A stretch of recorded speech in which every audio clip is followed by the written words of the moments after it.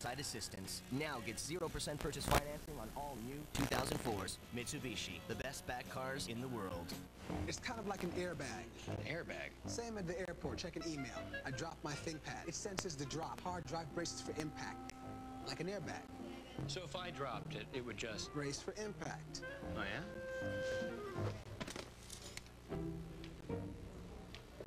That's not my notebook. Check, please. Klutz-proof wireless, only on a ThinkPad, with Intel Centrino mobile technology. Wendy's founder, Dave Thomas, knew that you liked to surprise now and then. And that's why Wendy's brought it back. Our Wild Mountain Bacon Cheeseburger. Of course, it's still prepared fresh so the beef is hot and juicy, but you'll experience a nice kick from the hot and smoky Southwestern pepper sauce. We even added Colby Jack cheese and bacon. Yep, Dave loved to surprise you. And we still do today. So don't wait. Wendy's. It's better here. Wendy's pickup window is open late.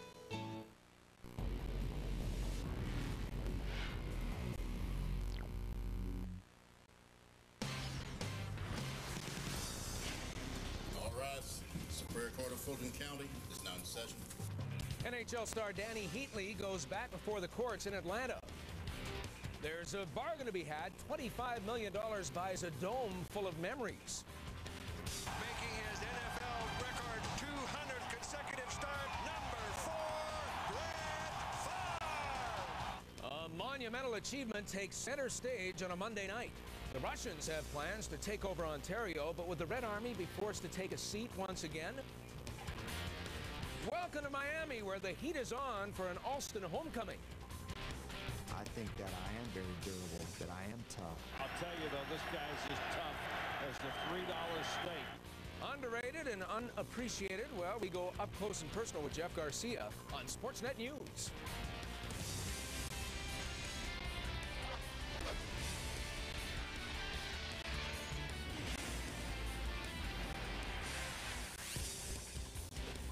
Everybody. Mike Toth along with Brad Fay. Welcome to the show. Uh, Dany Heatley is obviously a great hockey player. I probably saw this kid play about 30 times in junior when he played with the Calgary Canucks at the Alberta Junior Hockey League. Then went on to Wisconsin and the Atlanta Thrashers. Uh, but obviously, Dany Heatley now, Brad, in the news for a much different reason, and it really is too bad, obviously. Yeah, there have been a lot of distractions, Mike. Great ones for Dany Heatley in the past six months, leading Canada to a World Championship, then helping this nation to a World Cup few months later. But reality came crashing back Monday in an Atlanta courtroom. All the glory can't dismiss the fact Heatley is facing vehicular homicide charges in the death of friend and teammate Dan Snyder. Here's Sportsnet's Greg Ross. Dany Heatley showed little or no emotion at his first court appearance on six counts, including vehicular homicide in the first degree. Heatley, still showing signs of an eye injury he suffered a little over three weeks ago in Switzerland, was accompanied by his mother and father, along with his agent. Speeding is speeding is speeding and speeding, and it doesn't matter what time, doesn't matter where, doesn't matter what kind of car you're driving, doesn't matter what the temperature is. Uh, all of those things that you would normally hear in similar transactions seem to be tossed out the window when it comes to uh, to the offense. Two main issues were brought to the forefront in a preliminary hearing to argue and decide motions. The first dealt with Heatley's previous traffic convictions. The prosecution asked to have two traffic tickets admitted into evidence, one for following too closely, which was denied by Judge Roland Barnes, the other a speeding ticket, which was allowed. This isn't the first time that he has put citizens at risk by exceeding the speed limit or being reckless in how he drives. And the citizens need to know that, and that's what makes this a more egregious case than someone that had done this for the first time. There has been no adjudication that in fact in Kentucky that he was speeding. There's never been a hearing or determination of that fact. We don't think, even if it comes in evidence, it really bears on what happened here. The second motion was to admit Heatley's blood alcohol level at the time of the accident.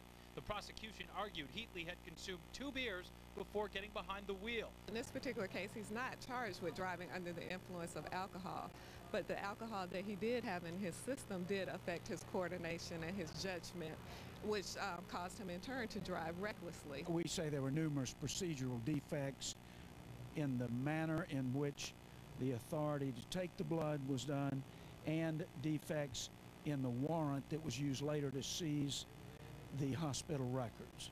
Judge Barnes did not make a decision on the motion to admit Heatley's blood alcohol level. He said he wanted to first read over all the documents presented by both sides before making a final ruling. Now, no trial date has been set in this case, although it's expected if it does get that far, it'll be tried sometime next spring. Greg Ross, Sportsnet, Atlanta. Now, as far as the eye injury Heatley suffered earlier this month in Europe, here is the latest. The retina is healing, but unfortunately, there's still a chance that Heatley's eye may have suffered permanent damage.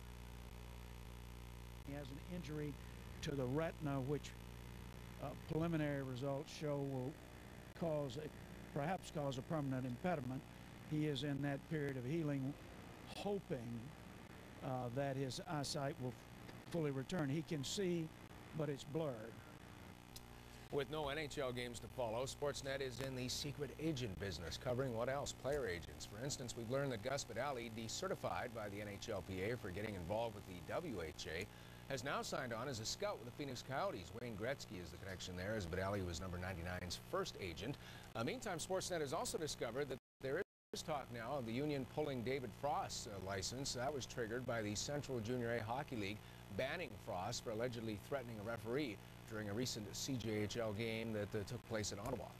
If you needed one, here's another indicator of how massive A-Rod's contract is. His yearly salary is now worth exactly what Rogers and the Blue Jays paid for their stadium Monday. Yes, Skydome, the world's greatest entertainment center, built for $600 million in 1989, is now worth 25 million. The deal will close officially in December. At the time of its opening, of course, Skydome was a state-of-the-art complex with the world's first retractable roof. Very cool. Sportsco, a group of Chicago investors, bought Skydome out of bankruptcy in 99 for around 80 million and the price kept falling. The Jays now join the other 29 major league teams who operate their own stadiums. And that should provide a little more financial flexibility for the Blue Jays. Who better to ask about that than the man who guides the ship? He spoke with our Jim Van Horn. Joining me now is the president of the Toronto Blue Jays, Paul Godfrey. Paul, this is a, a, great day not only for Rogers Communications, but for the Toronto Blue Jays as well, picking up Skydome at a bargain basement price. Well, we're very pleased. We think it's a big day for the fan because I think now for the first time since Rogers has owned the uh, Toronto Blue Jays, we can uh, control the uh, in-game uh, experience for the fan from the time he walks into the building to the time he leaves. What is this going to mean to the team? Is this going to make it easier possibly to increase payroll and go after free agents like Carlos Delgado? Well, we hope that uh, by increasing the uh, in-game experience and make it more exciting, maybe more fans will, will come. I don't think you'll see a, an immediate impact on uh, uh, team payroll, but over a period of time, I think you'll find that uh, as Skydome becomes a more exciting place to come and watch a baseball game or go to a concert, that hopefully uh, revenues will increase, and as revenues increase, uh, hopefully we'll be able to do more with the Toronto Blue Jays on a going forward basis. Now let me get this straight. You paid $25 million for the building. You paid Carlos Delgado $23 million Canadian last year. Why don't you just give him the building and say, Carlos, you can uh, stick around and, and have some fun with us for as long as you want? Well, uh, I haven't heard that argument before, but I think that uh, what we want to do is control the uh, uh experience for, for all the fans uh, and make it more comfortable for a guy like Carlos to play here. Paul, thank you very much and congratulations. Thank you very much. Sure, there's something about Mary, but there's also something about Brett Favre, or Favre, as he's known in that uh, crazy comedy. Monday night, Favre makes his 200th consecutive start, and I'll tell you what, he's still jiggy with the kids, too. In fact, Favre's Packer jersey is the third most popular uni in the NFL right now, behind only Michael Vick and Terrell Owens.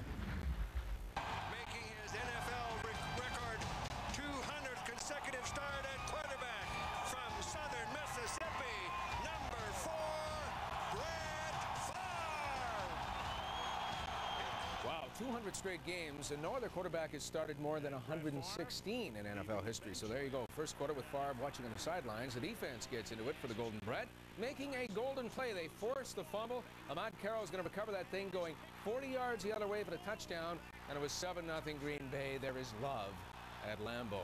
Second quarter, 7-3 for the pack when we go again, and Brett Favre on the field now, and he looks for Donald Driver. The Donald is going to pick up 12 yards in that play. Same drive, Favre gets it to the Driver one more time. This time it's an 18-yard pickup. And then a couple of uh, plays after that, Favre looking for the big tight end, Bubba Franks. Bubba going to get it done. A seven-yard touchdown as Favre becomes the first quarterback to throw 20 touchdown passes in 11 straight seasons. Now he's back looking downfield for Bubba Franks one more time, 29 yards.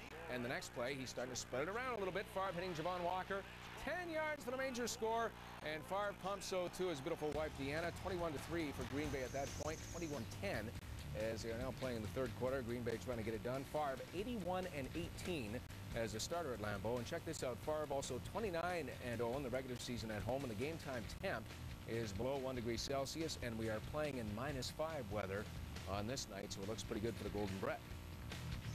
Authorities in Montrose, Colorado today say they have recovered a body matching the description of NBC Sports Chairman Dick Ebersol's 14-year-old son, Edward. The pilot and co-pilot were both killed after the plane crashed upon takeoff. Witnesses said it appeared the plane never got off the ground. It ran off the runway and skidded across a two-lane road, punching through fences before bursting into flames. Ebersol and his two sons, Charles and Edward, were flying home from California. Still to come on Sportsnet News with Paul Coffey looking on. Would Ontario's best be able to beat the Russians? To the NBA we go. Paul Pierce and the Boston Celtics get all tangled up with the Magic of Orlando. And just who did throw that chair in the malice at the palace? Those details coming up.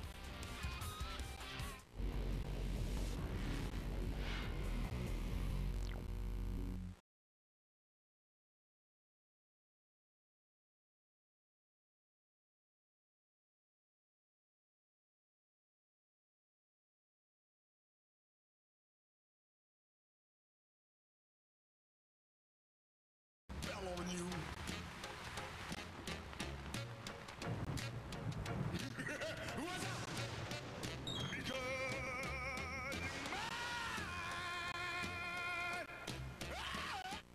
Give your style some pow with Herbal Essences styling products. Infused with pansies, rose hips, or passion flower. Use Herbal Essences hairspray to keep the twirl in your curl.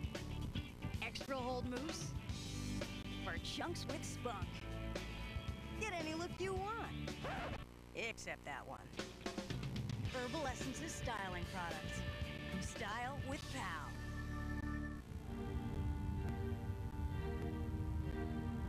Elevating the new Ford 500 means raising the seats for a better view of the road. It means as much room in the back as in the front. It means taking the sedan to a whole new level. The new Ford 500. We keep thinking about what a sedan should be because we want you to drive a Ford. Raptors basketball of the year on Rogers Sportsnet. Rafer Alston and the Toronto Raptors take on Paul Pierce and the Boston Celtics. President's Choice Raptors basketball. Friday on Sportsnet Ontario.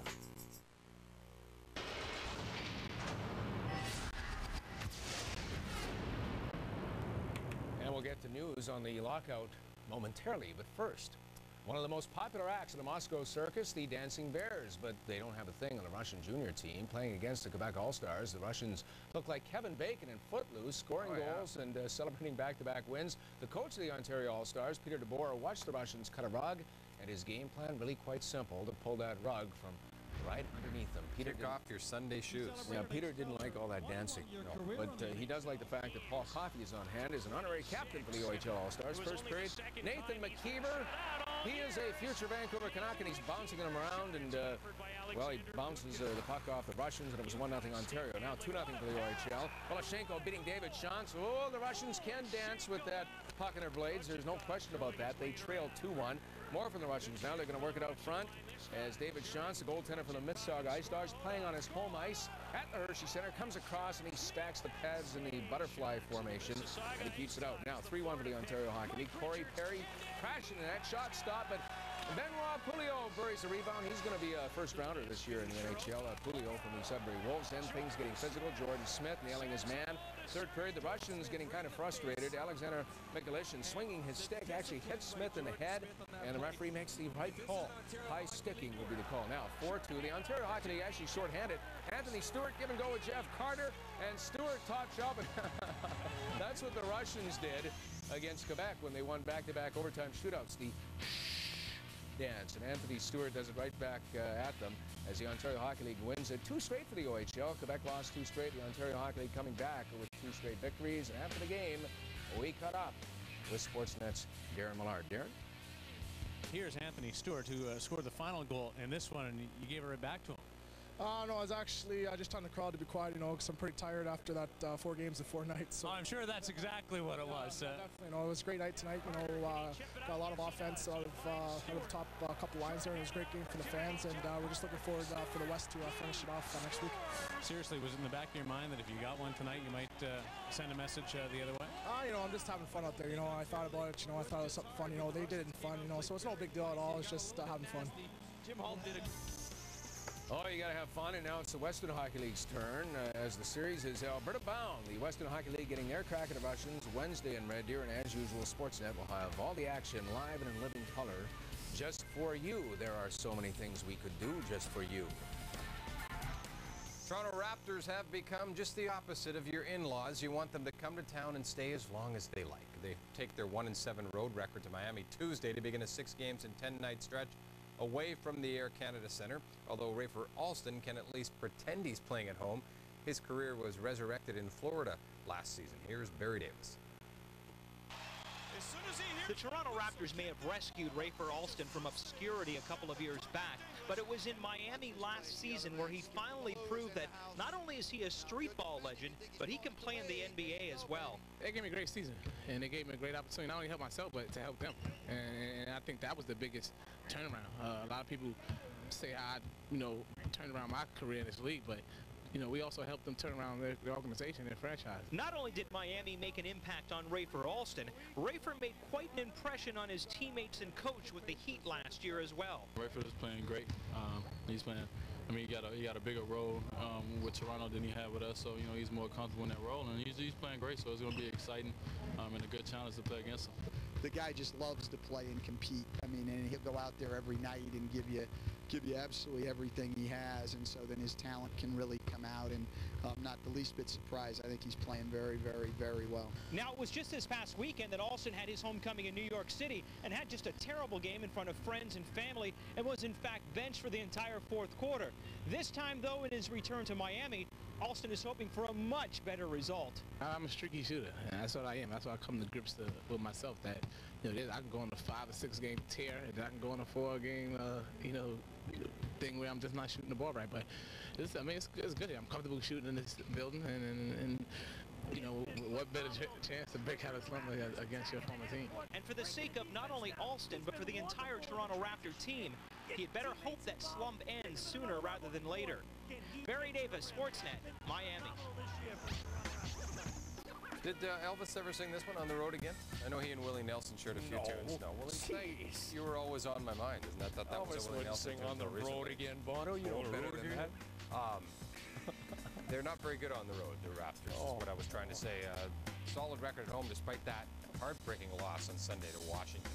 Two of the teams on that uh, board right there are in action against each other tonight. Boston and Orlando. Doc Rivers faces his former team. First quarter, Jiri Welsch can't find the range in the layup, but who's there?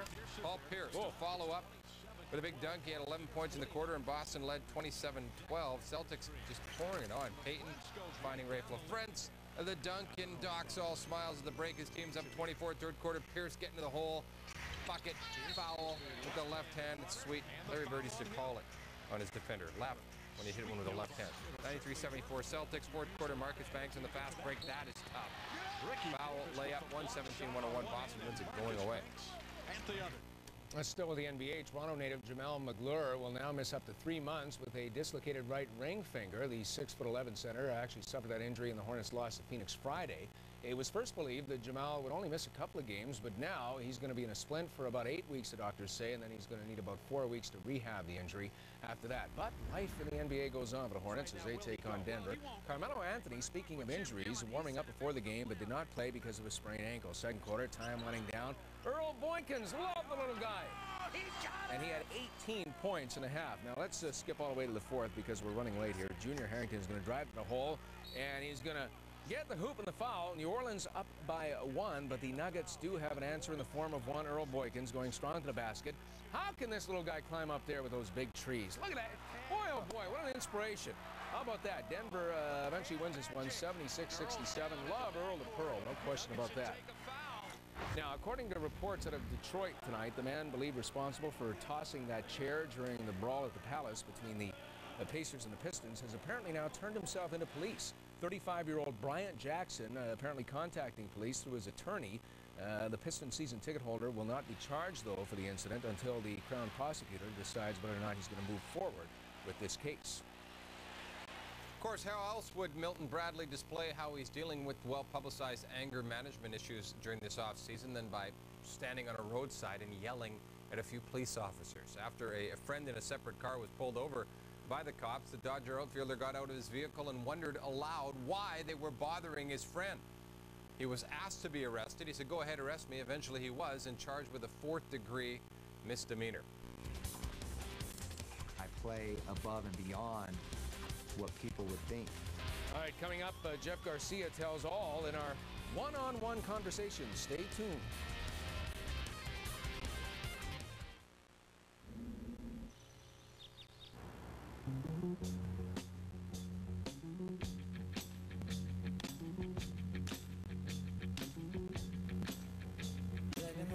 Nobody stands behind their cars like Mitsubishi. Because every new Mitsubishi now comes with a 10-year powertrain limited warranty, 5-year bumper-to-bumper limited warranty, and 5-year roadside assistance. Now get 0% purchase financing on all new 2004s. Mitsubishi, the best back cars in the world. Entries have been pouring in for our Rice Krispies Don't Be Square contest. The $25,000 in cash prizes seems to have inspired quite a few of you. Good morning, Kellogg's. We're thrilled with the overwhelming response. We just wanted to remind you that you can just send in a picture of your creation. Just a, a photo uh, in the mail. Look for this package or go to the website for full contest details. 25000 in cash prizes to be won. What are we stealing? Warner Brothers and Sportsnet want to get you in on the action. You're doing the recon work on our anniversary? Taz. Log on to sportsnet.ca now and play the Ocean's 12 match game for your chance to win a two-year lease on an all-new 2005 Mazda 6, the internationally acclaimed sedan with the soul of a sports car. Ooh. Ocean's 12 in theaters December 12th.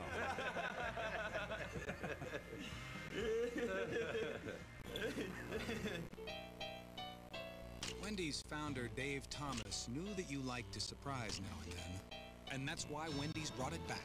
Our Wild Mountain Bacon Cheeseburger. Of course, it's still prepared fresh so the beef is hot and juicy, but you'll experience a nice kick from the hot and smoky Southwestern pepper sauce. We even added Colby Jack cheese and bacon. Yep, Dave loved to surprise you. And we still do today. So don't wait. Wendy's. It's better here. Wendy's pickup window is open late. Wish I could go to California. Why don't you? Can't leave all this. Thank you.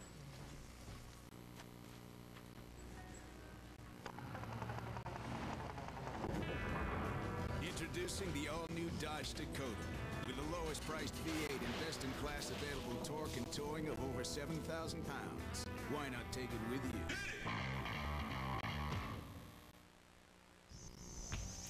Welcome back. Wade Boggs, Darryl Strawberry, uh, Willie McGee among 12 players appearing on the Baseball Hall of Fame ballot for the very first time. Uh, the voting by the Baseball Writers Association wraps up December 31st, and new members of the Hall will be announced coming up on January 4th. We're hoping uh, Tom Cheek gets in the Ford Frick Award uh, broadcasting wing. Jeff Garcia can relate to what Casey Printers had to endure at the Grey Cup. He too was left on the bench by Wally Buono in a Grey Cup loss as veteran Doug Flutie, who, like Dave Dickenson, had missed much of the season due to injury, took every single snap for Calgary. That was 1995. Jeff would lead the Stamps to a championship in 1998 and has since established himself as one of the more durable NFL quarterbacks. How tough is this guy?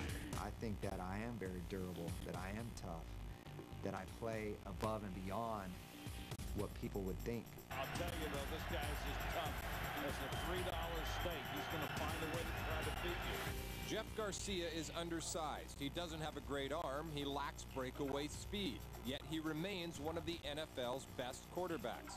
He's been to the Pro Bowl three times, and since 2000, he's racked up more than 15,000 yards through the air while missing just four games.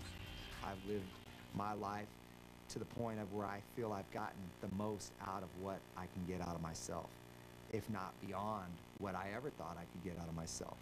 So how does he do it, and what makes him so tough? Garcia cites his five years in the CFL as one reason.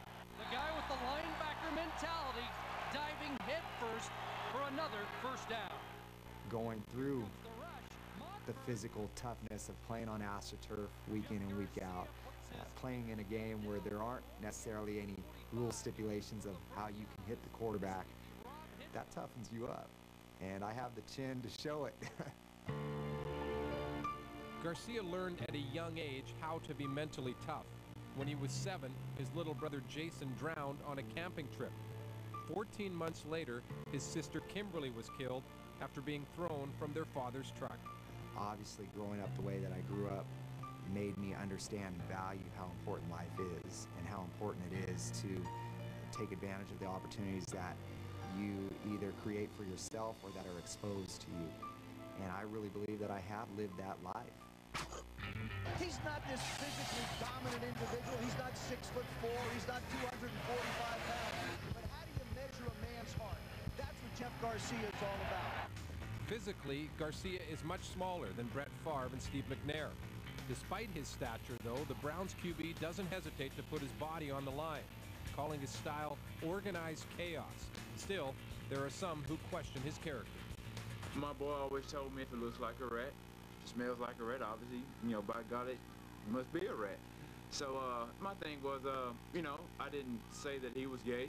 I don't care what somebody else wants to fabricate or say about me or create about me because I know what I'm all about. I know who I am. I know what my responsibilities are, not only to myself, but to my team, to my family. And I know the type of character that I want to represent. But to turn the page and put that stuff behind me, I've done that. And now I'm just continuing to move forward and continuing to try to better myself for this team. And for this team, the team that made him feel wanted and appreciated in the offseason, Garcia is working harder than ever.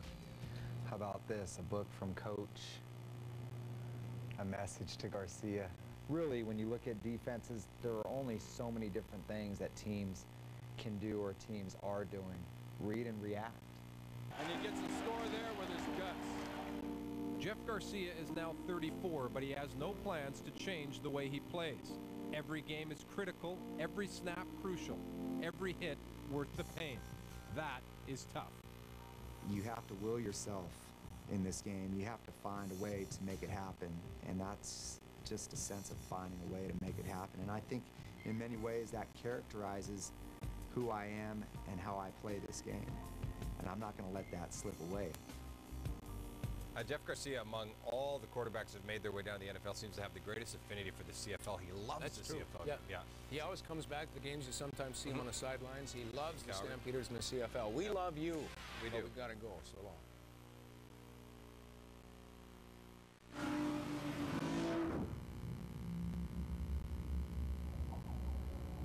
It's a state of control. It's mental. It's physical. It's powerful. Athletes call it being in the zone. We call it being in the driver's seat. The new G35 with a sport tuned suspension and the most powerful V6 in its class. The G35 from Infiniti. Mr. Jones? Stephen. He's here. Hi, Mrs. Jones. Hello, Steve. Ah, here she is. These are for you. Oh, Steve. You shouldn't have. Cool. Don't wait up. Guylian chocolate seashells. Too good to give away. Discover the great taste. Now also in a seashell bar. Raptors basketball of the word on Rogers Sportsnet. Rafer Alston and the Toronto Raptors take on Paul Pierce and the Boston Celtics. President's Choice Raptors basketball. Friday on Sportsnet Ontario.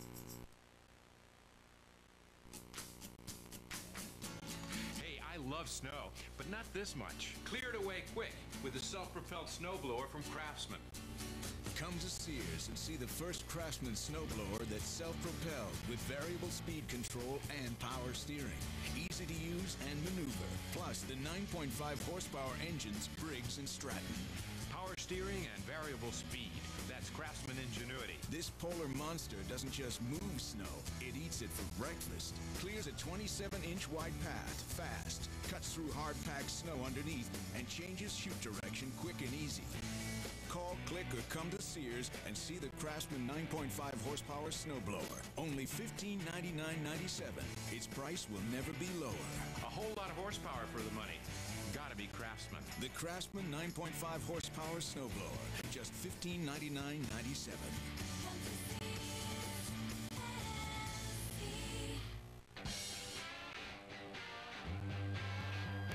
Introducing Spectra 5. The only car in its class with six standard airbags.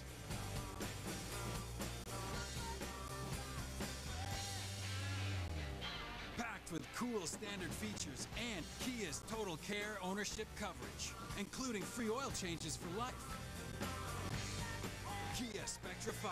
For only 229 a month, you can love one this much.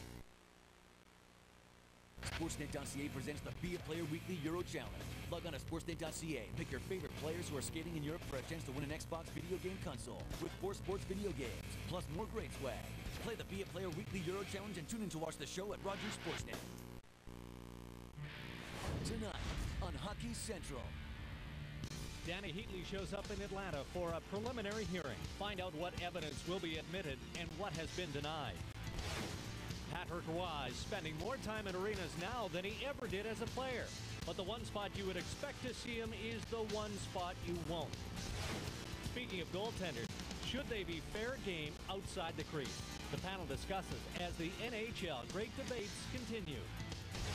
Plus, another player agent feels the wrath of Bob Goodenow and the NHLPA. This is Hockey Central. From the Sportsnet studios, here are Darren Dreger, Gord Stellick, Nick Kypreos, and Bill Waters. Hi again, everyone. Straight to the news of the day, which trickles in out of Atlanta, where Thrashers forward Dany Heatley started the week in court in what is believed to be one of many preliminary hearings. Reports out of Atlanta say the two sides are not close to agreeing to a plea that would keep the case from going before a jury, with a trial date tentatively set for February. Monday's hearing saw prosecution argue to admit the fact Heatley had been drinking on the day of the accident, and they allege he has a history of reckless driving. This isn't the first time that he has put citizens at risk by exceeding the speed limit or being reckless in how he drives. And the citizens need to know that. We don't think, even if it comes in evidence, it really bears on what happened here. The alcohol that he did have in his system did affect his coordination and his judgment, which um, caused him in turn to drive recklessly. We, we say there were numerous procedural defects in the manner in which the authority to take the blood was done and defects in the warrant that was used later to seize the hospital records. Legal analyst Rob Becker now joins us. Rob, this was a motions hearing. Clarify something if you could. Evidence of speeding was allowed, but uh, evidence of following too closely wasn't. Why is one admissible and not the other? Well, what the prosecution is trying to show is that there have been similar incidents in the past that establish a pattern. So we should believe that since Heatley was reckless in the past, he's reckless when he had the accident with Mr. Snyder. Well, in this reckless incident with Mr. Snyder, basis for the recklessness is that he was supposed to have been speeding. So the previous incident that was allowed in was a speeding incident because that's similar. But of course, right. the other incident that he was following too closely is not similar enough, so that doesn't come in. All agree Dany Heatley wasn't over the legal alcohol limit. Why should prosecution be allowed to introduce evidence that Heatley was, in fact, drinking? Well, the argument from the prosecution is, hey, look, even though he wasn't intoxicated in the sense of a crime, he had some alcohol, and that makes it more likely that he was reckless and speeding. But there's a response to that, and that is, well, look, the amount was so small it couldn't have affected him at all. In fact, the Georgia Bureau of Investigation found negative for alcohol. So that's going to be the argument. I don't necessarily think it should come in, and probably it should not come in. Does defense want to avoid the jury, and if so, what are the odds of a plea bargain? Uh, right now, it doesn't look too good because both parties have told me that they're nowhere near a deal and there is nothing concrete on the table. And I don't have any reason to believe that one side is more likely to want one than the other. But right now, we've got a ways to go if anyone wants to see a plea bargain. All right, Rob, thanks for this. You're welcome. Bill Waters, Nick Kypreos, Gordon Stellick joining me in studio, and the reality is a no plea bargain, and the case does go to trial. They face a jury, arguably sometime in February. But uh, Gordy, the lockout may be positive as Dany Heatley now just attempts in some way to get his life back together through this process. Yeah, I don't know if he looks at it as positive or not, but I, I do know what you mean in, in that sense, try to get the legal ramifications taken care of. What it does show, and Craig MacTavish saw it a number of years ago as well, is that despite the Snyder's family's plea on humanitarian grounds, I mean, he's got some legal obstacles that he's got to face, and who knows what that says down the road once hockey gets back playing. Will Dany Heatley be able to play off the bat? But the reality is hockey is somewhat of a sanctuary, although you wouldn't know that because the man is injured yet again here, Nick. I mean, hockey gives him a place to maybe not focus on what's going on for him away from the rink. And when it rains, it pours. Yeah. I mean, you had the incident uh, in Europe where uh, his eye was damaged, at least uh, the orbital bone. Uh, we're hearing that he's still having trouble seeing out of that eye. So a situation now where you almost hope that uh, the NHL does start because if this thing goes to trial, uh, it's going to get a lot more attention uh, on it if there is no hockey. Not necessarily precedent setting, as Gord points out, Bill, but uh, it's something that definitely this young man will have to deal with, perhaps for the rest of his life. Yeah, and, and I don't know why I felt that this was uh, not a slam dunk, pardon the, uh, the expression, but I thought he was just going to step up to the box and get his sentence, whatever it was.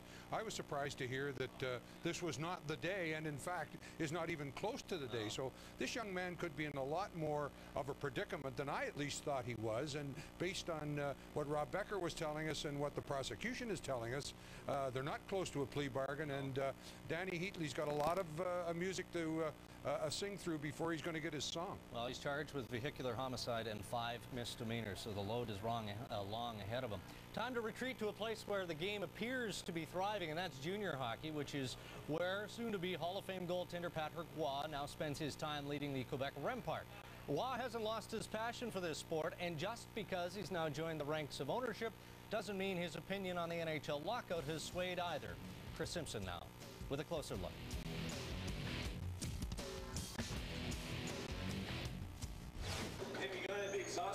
Following me.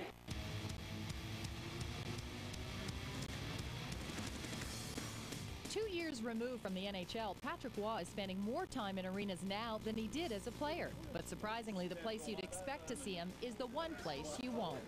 Bonjour. Hi, Mom. Hi, Dad. Hi, Sportsnet. Last year, I started play after Christmas. I thought I really needed like a, a good three, four months. And then uh, one of the doctor of the team uh, looked at me said, I think Patrick, you should start doing something. Uh, take care of your health. Towards the end of my career, I always said, oh, I, I want to take a year off doing sweet nothing and just to see if I really missed the game. There's no way I could do that. It's safe to say the NHL's all-time win leader isn't about to break Wayne Gretzky's scoring records, but Scotty Bowman might want to keep an eye on Roy, who is coaching his youngest son's Bantam team. Come on, a un bon début de match. On frappe, les bonnes mises en échec, les bonnes passes. On travaille pendant euh, toute la période.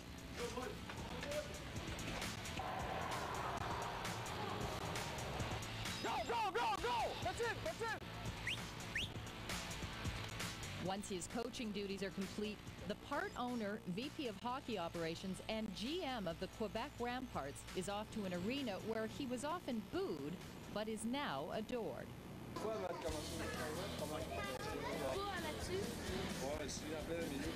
But it was a fun way for me to uh, to remain in the game of hockey. If I would have to draw a picture of, of a type of retirement, then that's that's what I would love to do.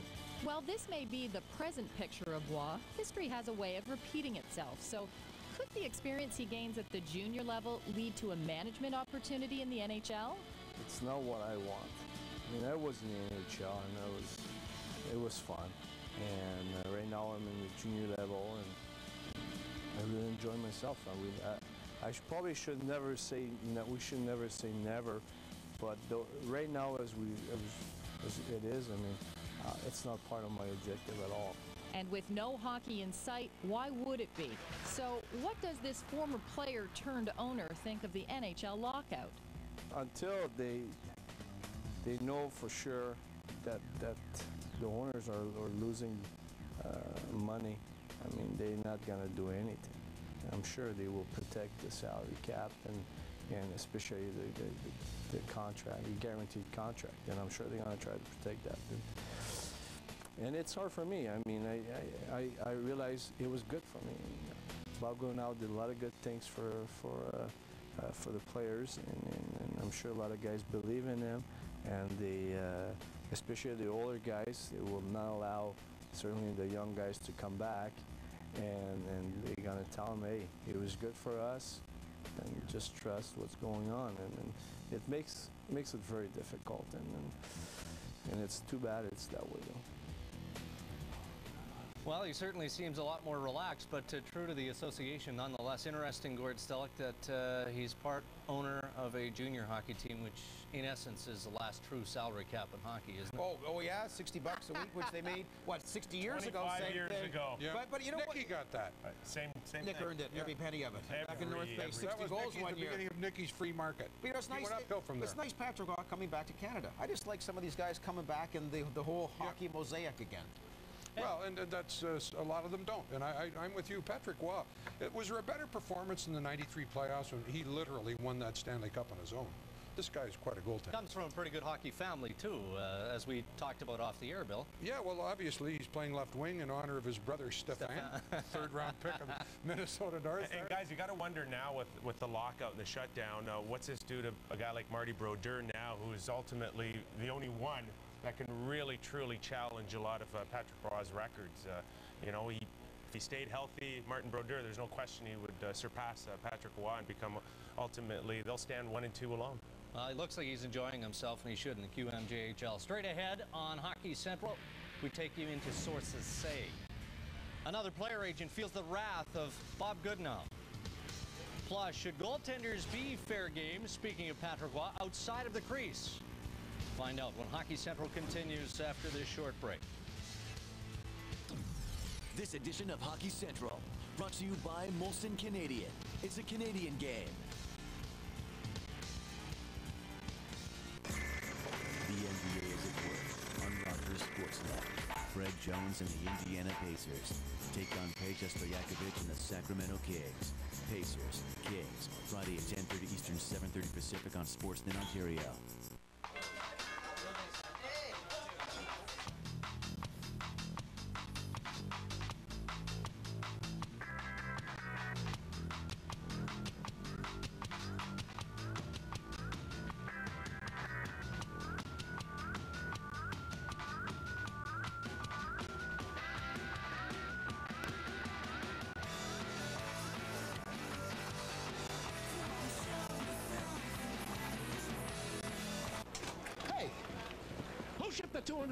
To our client in Boston?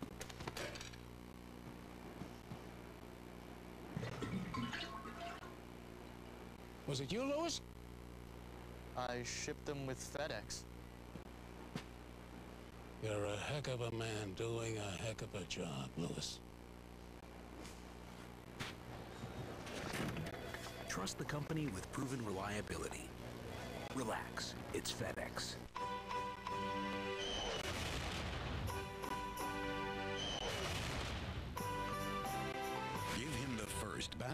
Battery-powered shaving system from Gillette. It's the world's best shave. M3 Power from Gillette.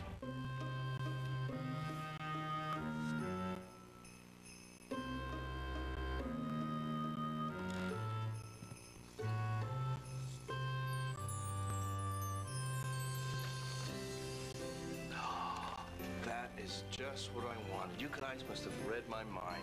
Make it a year to with Tim Hortons limited edition 40th anniversary mug. Just $6.95 with one packet of Tim Hortons coffee, or the canister, $10.49 with five packets. For more on what's going on behind the scenes in the NHL, this is Sources Say. Yes, and uh, late last week, longtime NHL player agent Gus Badali became the target for the NHLPA and executive director Bob Goodenow. Badali decertified for what is described as conflict of interest. Time to bring in the panel. First, we take you to New York, where John Davidson is standing by. And JD, I've never heard of agents being decertified. It just goes to show you this is, in fact, cutthroat business. Well, it's serious business, Darren, and it's big business, and you have to follow the rules and abide by the rules. And from what we've been talking about with, with a guy like Gus Badali, who's a real good person, there's no doubt about that, he didn't follow the rules. If you want to become part of management and become a general manager, how can you, from that point forth, be an agent? Uh, I would think that Gus, along the way, may try to re get reinstated as an agent since his days of the WHA management have fallen by the wayside. and I kind of hope he gets back in because he's a good person. But you can't have it both ways. No. Well, but the thing is, it never got up and running. I mean, we have a member of this august panel in Bill Waters. We have Pierre Lacroix, Dean Lombardi, Brian Burke. They're all player agents, went to management, so it's not unusual to make the jump. If I'm the Players Association, I want the WHA up and running. You know, JD, that was the best time ever in the yeah. 70s. So I don't quite get why Gus Badali's paying for the price for a league that didn't get going, and had it got going, would have been the best thing for the Players Association. Did, did you still have uh, clients, player clients, as you dabbled uh -oh, into management? careful, Wilbur. Not that I was aware of. Just Kipper. No, and that's the, the difference. Yeah, Easy Pinocchio. Yeah, that's right. No, I didn't. But the fact remains that Gus had not signed anything. He was doing a favor. The only person that made him a general manager was the uh, writer for the Toronto Sun, a very good one, I might add. But he listed him as a general manager. He was no more a general manager than fly to the moon. He did prepare a list for a friend, and that was the extent of it. So wow. I, I think it's. I don't disagree, Nick, that you can't serve both masters. Will comparables not be made here, though, guys? And John, I, I guess I can start with you. I mean, David Frost remains out there, although the National Hockey League Players Association does have him under review yeah. for an incident in Ottawa earlier this month with the well, CJHL. Like, like, there's, like, there's bylaws and there's a law, yeah. and you have to follow the law. And if David Frost has broken a rule or broken the law, then ta-ta for now, out of Dodge. Get him out of here. Yeah. But a guy like Gus Badali, I, I think this, it sounds like it was almost a misdemeanor. And if he can find a way to get himself uh, applying for a reinstatement, I would hope he gets back in because he seems to me at least, and I've known him for a long, long, long time. This is one of the good people in the business. There's no question he'll be yeah. reinstated. Bob, Bob's not going to hold him out forever. No. I mean, it's uh, the same as Bryant McBride. He's going to be reinstated. The fact that he was. Don't uh, be so sure. Yeah. Don't be so sure. Right. No. Let's shift I, gears I don't here. have the inside on that. Nick, month of December, the fate of the season will be determined. Is that fair to say? I don't think so. I think, uh, you know, everyone tries to come up with a drop-dead date. I know uh, a few people from the, the league side have uh, told me that they anticipate a proposal coming, maybe as early as Wednesday or Thursday, but I just don't see it. And I know many of us have been told by different people that uh, there isn't a proposal that's Im imminent. And the problem is now is does the PA negotiate against themselves? Because you got to think whatever gets proposed now will just get shot down. But the question remains, guys, will the same proposal with the season on the line get shot down. You That's know, Nick, Nick I think the players the players will come forth with, with the proposal. I think it'll be a real good one. Then the NHL is going to have to open up dialogue, which is what we want, a starting point. We need it.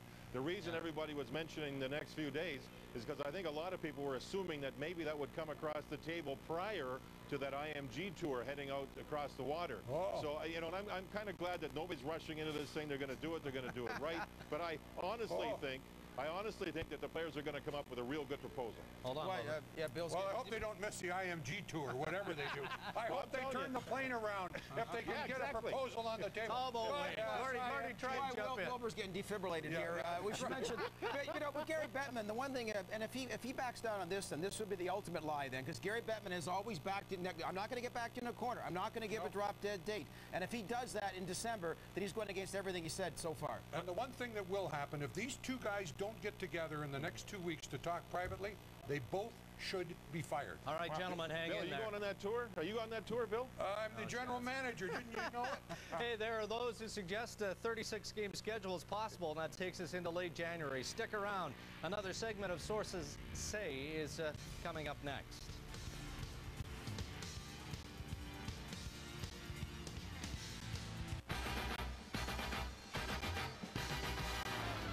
What are we stealing?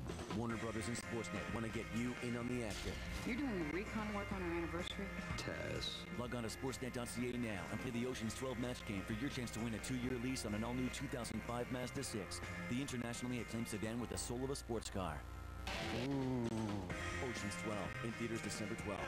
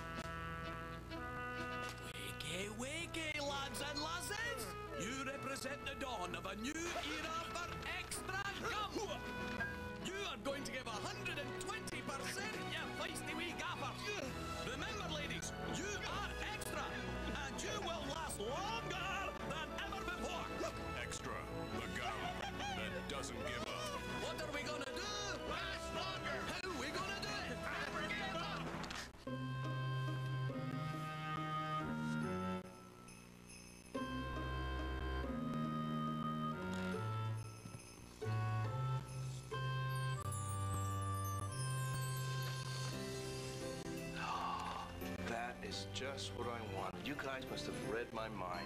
Make it a year to remember with Tim Hortons limited edition 40th anniversary mug. Just $6.95 with one packet of Tim Hortons coffee, or the canister, $10.49 with five packets.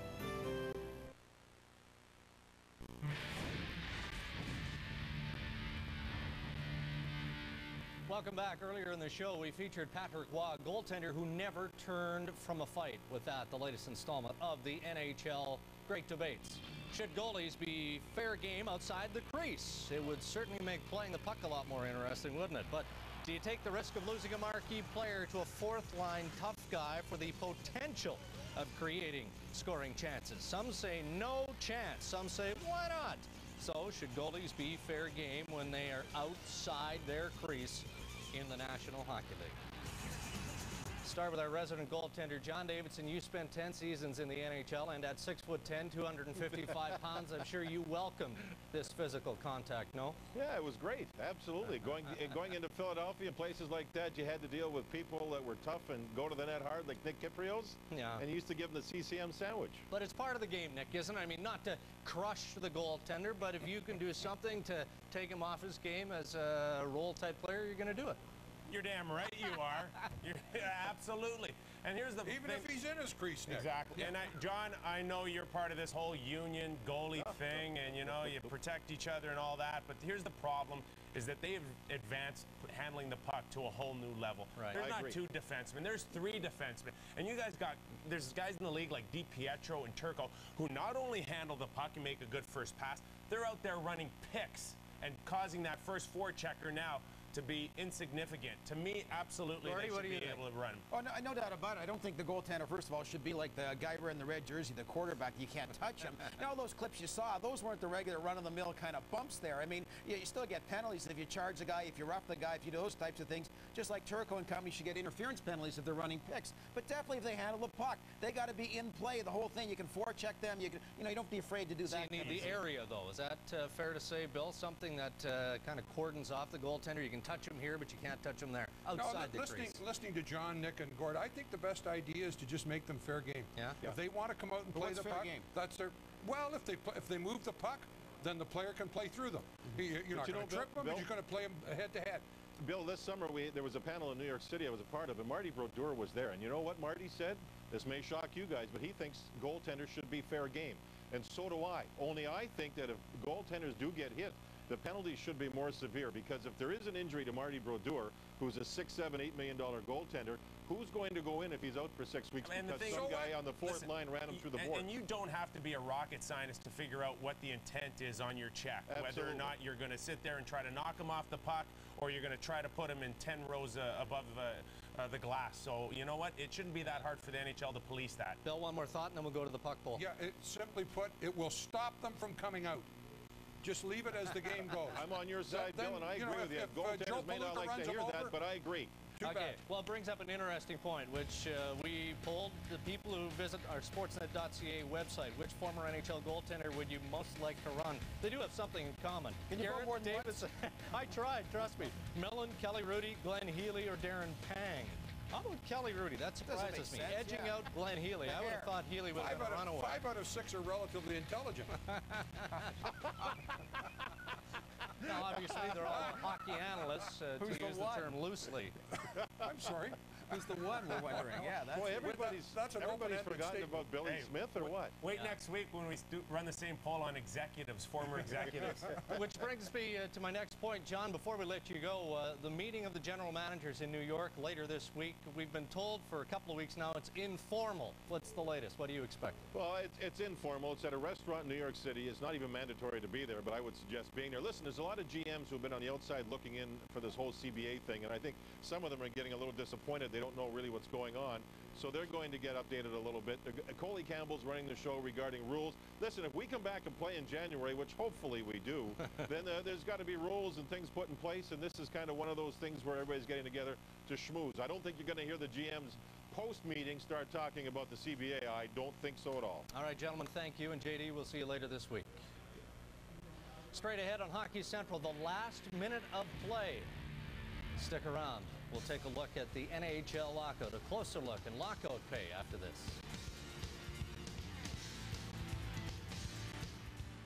Subscribe to Sportsnet's five channels Sportsnet East, Sportsnet Ontario, Sportsnet West, Sportsnet Pacific, and Sportsnet HD. Plus, Raptors NBA TV. And get over 380 NBA games this season, including 68 in high definition. More hoops on Sportsnet and Raptors NBA TV. What can you tell me about vampires? They exist.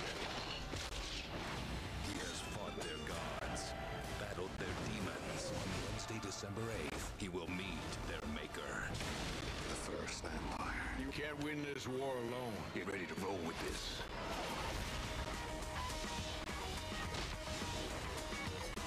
There's nothing stopping them now. There's me.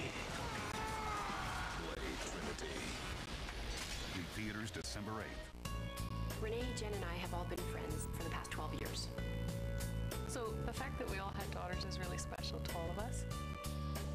Around Christmas time, we try and spend as much time together as possible. It's hard to find time during the holidays. With a store like Walmart, we can get everything done, so it makes it a lot easier. I think that because we're such close friends, I know that they will be close friends. So um, doing this together is just so special. I wear black a lot, and I want a dandruff shampoo with a conditioner for my hair and scalp, so I switched to Selsun Blue 2-in-1. Proven strength to relieve flakes and itching with added moisturizers and conditioners for healthier looking hair and scalp. Never wear black without the blue. Selsun Blue.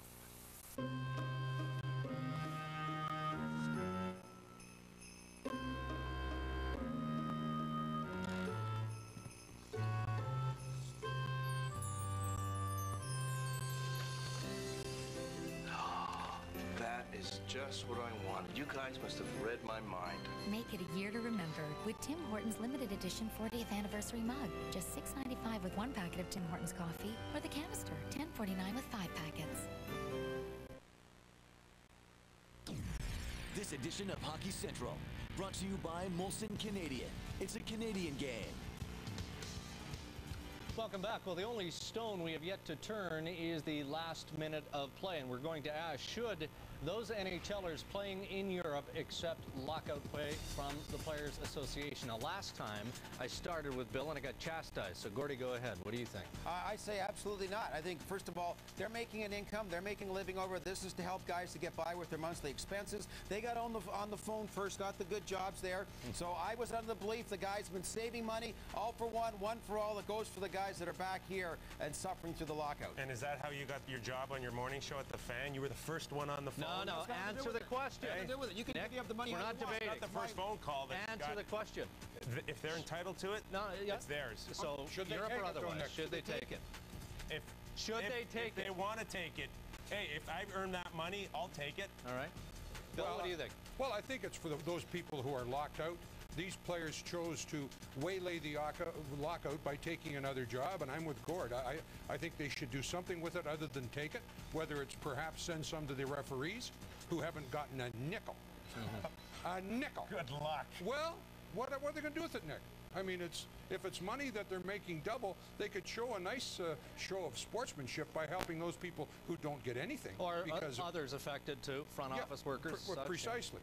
And I'm, I'm sure some of them will. They're very philanthropic. but No, but uh, the, the onus is on fly. the onus is on the teams to help the front office guys. I mean, that's where I wouldn't. I'd draw the line there. But if they double up and give the guys that don't play 20 grand a month, is fine. Nick, it's not our money, so it's fine. I do understand that. But all I'm saying is, in the spirit, if they're making coin over there, give it to the guys that aren't making coin back here.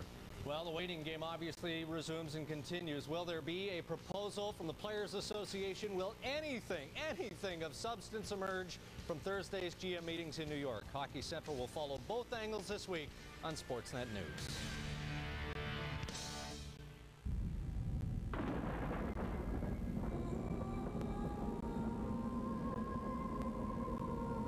Where is it written that luxury is only for the few? Where is it written that style can't have substance? If it is written somewhere, we're rewriting the book. Kia Amanti.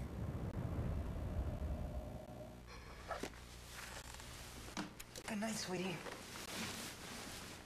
I love you. For real beef lovers, Burger King's created the BK Steak Burger. Go nuts and add processed cheese and bacon. Have it your way.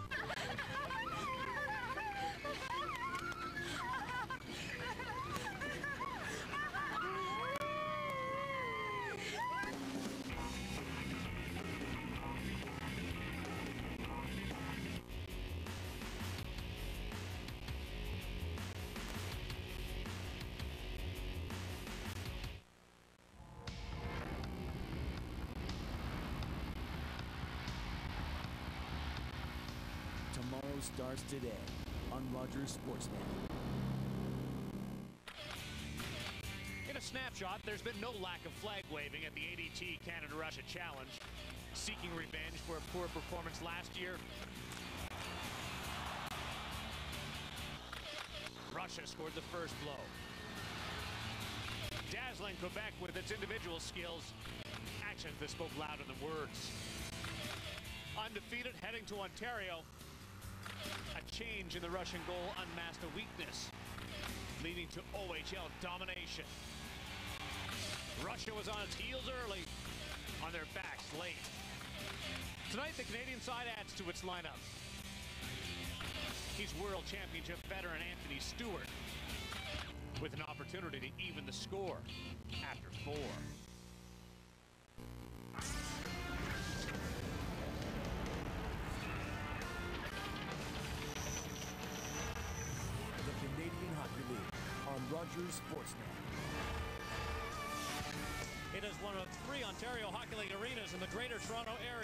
Hershey Center, home to the Ice Dogs, and tonight the backdrop, the ADT Canada Russia Challenge.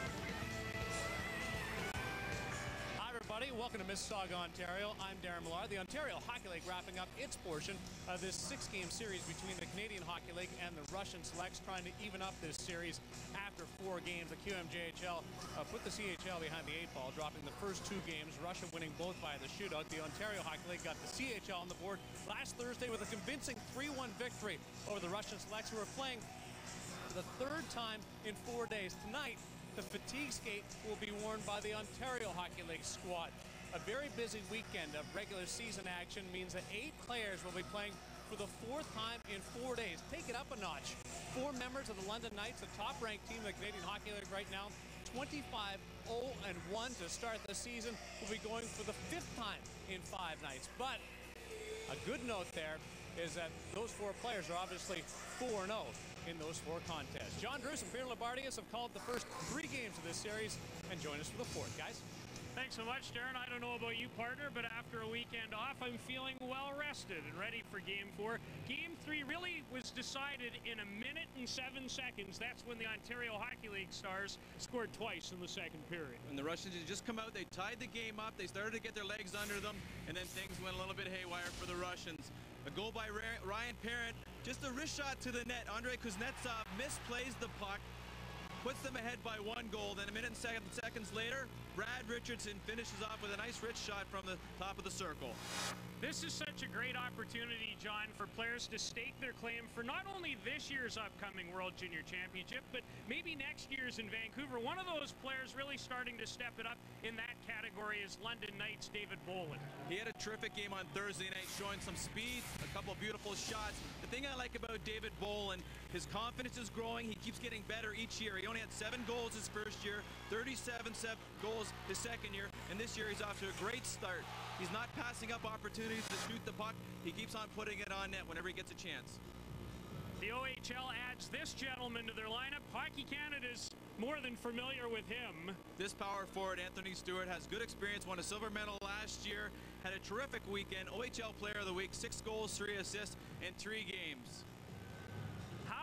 Russians will respond is the question after winning the first two games, and then it's true, they were really dominated. They have some rest. One of their key figures in the game on Thursday in Barrie was number 18, Sergei Kochetkov. Kochetkov showed some speed when he did have the puck and took advantage of every opportunity. But Danny Syvret makes a terrific defensive play, getting back at back on Kochetkov to poke check the puck away. Kochetkov does get another opportunity and does not miss on that one. So the one guy, he scored 13 goals last year, 26 points in the Russian League, had a great game on Thursday, look to do the same tonight. And has spent some time in the Super League this year with Voskresensk. Let's now meet the team's starting lineups and the dignitaries and turn it over to public address announcer Tony Ambrosio. Good evening, ladies and gentlemen, boys and girls, and welcome to the Hershey Center. The Canadian Hockey League, in association with your Mississauga Ice Dogs, welcome you to the ADT Canada-Russia Challenge. The lineup for tonight's visiting team, the Russian Selects, is number 30, Andrei Kuznetsov. Number three, Dmitry Megalinsky. Number four, Andrei Plekhanov. Number 12, Nikolai Kulemin. Number 20, Mikhail Yunkov. And number 21, Roman Voloshenko.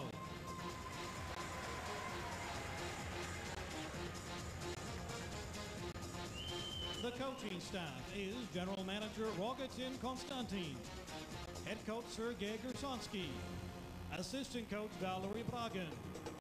The training staff is Team Dr. Dmitry Bogodevsky and Monsieur Alexander Kulikov.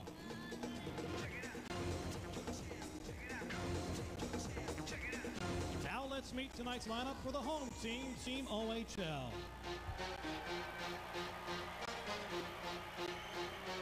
From the Mississauga Ice Dogs, number 57, David Shantz.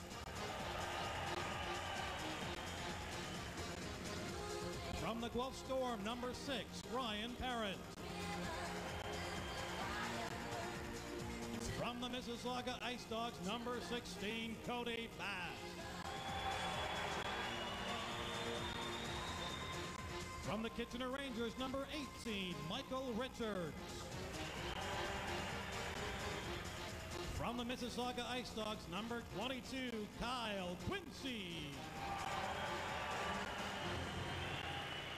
And from the London Knights, number 94, Corey Perry.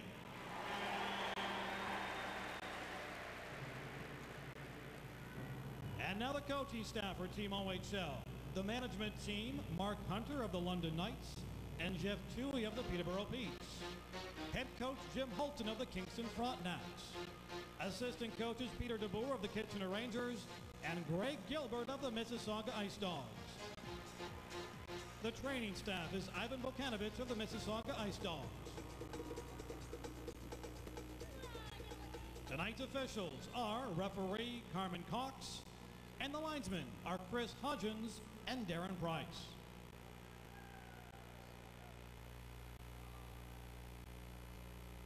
At center ice, please welcome our official party for tonight's opening ceremonies.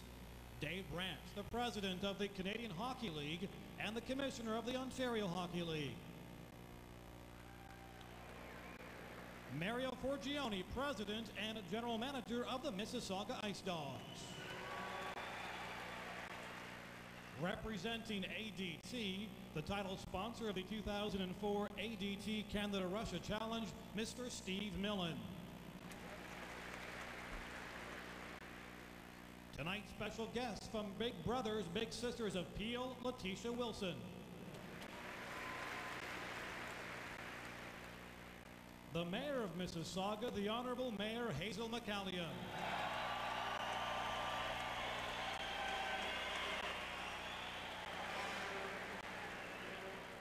a Kitchener Rangers alumni and recent Hockey Hall of Fame inductee. He celebrated a stellar 21 year career in the NHL. During that time, he won the Stanley Cup four times with both the Edmonton Oilers and the Pittsburgh Penguins. A Norris Trophy recipient as the NHL's top defenseman, he represented Canada three times in the Canada Cup. Please welcome tonight's honorary captain, Mr. Paul Coffey.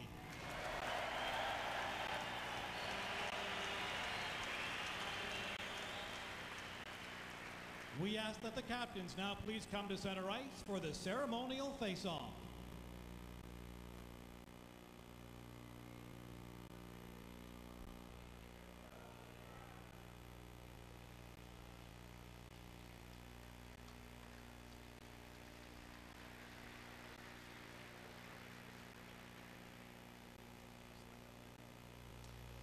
Game number four of the ADT Canada-Russia Challenge as the OHL tries to draw the Canadians even at two apiece with the Russians. The ADT Canada-Russia Challenge on Rogers Sportsnet, brought to you by MasterCard. There are some things money can't buy. For everything else, there's MasterCard. By Canada Post, proud sponsor of the Canadian Hockey League. And by Napa. Get the good stuff. With a store near you, call 1-866-GET-NAPA. Sportsnet and the Get Connected Extravaganza are giving you the chance to win platinum tickets to Canada's first all-in-one entertainment and sports event of the year. Catch the celebrity NHL legend hockey game and benefits concert.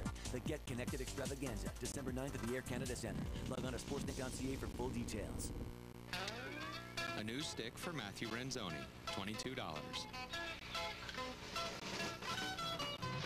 New pads for Jeffrey Garbig, $92. Guard for Josh Barkholder, $15. A new hockey season for the Scoville Clippers, priceless. There are some things money can't buy. For everything else, there's MasterCard, fan of the CHL and its future stars.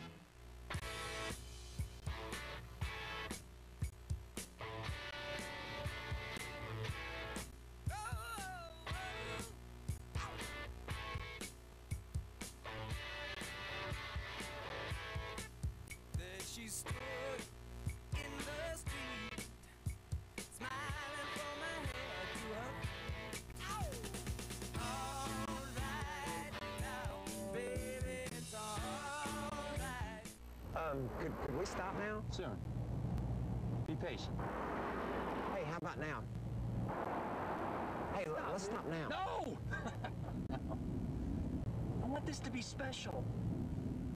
You guys ready? Oh, yeah. That's what I'm talking about. So smooth. Let's do it again. At Napa Auto Parts, we have great brakes and millions of other quality parts. Napa, get the good stuff. This may sound a little crazy, but I like the smell of the wood. I like the sawdust flying around. When everything goes smooth, that's like the tool is doing all the thinking for you. Smooth as your work going off without a hitch. On time, every time. I want to be able to drop that thing off the roof and keep on going. Dependability. I mean, I still use my father's router. They're always the first. Always the best. Just the feel and control. You think it, and there it I is. can build anything. I can build it right with Porter Cable. Somewhere, there's a man accessing sensitive information by way of a fingerprint. While a woman keeps track of millions of dollars in inventory, safeguarding it from the warehouse to your house. And a dad checks on his business from his son's baseball game. What do all these people have in common? They rely on Canada's largest security company, ADT. Always there.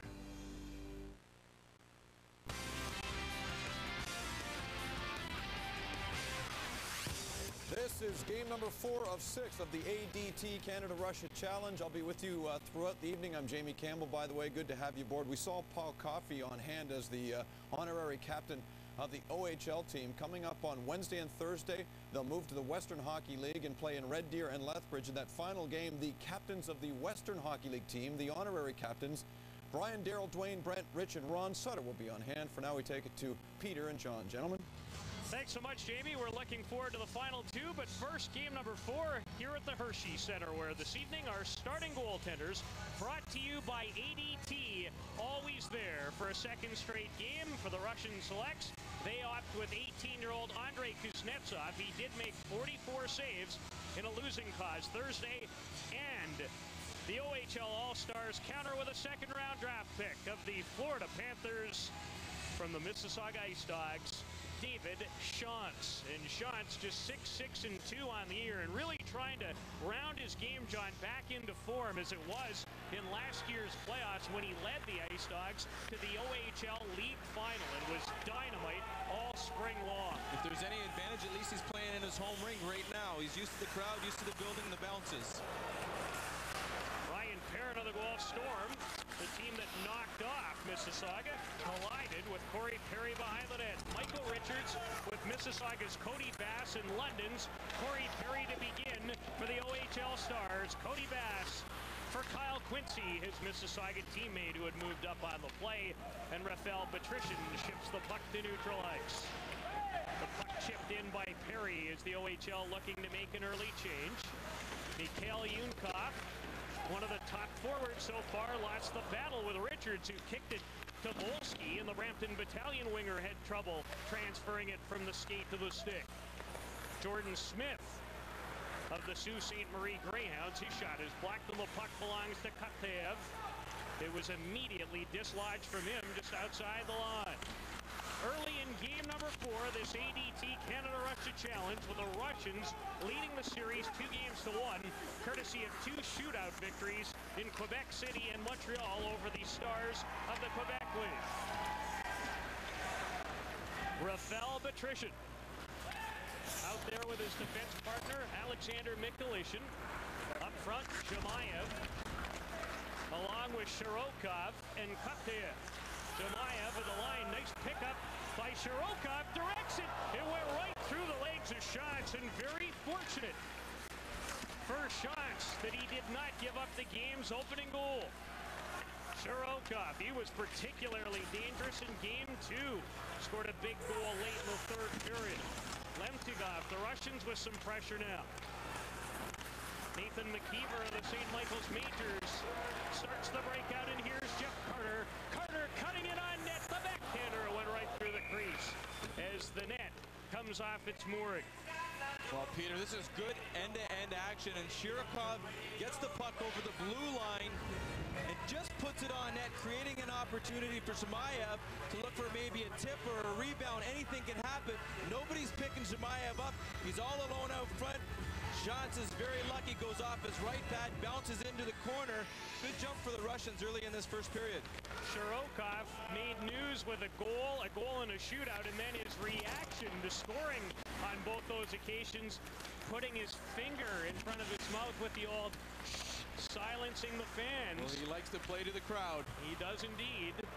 Was quite silent in game number three of this series Thursday in Barrie, and there were several Ontario Hockey League stars that took notice of that performance. Brian Little of the Barrie Colts has his stick lifted by Igor Skorohodov, and he flips it deep in the OHL zone.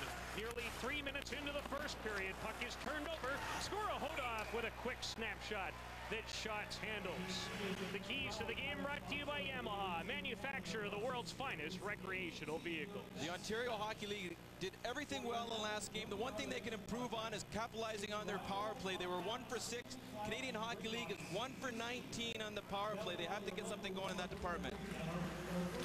Yunkov playing with Voloshenko and the new member of the line, of course, Alexander Radulov was so key to their success in the first two games. Tonight they give number 12 a try, Nikolai Kulemin. Voloshenko, the Minnesota Wild second rounder, snaps it deflects, well wide of the target. Nagalinsky towards Voloshenko. It's loose in front, banded away by the defender Ryan Parent. As BJ Crombeen steers it in a touch for Andrei Kuznetsov.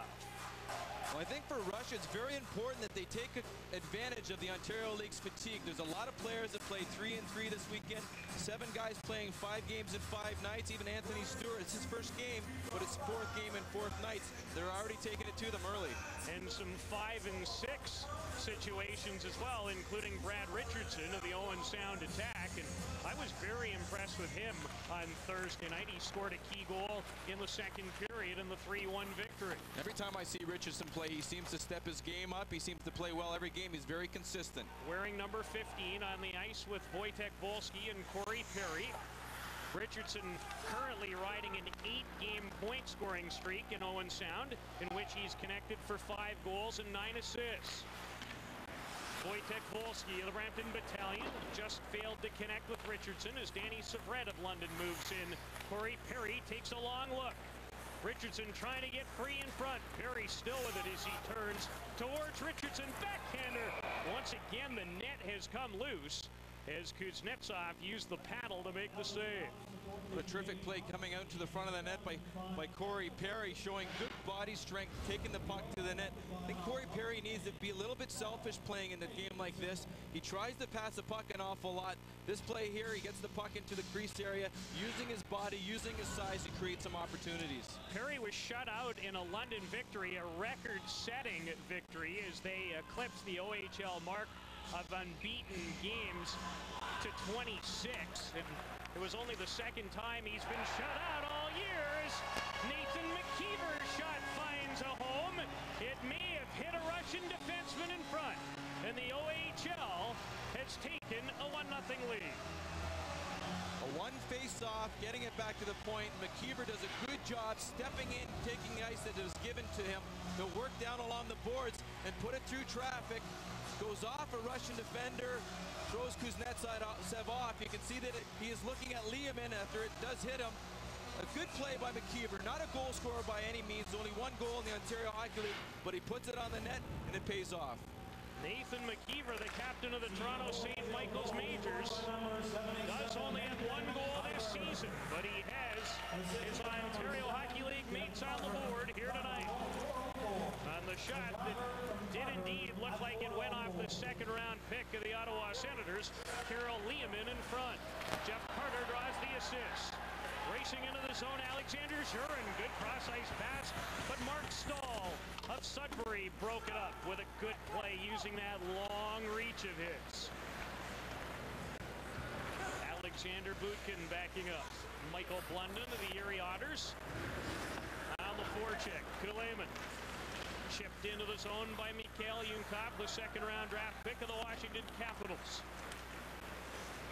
Five minutes into the opening frame, the McIver goal has the OHL in front by a goal as they try to tie this set for Canada at two games apiece with games five and six to round it out. Wednesday night in Red Deer and the series clincher and closer Wednesday make that Thursday night in Lethbridge. Plehana brings it on the boards for Kulemin. Then Yunkov with Voloshenko. You know, he likes to shoot it and does so right there. And Johnson, good position at the top of the crease. Now, the Russians have come out with a lot of energy, creating a lot of opportunities, and it's very deflating when a goal like this is scored. There's nobody in front of the net. It was tipped, but if Kuznetsov is a little bit up in his crease, not going down so early, possibly just stand square to the shooter. He's going to make that stop. The other night when they scored two goals in a minute seven seconds against him, it was very deflating for this Russian team. Not to sound overly critical, I've never seen a goaltender spend so much time on his belly as Kuznetsov did in game number three of this series. But he's effective. It doesn't look very good, but he keeps it up. Kopdev racing into the zone, one-on-one with Ryan Parent, and the 17-year-old impressive as he rides Kopdev off the puck. Chimaev keeps it alive in the cycle. Cody Bass. Chipped by McIver towards Mike Richards as Michalation held it in momentarily. And good long pass for David Bolland. Bolland with Richards. Bolland let it go. That was blocked by Rafael Patrician. Andres Stepanov scored a goal in game two of this set in Montreal. Stepanov with good speed. He snaps it on target. Stepanov with Plushev and Cupdale. Long shot, no trouble for shots as he steered it into the corner. Danny Syvret to Wojtek Wolski. Good pass. Richardson and Bolland on a two-on-one. Richardson, his shot good. Right pad save by Kuznetsov. And Stepanov drops it off in his own territory. Lyamin content to play it to neutralize. Richardson creating a good opportunity, and it was a great breakout pass coming out of the zone. Shirokov turning now, tied up in a knot by Wojtek Wolski as Syvret sends it to center ice. Long stretch here without a stoppage. Alexander Plushev waiting. Ooh, cross crease feed nearly connects with Nikolai Lemtyugov. Lemtyugov has shown some flashes during this set. Tries the wraparound and nearly found Plushev on the doorstep. The Russians with some heat on looking for the equalizer. As Will Colbert of the Ottawa 67s cleared it just outside the line. Nathan McIver does not score a lot, but he has the lone goal so far tonight.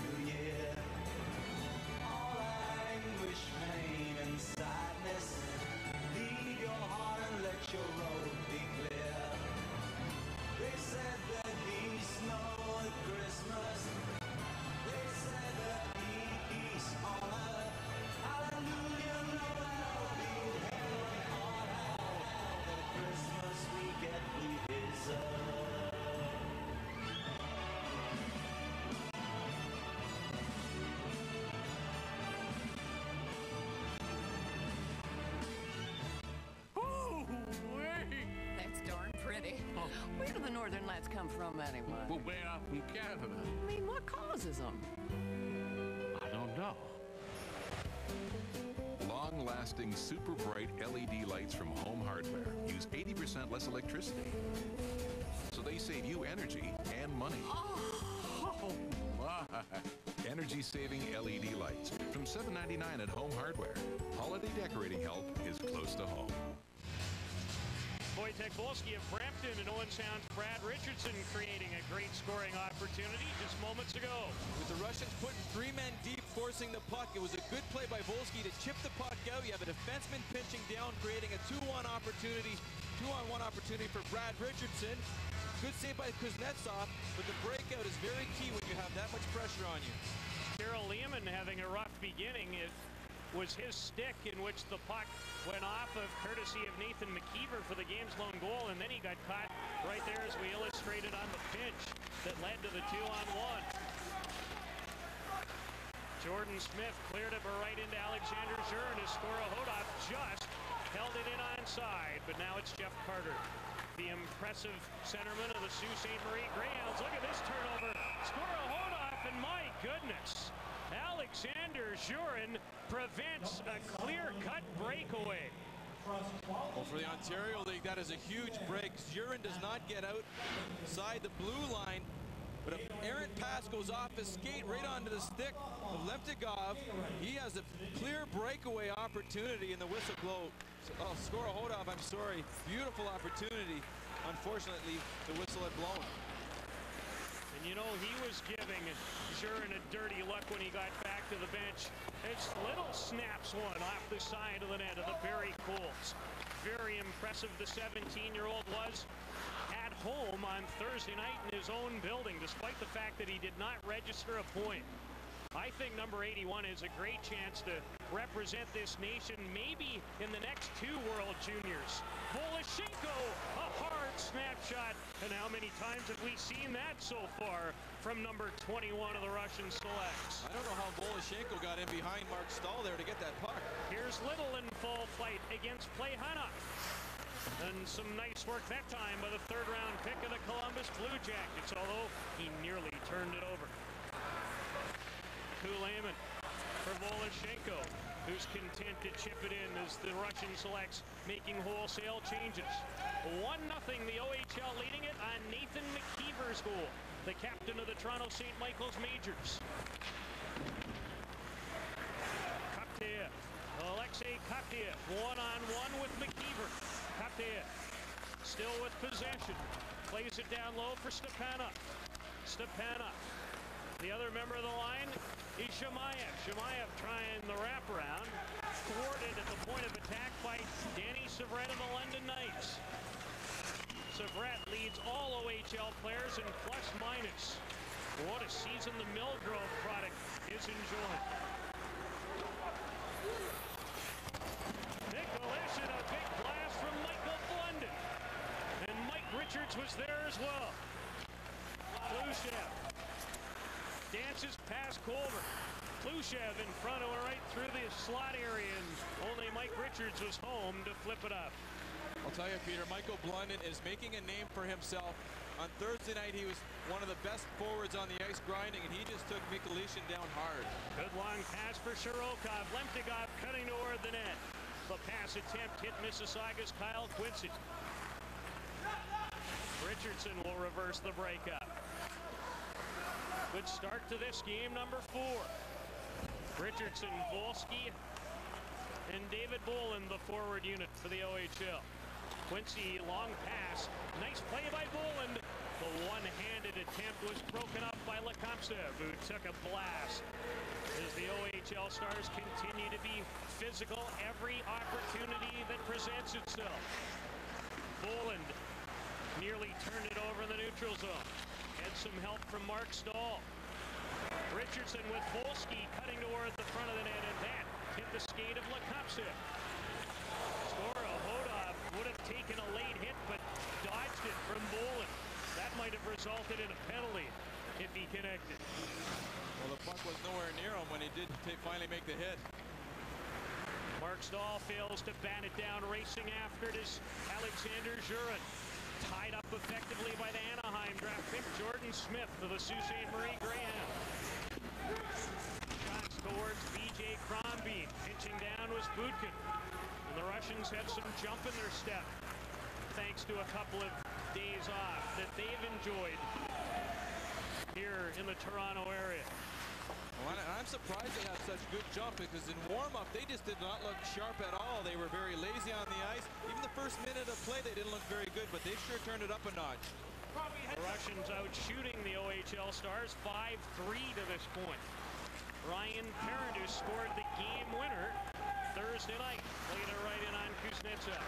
Kulemin has a man wide open. Voloshenko chasing him, and what a play by the game's goal getter Nathan McIver. Pouliot on the back check as Megalinsky moves up. The Russian captain.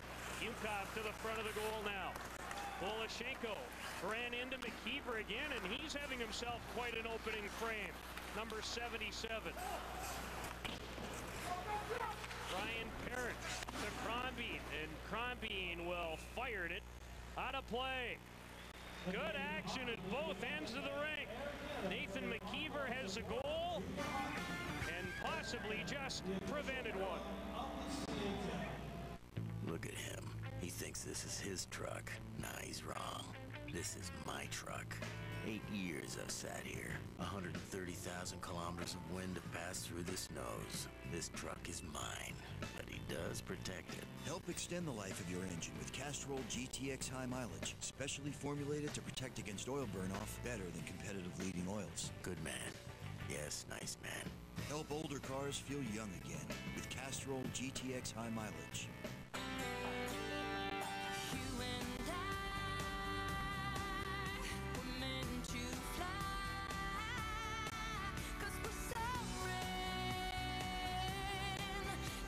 So many flights every business day in North America to where you need to be. It's easier to end the day where you want to be.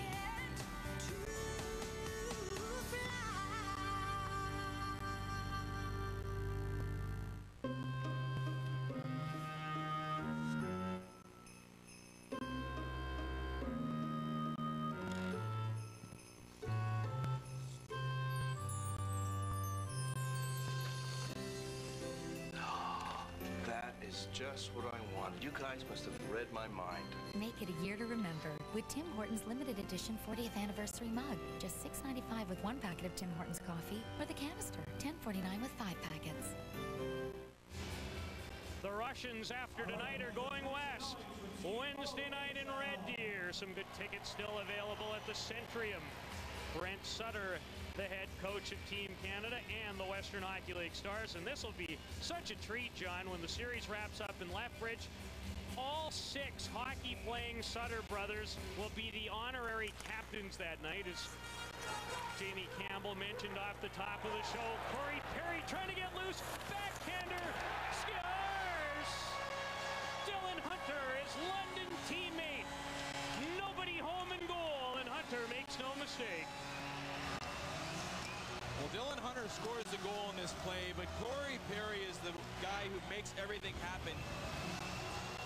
Little doesn't win the draw, but a good play by Perry to get through, chip it to Hunter, and by him moving his legs and taking it to the net, drawing the defenders towards him, leaves the net wide open for Dylan Hunter to follow up on the play and get an open net goal. But if Corey Perry does not move his feet and keep driving to the net, that play does not happen.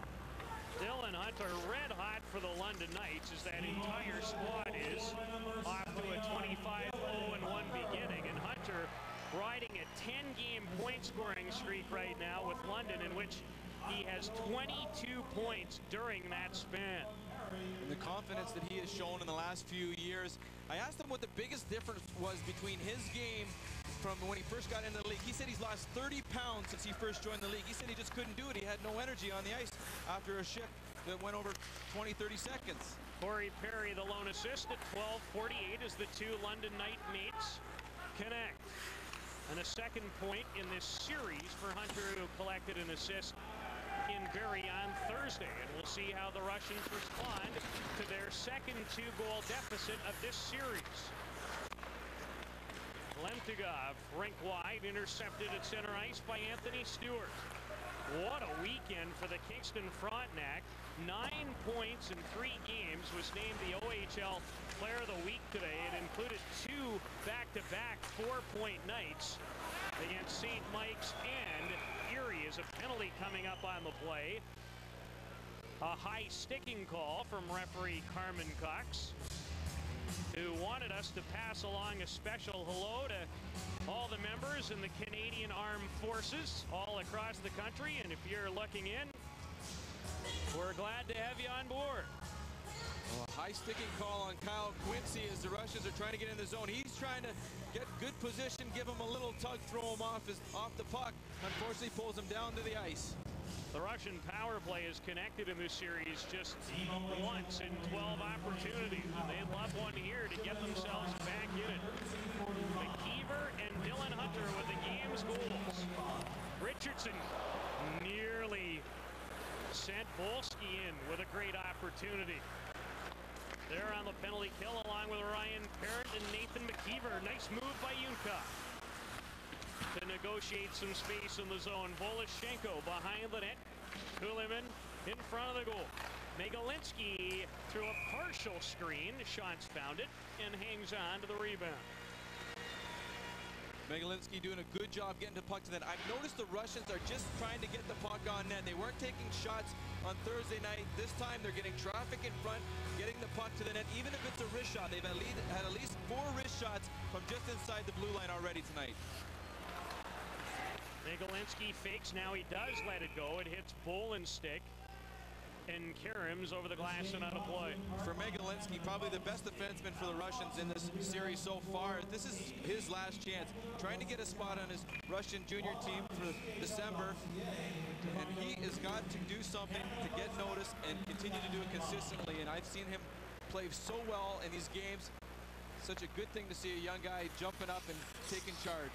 I'm guessing that he's impressing some NHL scouts as well during this set. Voloshenko, another member of a Russian under-20 team that participated in a tournament in Sweden, and a lot of the players on that team will make their way to Grand Forks for the World Junior Championship. Yunkov, Voloshenko, and Kulemin remain out there playing off in Megalinsky. Russians move it on the perimeter. Syvret providing some pressure. Megalinsky slides it over for Playana. 30 seconds to go the power play. Voloshenko finds Megalinsky, returns the favor, and trying the one-timer was Voloshenko, and he snapped that synergy stick right in half. That was Voloshenko's bread and butter right on that play. If he doesn't break his stick, that's in the back of the net. Terrific setup from Megalinsky as they played give and go. And the equipment didn't help on that occasion. Kirill Lyamin runs into Jeff Carter. And the OHL will kill off the penalty to Mississauga's Kyle Quincey with his 2-0 first period advantage. Vladkamtsev for Lemtyugov. Nikolai Lemtyugov. Somewhat dangerous, but it made its way through to Plushev. Back to Lemtyugov. His shot hit Mark Staal and never made it through to the net. Pouliot, good lead pass for Jeff Carter. Poked off his stick. Now a long shot. Courtesy that time of BJ Crombeen. And Kuznetsov had to be careful. Lemtyugov hits the line, tried to drop it for Plushev. Dylan Hunter leaves it for Crombeen. For the Barrie Colts. Crombeen, look out! Just avoided a large collision as Budkin carries to center. Crombeen at the end of his shift, he's got to look to get that puck in deep, not turn it over just inside the blue line. Ryan Little trying to poke it out of the zone, ran into Skorohodov. Shirokov and Lemtyugov. And all three of those players at times have made an impression in this set. Little finds Dylan Hunter with Perry and Ryan Parent moving up. Corey Perry spins towards Parent. Megalinsky found him. And play comes to a halt as we have an injury back in the Ontario Hockey League zone, and it's Sergei Shirokov. Dylan Hunter 2 0.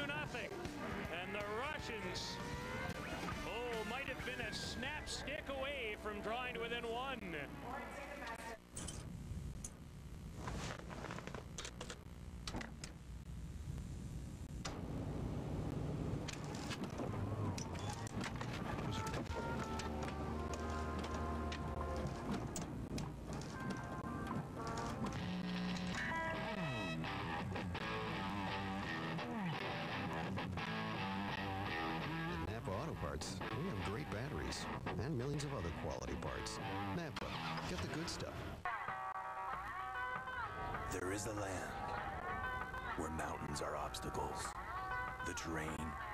Adversary. A land where the grizzly is still king, where the Bruin is the workhorse, and the YFC 450, the hunter. Yamaha, the top of the food chain, the most reliable ATVs on the planet, period. Subway Restaurants introduces new hot oven toasted subs, like the toasted barbecue steak with Monterey cheddar cheese sub. Toasted top to bottom and all the way through on our fresh baked bread. A great new taste no one can resist. Ah! That's our sub. Dude, you gotta stop doing that. Subway's new toasted barbecue steak with Monterey cheddar cheese sub. Oven toasting brings out a great new taste. I just want to look at it. Subway, eat fresh. Sergei Shirokov receiving some treatment at the Russian bench after he was uh, treated with a little roughness by Nathan McIver. Well, Nathan McIver plays this style of hockey. He's used to playing against the top guys on the other team, plays them physical, makes sure that his presence is felt, not giving him extra room. Shirokov not feeling too good after getting abused a little bit by McIver. McIver's having a whale of a period, has a goal and made a tremendous defensive play on Roman Voloshenko to take away a breakaway opportunity as well. Will Culver to the Ottawa 67s failed to poke it by Alexander Jurin. Jurin one-on-one with Mike Richards. Richards wins the battle. Great play by Richards to Anthony Stewart, the big power forward. Loose puck in front, jamming away at it is both. Cody Bass and Mike Richards somehow. Kuznetsov kept it out, and now he doesn't like Mr. Richards bearing down on top of him. Well, Anthony Stewart just shows how much power and how quick that he is. A nice pass by Richards to get it over to Stewart and showing that he's got the power and the speed getting it to the net. Cody Bass following up the play. Michael Richards following up the play, taking it to the crease. And this is what Anthony Stewart has to do. Get the puck, drive his legs, and get it to the net. And the play all began, John, because Richards just would not be denied winning a battle in his own zone. Does he ever lose a battle? He doesn't lose many. Jamayev snaps it right on target one more time, and Mr. Schatz looks like he's settled down after kind of a tricky early going. Well, Shantz had to take some shots early, some wrist shots from the point with some traffic in front. I think the Ontario League is starting to handle them much better in their own end, playing a little more tight one-on-one -on -one battles, winning them. Stepanov, his shot was blocked, and Syvret will move it rink wide for his London mate, David Bolland. Richardson with Wolski moving up. Wolski trying to cut in front. Then he had an opportunity to backhand it after his stick was lifted on a good defensive play, and there's another Russian injury as Lekomsev appears to be in all kinds of difficulty and reaching back for his knee right by the Russian bench. Unfortunately, another Russian player down. He does look like he's grabbing his knee. He is in all kinds of difficulty, and you hope he's okay, but it doesn't look good upon first glance. He's going to he hit he went to hit his man and then he went down after the play. It was his man was skating away. The play continues in front of the net. Wojtek Wolski taking the puck hard to the net almost like he didn't feel it till he started to put pressure on his leg again to start moving. He maybe tweaked it as he went in to hit the player, twisted a little bit, didn't realize it. It really didn't look like anything too severe. You can see that he doesn't have any pressure on his leg there. Just at the last second as he twists around. Very odd. I hope he's okay, but he's in all kinds of pain. Ivan Lekomsev being worked on by the trainer of the Russian bench. Two minutes and one second remaining in the first period. McIver and Dylan Hunter have scored for the OHL All-Stars. Nikolai Kulemin skates away. Slides it off the stick down the ice. Kulemin kicking in.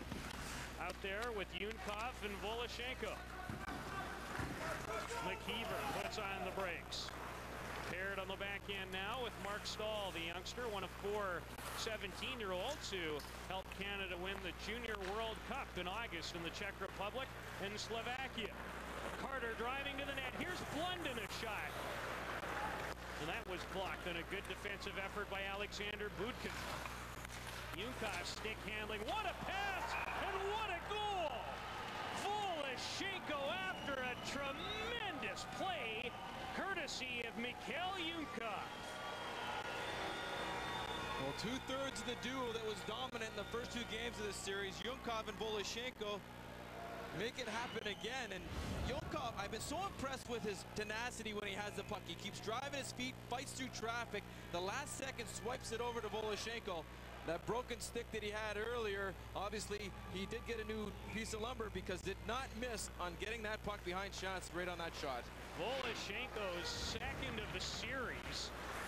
What a play by the second rounder of the Washington Capitals, Mikhail Yunkov. We had an opportunity to chat with their head scout, Ross Mahoney, the other night, and he was very impressed with Yunkov's work. And it's Who's down again and receiving some words in front of the OHL bench. There's also a penalty coming up to Dylan Hunter.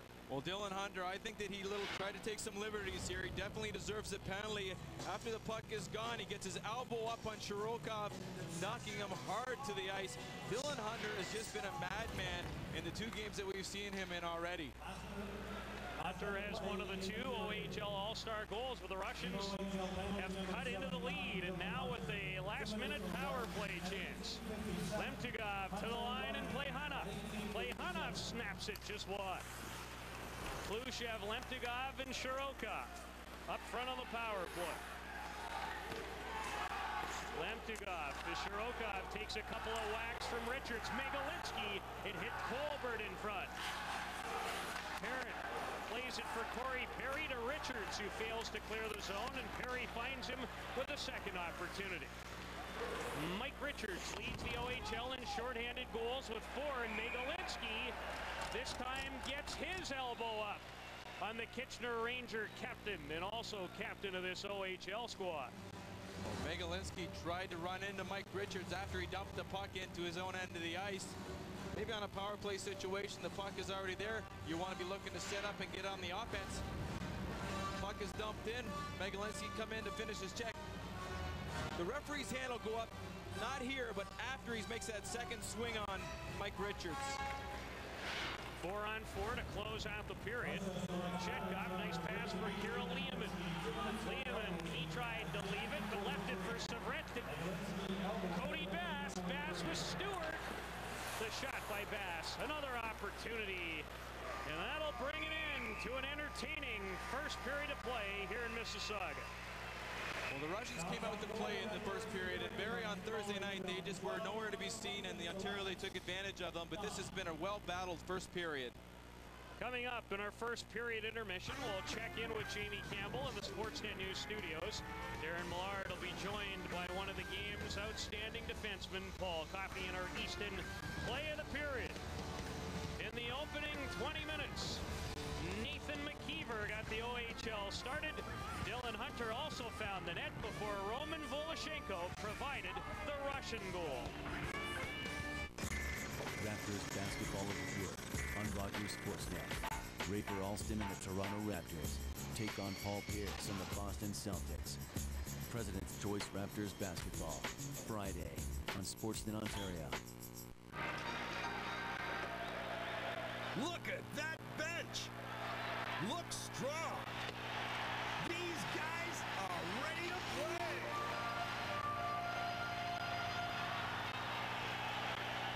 Words are few, I have spoken. I could waste a thousand years.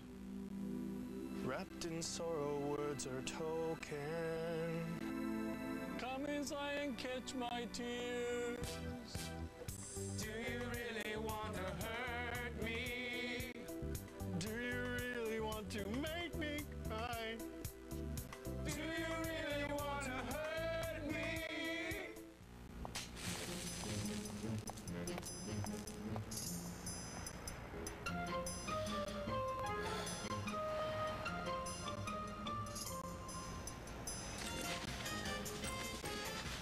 smoking? You can help ice the cravings with new Ice Mint Nicorette. It's deliciously flavor coated. So quitting never tasted so good. Nicorette, one craving at a time.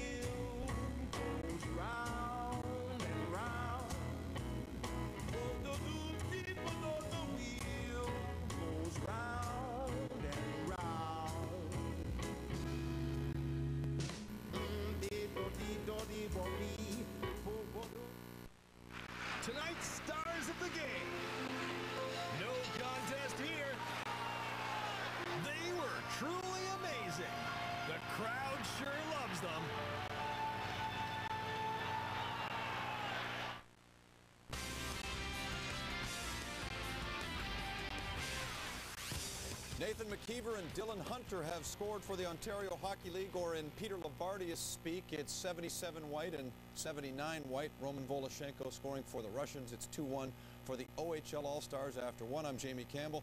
Dany Heatley is facing charges of vehicular homicide, and he appeared in an Atlanta court today. Greg Ross was there to find out if this case will go to trial. Dany Heatley showed little or no emotion at his first court appearance on six counts, including vehicular homicide in the first degree. Heatley, still showing signs of an eye injury he suffered a little over three weeks ago in Switzerland, was accompanied by his mother and father, along with his agent. Speeding is speeding is speeding and speeding, and it doesn't matter what time, doesn't matter where, doesn't matter what kind of car you're driving, doesn't matter what the temperature is. Uh, all of those things that you would normally hear in similar transactions seem to be tossed out the window when it comes to uh, to the offense. Two main issues were brought to the forefront in a preliminary hearing to argue and decide motions. The first dealt with Heatley's previous traffic convictions. The prosecution asked to have two traffic tickets admitted into evidence, one for following too closely, which was denied by Judge Roland Barnes, the other a speeding ticket, which was allowed. This isn't the first time that he has put citizens at risk by exceeding the speed limit or being reckless in how he drives. And the citizens need to know that, and that's what makes this a more egregious case than someone that had done this for the first time. There has been no adjudication that in fact in Kentucky that he was speeding. There's never been a hearing or determination of that fact. We don't think, even if it comes in evidence, it really bears on what happened here. The second motion was to admit Heatley's blood alcohol level at the time of the accident. The prosecution argued Heatley had consumed two beers before getting behind the wheel. In this particular case, he's not charged with driving under the influence of alcohol, but the alcohol that he did have in his system did affect his coordination and his judgment, which um, caused him in turn to drive recklessly. We say there were numerous procedural defects in the manner in which the authority to take the blood was done and defects in the warrant that was used later to seize the hospital records. Judge Barnes did not make a decision on the motion to admit Heatley's blood alcohol level. He said he wanted to first read over all the documents presented by both sides before making a final ruling. Now, no trial date has been set in this case, although it's expected if it does get that far, it'll be tried sometime next spring. Greg Ross, Sportsnet, Atlanta. We'll expand on this development tonight on Sportsnet News from coast to coast with Brad Fay and Mike Toth, and we'll go one-on-one with Cleveland Browns quarterback Jeff Garcia. Paul Coffey is the OHL's honorary captain coming up in the next two games in the Western Hockey League cities of Red Deer and Lethbridge. It will be the six Sutter brothers. They'll be on hand, in fact, Thursday in Lethbridge. So Darren Millard will have a chat with the new Hall of Famer, Paul Coffey, when we continue. Dylan Hunter has the go-ahead goal for the Ontario Hockey League. They have the 2-to-1 edge after one in Mississauga, Ontario.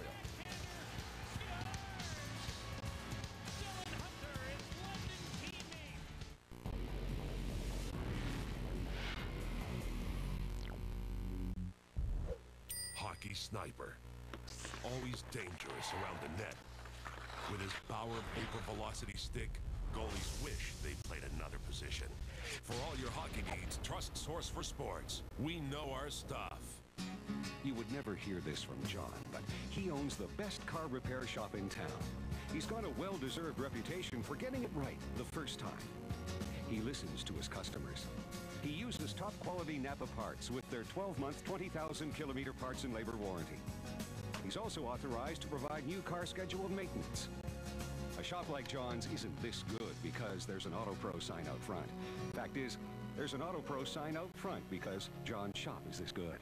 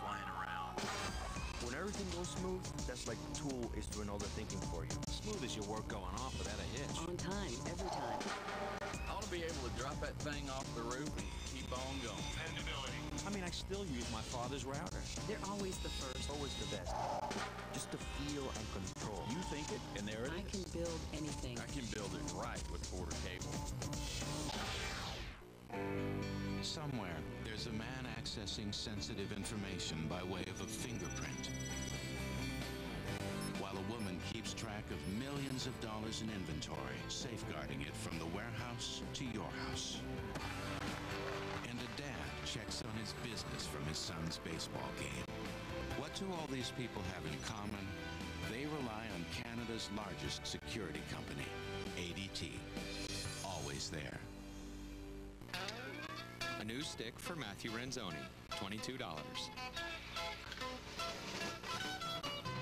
New pads for Jeffrey Garbig, $92. A new mouth guard for Josh Barcolder, $15. A new hockey season for the Scoville Clippers, priceless. There are some things money can't buy. For everything else, there's MasterCard, fan of the CHL and its future stars. Hockey Sniper on his Bauer Vapor 20 skates with explosive power and agility. The goalie can't stop what he can't see.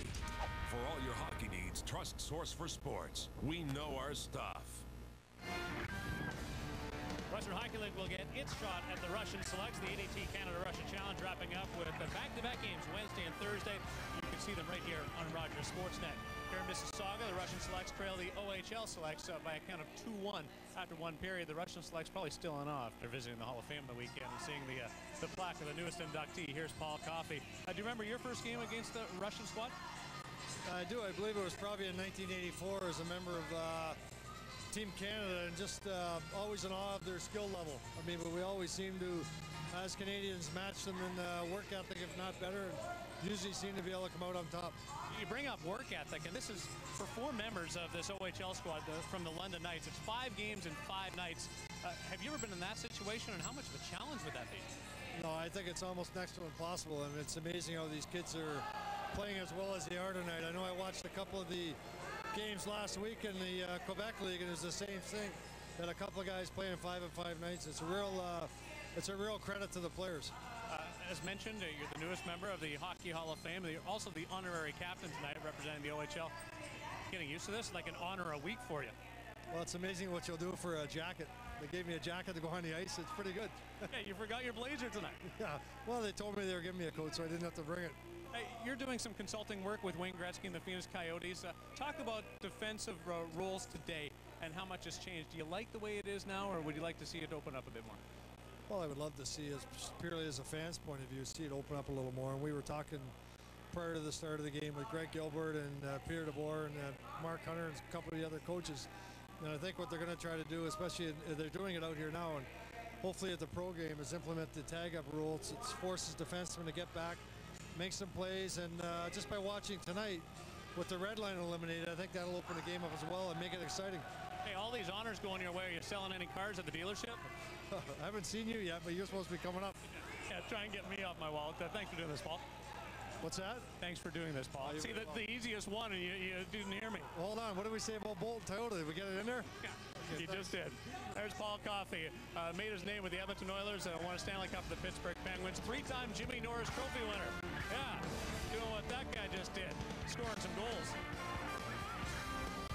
The NBA is at work on Rogers Sportsnet. Fred Jones and the Indiana Pacers take on Peja Stojakovic and the Sacramento Kings. Pacers, Kings, Friday at 10.30 Eastern, 7.30 Pacific on Sportsnet Ontario.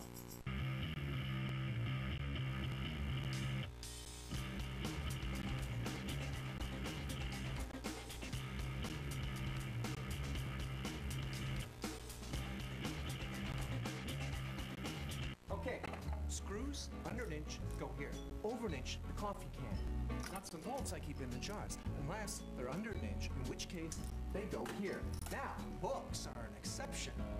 With the Home Handyman Hardware Caddy, all your fasteners go in one convenient spot. It comes with over a thousand pieces and you can take it with you anywhere. Get it for $19.97, only at Home Hardware. Now, nails are a different story. Home Hardware and Home Building Center. Help is close to home. Oh, Mom, Grandpa's calling us a deer on it, right? No, it's a caribou, honey. Caribou, okay. What size does Megan wear? Oh, about a two. Hello? Hello? So what do you think? I think a plain blue one. Blue? Okay. I found the perfect bathrobe for Mom. How nice. My mom, my mom. Come together with family plan from Rogers Wireless. Two phones, share minutes from only $35 a month.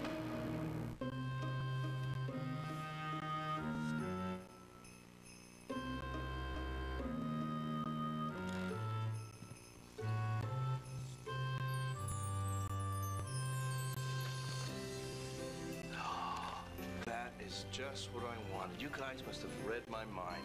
Make it a year to remember with Tim Hortons limited edition 40th anniversary mug. Just $6.95 with one packet of Tim Hortons coffee, or the canister, $10.49 with five packets.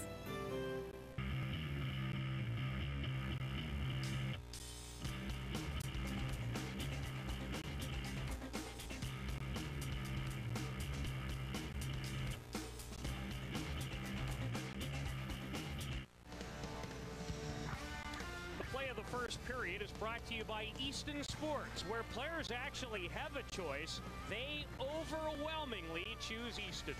A terrific individual effort by Michael Yunkov to take the puck up ice and split the D, trying to get by young Mark Staal, and a last-ditch effort to get it over to Voloshenko, burying it for their first goal of the game, but Yunkov makes things happen.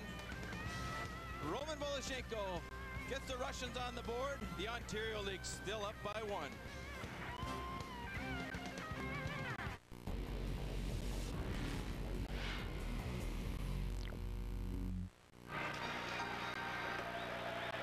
Look at that bench. Looks strong. These guys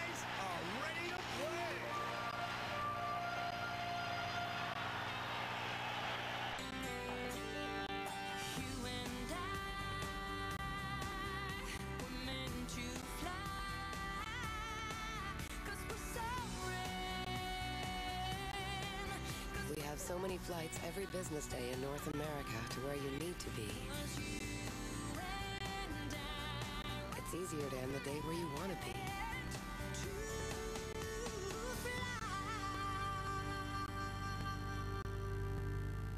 Okay, group, you have all become dependent on the new lineup of Subway fresh toasted subs. And today we are going to confront this dependency. Show them the toasted sandwich. Take a close look. Ask yourselves, why can't you resist the new barbecue steak with Monterey cheddar cheese? Is it because it's toasted to perfection instead of piping hot? Is it the fresh baked bread? Is it the delicious toppings you lovingly selected? Rachel, mind over flavor. Subway. Eat fresh. Look at him. He thinks this is his truck. Nah, he's wrong. This is my truck. Eight years I've sat here. 130,000 kilometers of wind have passed through this nose. This truck is mine, but he does protect it. Help extend the life of your engine with Castrol GTX High Mileage, specially formulated to protect against oil burnoff better than competitive leading oils. Good man. Yes, nice man. Help older cars feel young again with Castrol GTX High Mileage. Tonight's stars of the game.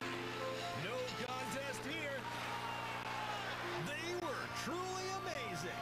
The crowd sure loves them.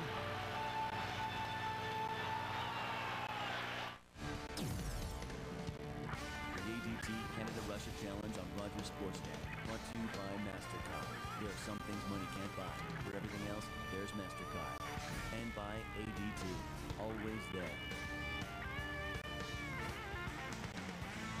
The youngsters enjoying themselves here in Mississauga. Enjoyable opening frame to be sure, one in which the OHL leads 2-1. Well, Nathan McIver gets things started for the Ontario League. A wrist shot to the net is tipped. And a weak goal on Kuznetsov gets things going. McIver didn't stop there. Great defensive play coming back on Roman Voloshenko to break things up. Dylan Hunter gets into the action as well. Strong play by Corey Perry, driving to the net. Dylan Hunter follows up, finds himself with an empty net goal. And Mikhail Yunkov driving hard through the neutral zone, slips it over to Roman Voloshenko for the first goal for the Russians. First period scoring summary brought to you by Canon, the leader in digital imaging from input to output. The OHL with a slight edge in shots, and we will begin this second period playing four on four for the next 57 seconds. Following that, the Ontario League will enjoy a short power play. Much better period for the Russians this game. In the first game, in the first period, they were outshot 14 to 5, so they've come to play tonight. And an important goal for the Russians by Voloshenko late on that great individual effort by Mikhail Yunkov to get them back in it. As we're about to set the lineups for the start of the second period, Richards Perry, Ryan Parent and Nathan McIver to start for the OHL. The Russians counter with Voloshenko, Yunkov, Kirill Lyamin, and Andre Plekhanov. Dylan Hunter and Dmitry Megalinsky in the penalty box. To open things up here in Mississauga. Mike Richards, one-on-one with Lyamin. Richards keeps his feet moving. Boy, he's been solid in these two games. You wouldn't expect anything less, but made a couple of great plays, especially defensively in that opening period to win battles. One that directly led to a goal. Corey Perry. Perry for Richards. As they put on pressure down deep. Corey Perry trying to make his way past Plekhanov. Richards sliding down and backhands it on target. Corey Perry runs into Lyamin, kind of holds him up with his free arm a little bit. Richards and Perry making life absolutely miserable for Plekhanov and Kira Lyamin. Well, Peter, you talk about Richards, how strong he is along the boards. He uses his body so well to keep himself between his defender and the puck. He battles, keeps working, pushes off the defender, protects the puck very well. And the biggest thing about Rich is he just doesn't give up on the play. Goes to the other side of the ice. He ends up getting it again for a shot on net. Richards in last year's World Junior Championship centered Canada's top line with Anthony Stewart and Nigel Dawes. And you get a peek at him coming up in the Western Hockey League All-Star confrontations with these Russian selects. Nigel Dawes could score in a phone booth. The OHL on the power play. Wolski, a weak shot, hit a skate. Kyle Quincey relays it for Anthony Stewart. Richardson, Wolski, and Stewart on the power play with Syvret and Quincey. Quincey to Syvret. Cross ice for Wolski, hopped over his stick as he keeps it alive for Brad Richardson of Owen Sound. Richardson upended in the corner. Wolski thought about shooting it, finds Richardson, who gives it right back. Now he does. Kuznetsov off balance, but made the save. Trying to upend Anthony Stewart in front as the Russian penalty to Megalinsky has expired, and the two teams back at full strength. Shemaev for Megalinsky, who chips it into the zone. Quincey plays it ahead for Stewart. Anthony Stewart the Bramptons, Wojtek Wolski, the Colorado first rounder. Richardson from a sharp angle and nearly found a spot between Kuznetsov's legs. Now let's join our Darren Millard. Darren? Guys, one of the challenges of creating an all-star team for international competition in the middle of the season is going from rivals to teammates to line mates. That's something Anthony Stewart and Wojtek Wolski uh, experienced 24 hours ago. They lined up against each other. Uh, Stewart said it wasn't that big of a deal. He and Wolski are actually pretty good friends and train together in the off-season and know each other from various provincial and national teams. Plus, uh, they're both pretty good players, so they say they can make it work. I bet they can. Wolski with the bragging rights yesterday. He scored the game winner, his 16th goal of the season in Brampton's victory over Kingston. I think Stewart won the weekend, though, with his nine points. Nine points and had an assist on the lone Kingston goal yesterday. For Jim Hulton's team, Jeff Carter on the wraparound. Another chance, and Kuznetsov, a nice poke to take it away from Carter. Jordan Smith is Sault Ste. Marie teammate, and diving out is Kuznetsov. Play by Smith. Good patience along the blue line. He didn't just throw it down in the traffic. He was patient with the puck, waited to see if there's traffic out front, and took a nice wrist shot where Carter was standing. Something Smith is maybe not the most offensive player, but when he's out there, he's very effective, smart with the puck. 13 points so far, two goals and an 11 assists for a second round pick of the Anaheim Mighty Ducks. Sergei Kochetkov, Kochetkov with a bit of a lean, steps inside, tries to go back the other way, and just missed. Nice individual effort by Sergei Kochetkov, who scored the lone goal for the Russians in their 3-1 loss to these OHL Stars Thursday night in Barrie. Crombeen on the ice with Cody Bass and Brian Little. Crombeen in hot pursuit. Runs into Megalinsky. Brian Little will cut towards the front of the goal and let it go. And Kuznetsov was in good position. Well, the one player we talked about in the opening, Sergei Kochetkov, he was chased down in game one by Danny Syvret. And a nice play by Ryan Parent. Because Kochetkov cuts in and cuts across, gives Ryan Parent a good opportunity to get back on the play and be a defender, shutting him down, not getting a lot of wood on that shot, shooting it wide. Corey Perry drives the net. And again, on his tummy to break it up was Kuznetsov. Unorthodox, but effective. Yunkov back the other way, makes another great move. Voloshenko snaps it and hit Dylan Hunter. Boy, those guys have great chemistry, don't they, Yunkov and Voloshenko?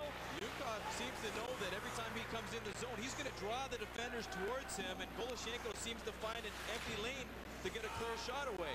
Well, they were stars in the Russian under-18 team in April that won the World Championship. As the puck belongs to Perry in front goal, and he scores!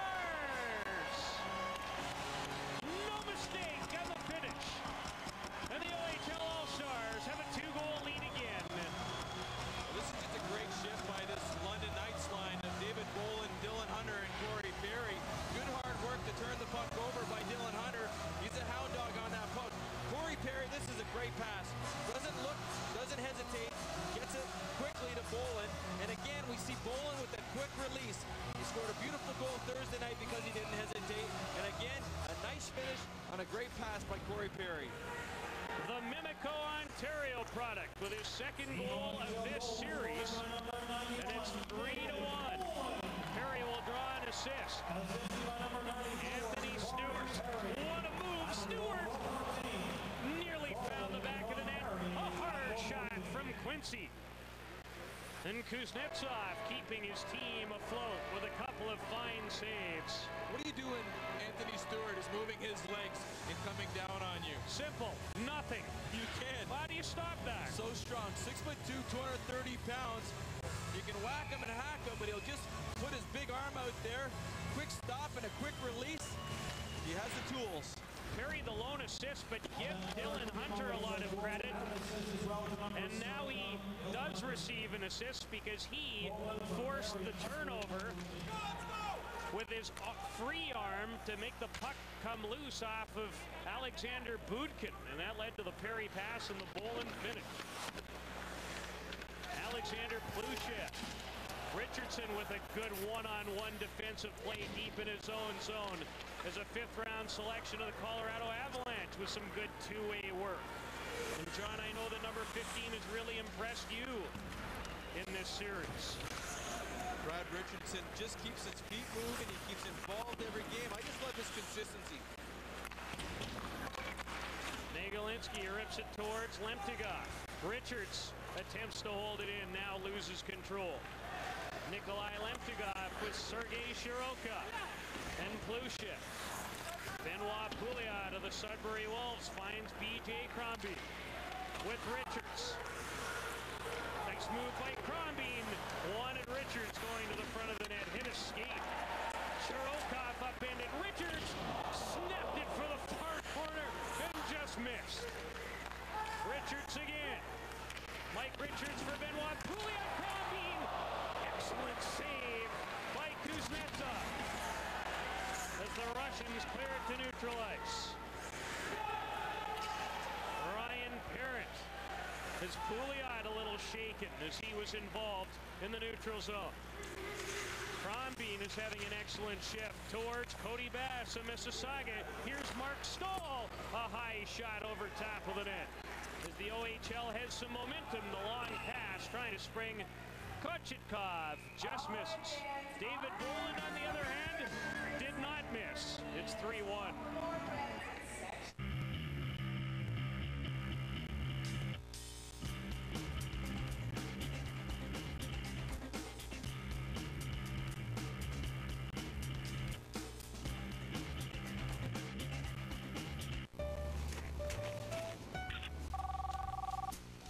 Did you see it? It's close. I'll keep looking. It's good. You don't like it? No. Um, it's too, uh, Slopey, yes. I love you. I love you too. Come together with Couples Plan from Rogers Wireless. Couples talk free from only $35 a month.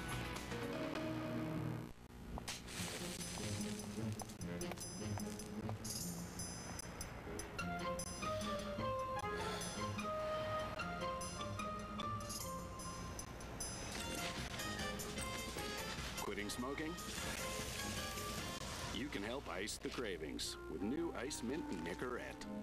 It's deliciously flavor coated. So quitting never tasted so good. Nicorette, one craving at a time.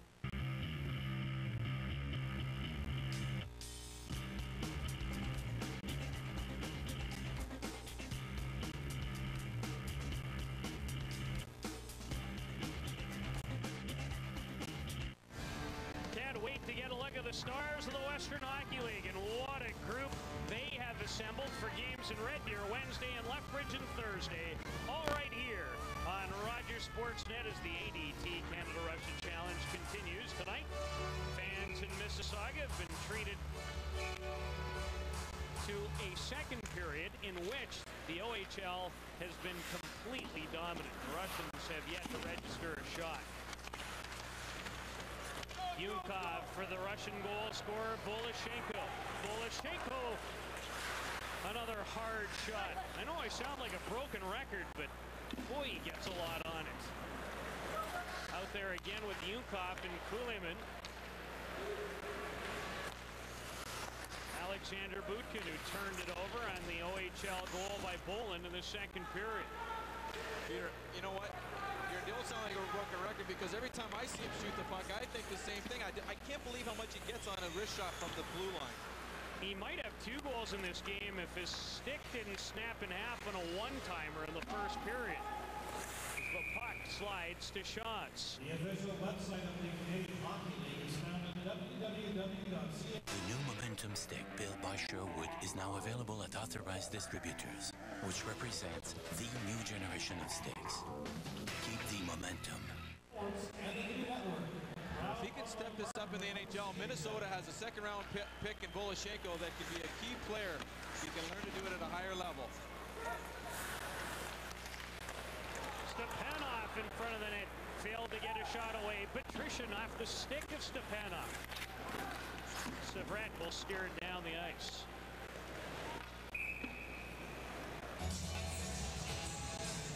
Danny Syvret, I've noticed that he wasn't out on the power play earlier in the game. I think Jim Hulton is aware that the London players in the lineup played a lot this weekend. Their fifth game in five nights.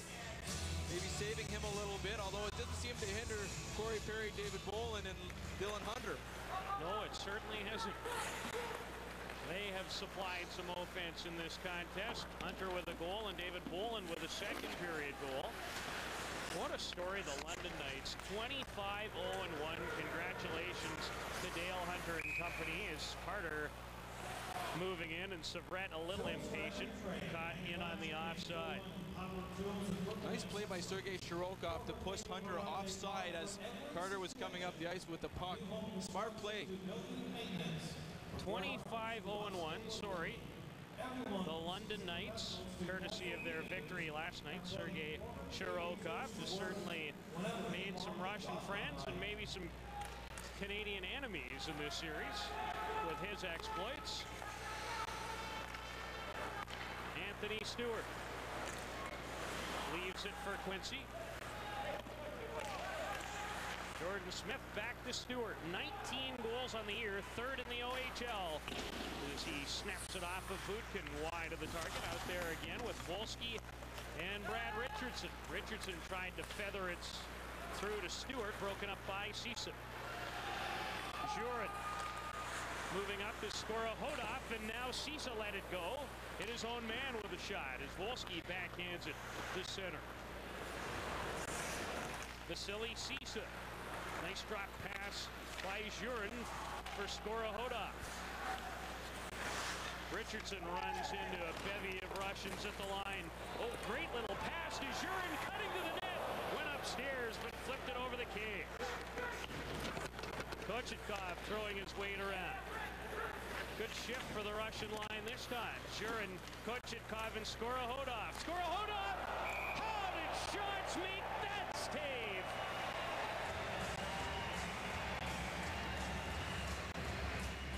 Peter, you talk about a good strong shift for the Russians and then goaltender comes up and makes a big save. Good hard work down below the goal line. Ontario League defenders getting drawn to the puck. Two guys on one behind the net. All of a sudden there's someone all alone out front. Skorohodov his robbed. Great stop by David Schott. So the Mississauga Ice Dogs, the Florida pick, Mike Richards, and then Luke scores!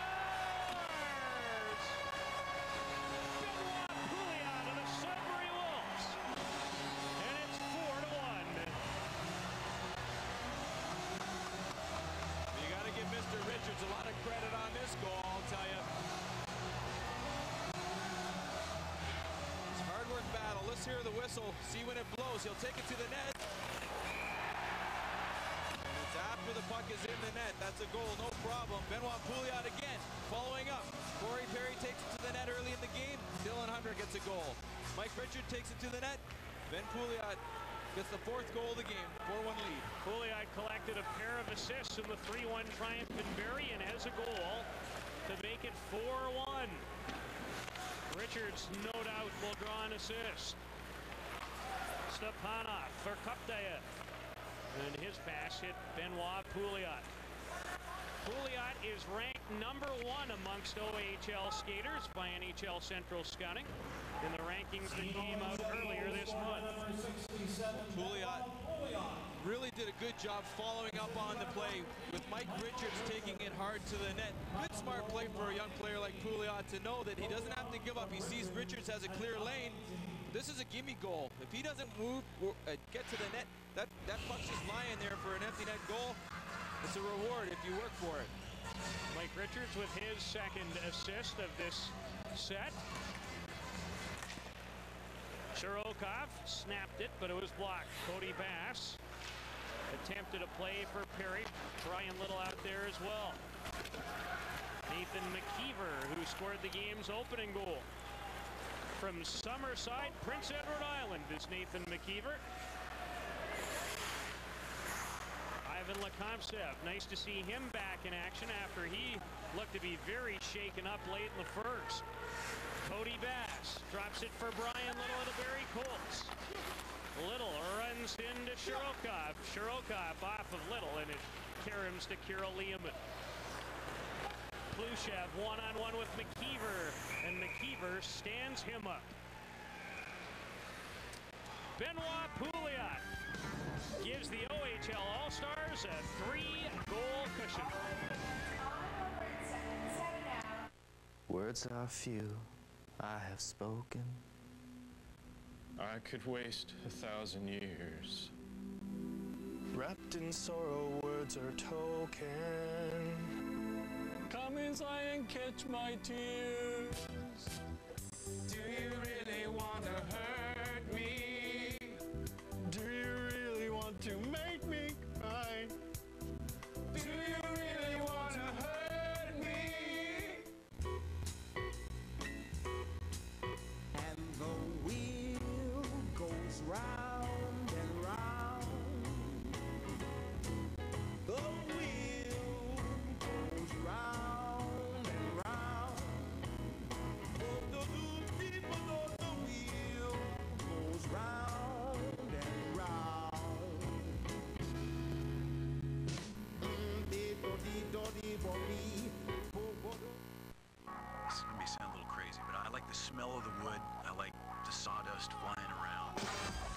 everything goes smooth, that's like the tool is doing all the thinking for you. Smooth as your work going off without a hitch. On time, every time.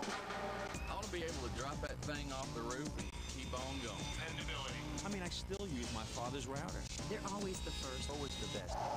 Just the feel and control. You think it, and there it I is. can build anything. I can build it right with Porter Cable. Darren Millard back in Mississauga. We'll have a closer look at Corey Perry coming up in our second intermission. As impressive as the London Knights season has been, unbeaten thus far this year. How about this? They've only lost to two different teams in 2004. Once to Plymouth in late January, and six times to the Guelph Storm, part of a uh, seven-game series in the OHL postseason last year. If the London Knights keep this streak going, if they want to establish a Canadian Hockey League record for longest undefeated streak, Game 30, the record breaker, will be against the Guelph Storm next Friday night. Wouldn't that be an interesting evening in London? How many people will they put in that building that night? Syvret will be there. London backhander. How'd that stay out? The Erie Otter winger just fails to make it 5-1. A steal and a drop pass for Kochetkov. Maybe Jurin should have elected to shoot with that opportunity. Now Jurin in behind Jordan Smith. Alexander Jurin. And look at Smith come back to rob Jurin out of the play. Terrific play by Jordan Smith. Now this is the big physical defensive presence that he has. Doesn't know where his man is outside the blue line. When he sees it, he gets back. And a nifty move by David Bolland at the other end of the ice. Finds some open ice, gets it back to the point. There's traffic out front. All of a sudden, there's a little chemistry with this Ontario League team after two games together. They've put on quite a show in this second period, out shooting the Russians to the tune of 12 to 3. And they've outscored them 2 to 1 in this second frame as well. Wojtek Wolski, his pass is camped towards Anthony Stewart, blocked up at the line. Jeff Carter. Carter with a good burst. Carter slides it just wide of the far post. Every time I watch him, at least once a game, you go, wow, what a burst that time by number seven. He's got it again. Carter into the corner for Anthony Stewart. Two World Junior teammates in Finland. Carter's pulled down by Megalinsky. Here comes a Russian opportunity. Two on one. As Kulemin lets it go, and a penalty coming up behind the play for hooking. Well, the rush is going down the ice. The penalty is behind the play. Turnover in the Russian end, chip off the boards. Foot race for the puck. And behind, you see the man go down at the blue line. Mark Staal in the penalty box. Mark Staal upends the oncoming rusher. And the Russians with another power play attempt. Their power play has really struggled so far in this series. They scored just once with a man-power advantage. Shirokov, Plushev, and Lemtyugov, the forward alignment. Shirokov tried to feed it back, now goes towards Plushev and Lekamsev. Plushev gobbled up by Ryan Parent of the Guelph Storm. McIver on the boards and Richardson will chip it out with a nice little play. Richardson, Cody Bass, along with McIver and Parent on the penalty kill, and that's about to change right now. Well, Ryan Parent gained a lot of experience playing in Guelph last year. He didn't see a lot of ice time playing behind players like Kevin Klein, Daniel Girardi, some big names in that team. Kevin Klein, a player for the World Junior team last year. But the experience that he get, did gain watching them and the small time that he did spend getting to the Memorial Cup, it's paid off for him this year. He looks solid in the games that we've seen him. The pride of Sioux Lookout, Ontario, Ryan Parent, who is the captain of Canada's gold medal winning Junior Team in August. Two goals and an assist, and a big goal in a semifinal victory over the United States.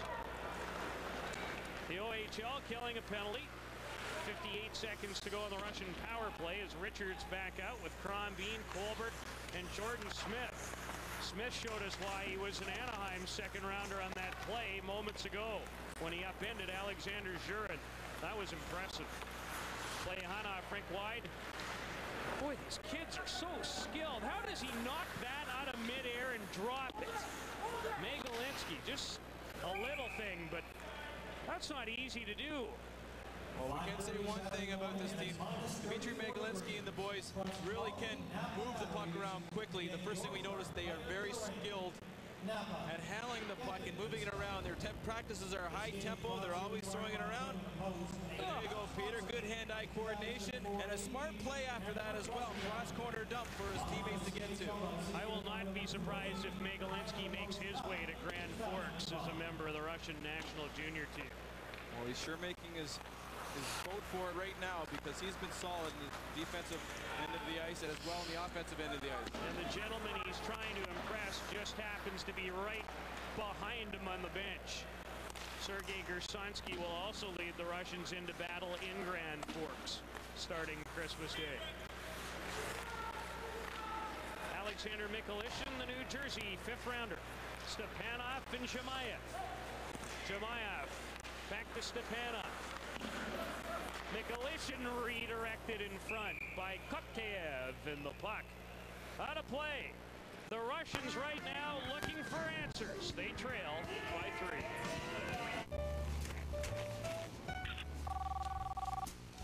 Did you see it? It's close. I'll keep looking. It's good. You don't like it? No. Um, it's too, uh... Slopey? Yes. I love you. I love you too. Come together with Couples Plan from Rogers Wireless. Couples talk free from only $35 a month.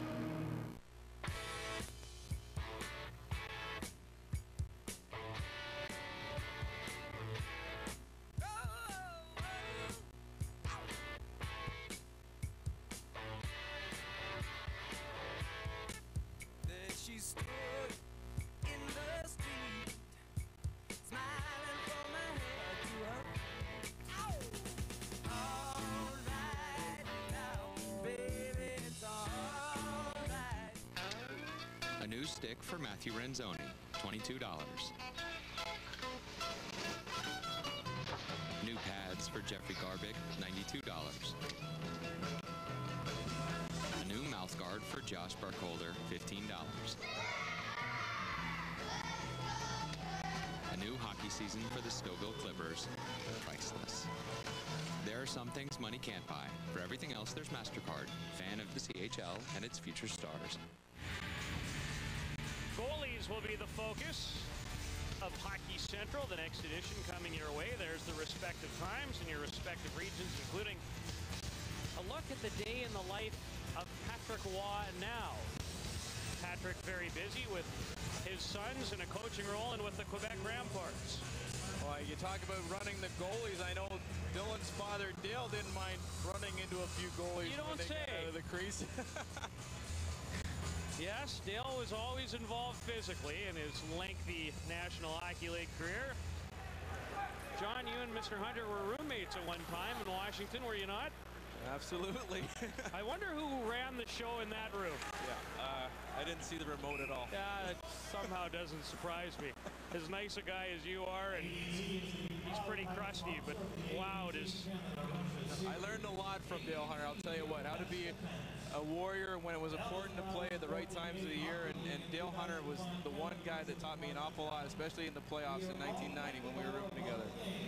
The London Knights have received the message with that Ontario Hockey League streak of 26 games to start the season without a loss. They're 25-0-1 and now trying to reach the Brandon Wheat Kings mark of 24-0-5 back in 1978-79. Well, here's one kid that has really taken advantage of Dale Hunter as a coach. David Bolland, just been fantastic. I wouldn't be surprised if he gets an invite to this year's team, but I definitely expect him to be on next year's team at the World Junior Championships in Vancouver. I would echo those sentiments. He's seen his stock continue to grow, I would think, with Blair Mackesy and company in these last couple of nights and the way he's performed with the London Knights. David Bolland, who had an opportunity to watch win the OHL Bantam Championship with the Toronto Red Wings and made quite an impression. And has turned into an OHL star. Michael Blunden digging after the puck with Carter and Wojtek Wolski. Carter stripped of the disc and Shirokov. Look out! Jordan Smith says hello to Sergei Shirokov. Wolski moves in. Blunden tied up by Kirill Lyamin the second rounder of the Ottawa Senators. Khrushchev on the boards, Carter awaiting. Jeff Carter, first round pick of the Philadelphia Flyers in 2003. 11th overall. Wolski finds Blunden. Wolski an opportunity, and that just fails to find the back of the net. Smith hustles to hold it in. The OHL thoroughly dominant in this second period. The Russians hanging on, but Lemtyugov leaves it for Shirokov. Shirokov, he can shoot it.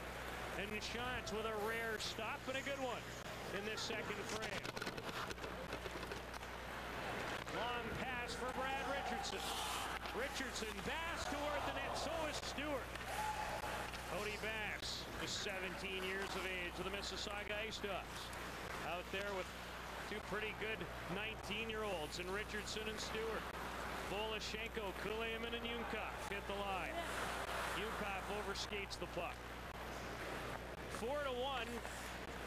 Two OHL goals in this second period has busted it open a little bit. The OHL trying to draw Canada even in this ADT Canada-Russia challenge. Stewart goes to the ice with Plekhanov. Bolland and Pouliot with a second period tallies. Voloshenko tried to get away from Syvret as Stewart and Plekhanov still involved. They are separated and Stewart goes to the bench. Think of a few guys who I'd rather get involved with on the OHL squad than Anthony Stewart. That gentleman's cut out of a stone. Here's Richards, fakes the shot now, tries to slide it as he's upended. Crombeen runs into Yunkov as the puck to neutralize. This is reminiscent of the London game that we watched in London versus Ottawa. The Ontario League just seems to control the puck all over the ice. I don't think the Russians have had it in the last two minutes. Richards trying to cut his way towards the net. Mike Richards. Feet just keep working. Here's Richards again. Slides it towards Hunter and excellent defensive play by Alexander Mikulishin to knock down Dylan Hunter who has a goal in this hockey game. Jemaya, Mikulishin redirected. Shots had to be careful. Cuptail loses it to Dylan Hunter, and Hunter, with some pressure, elects to shoot it down the ice. One of the guys that has impressed me very much, Jordan Smith in this game. Second round draft pick of Anaheim, and we've seen him do some tremendous things defensively, but physically, he is hitting everything in sight. This hit on Shirokov is just a good example of what he's been doing every shift on the ice. Very impressed. National Hockey Leaguer type of style of game. That's the type of thing you have to do every night in the NHL. If he keeps that up, he's got a good chance. Smith, a member of the Sault Ste. Marie Greyhounds, along with Jeff Carter, Craig Hartsburg. I'm guessing enjoying the progress being made by Jordan Smith, and I'm sure Jordan Smith finding it very helpful to have a head coach like Craig Hartsburg. Somebody with that experience on the point on the point in the NHL for so long, it's going to pay off. Craig Hartsburg, if I remember correctly, a pretty valuable member of a couple of Team Canada's, i.e. 1987 Canada Cup. Corey Perry trying to kick his way for a scoring opportunity and nearly forged his way for a backhand attempt. I have to say Corey Perry's played his best game that I've seen from last year's Russian games to these ones as well. He's taking the puck hard to the net, really battling through traffic to create some things. Not afraid to go to those danger areas. And I think that Corey Perry has to realize that he has to do this, get himself involved, play physical, get the puck to the scoring areas that way. Try not to be too fancy at some points. And we will focus on Corey Perry coming up in our second period intermission. We'll have the play of the period and check in Jamie Campbell in our Sportsnet studios for an update. Find out what else is going on in the world of sports. We're into the last minute of this second period, thoroughly dominated by the OHL All-Stars. 28-15 now, the shots on goal count. Ryan Parent involved with Alexander Plushev. They're still on the ice. Shirokov. And they'll wave it off because of the battle going on in front as McIver with a blow towards Kirill and His temper's up in the last minute of this second frame. Well, Ryan Parent Plushev were battling away just to the right of Dave Shans. But we know that it's going to be physical. Parent tries to get the puck out. This is where the battle ensues. Plushev just fails to get off of Parent. He keeps on put it, staying on top of him, doesn't want to get up. Parent just wants to get him off. Plushev likely just cost his team a goal. Although both players sit down in the penalty box with 37 seconds to go in this second period. Plushev and Parent get the gate. From referee Carmen Cox. Yunkov, Voloshenko in the four-on-four situation out there with Megalinsky and play on up against David Bolland. Jordan Smith, Michael Blunden, and Will Colbert. Leonov snaps it, blocked up by David Bolland. Bolland snapped one in the back of the net for his second of the series in this period. Long pass, chipped ahead by Voloshenko into the zone.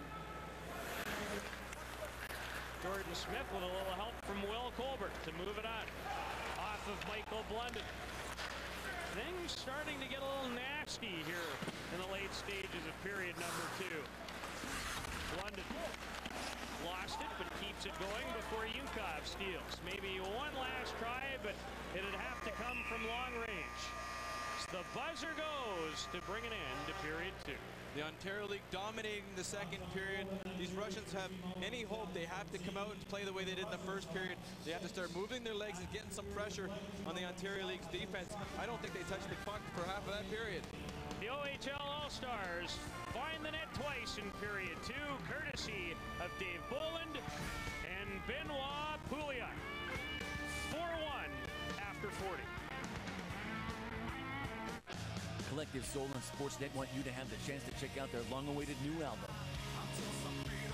Log on to sportsnet.ca to enter the Collective Soul CD giveaway contest for your chance to win Collective Soul's new CDU and cool Sportsnet swag. Raptors basketball of the year on Rogers Sportsnet. Rafer Alston and the Toronto Raptors take on Paul Pierce and the Boston Celtics. President's Choice Raptors basketball Friday on Sportsnet Ontario. Um, could, could we stop now? Soon. Be patient. Hey, how about now? Hey, let- let's stop now. No! I want this to be special. You guys ready? Oh, yeah. That's what I'm talking about. So smooth. Let's do it again. At Napa Auto Parts, we have great brakes and millions of other quality parts. Napa, get the good stuff.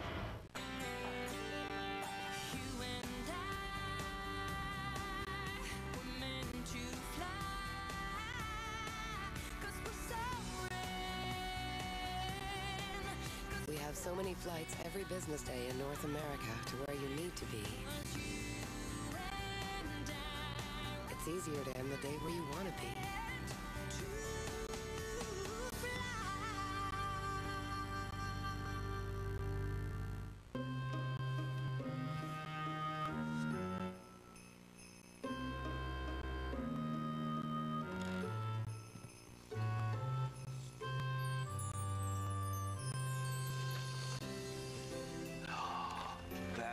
Just what I want. You guys must have read my mind. Make it a year to remember with Tim Hortons limited edition 40th anniversary mug. Just $6.95 with one packet of Tim Hortons coffee, or the canister, $10.49 with five packets. Somewhere, there's a man accessing sensitive information by way of a fingerprint. While a woman keeps track of millions of dollars in inventory, safeguarding it from the warehouse to your house. Dad checks on his business from his son's baseball game. What do all these people have in common? They rely on Canada's largest security company, ADT. Always there.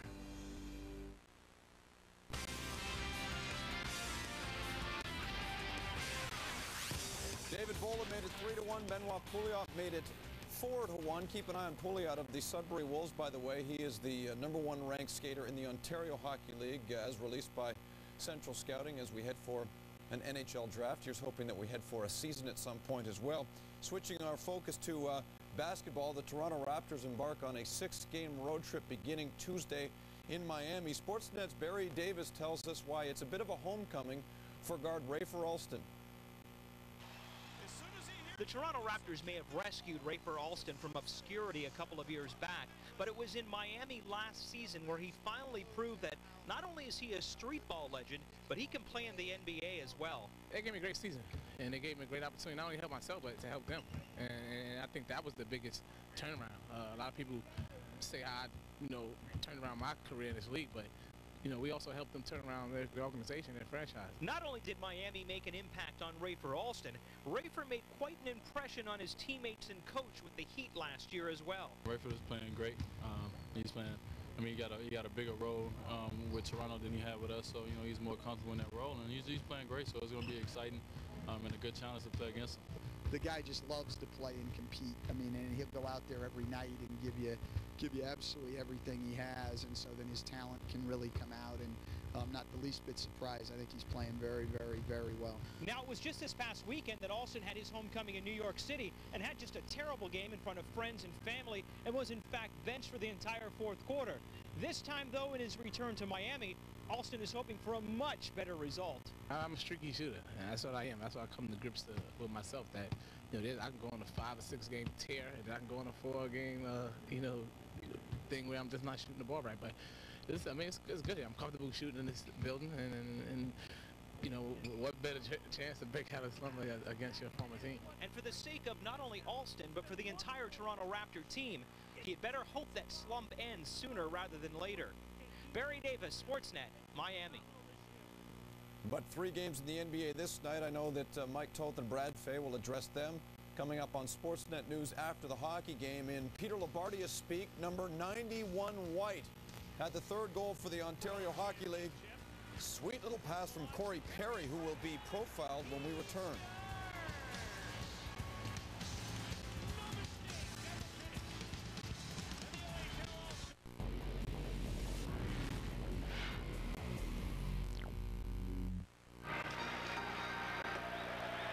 Look at that bench! Looks strong!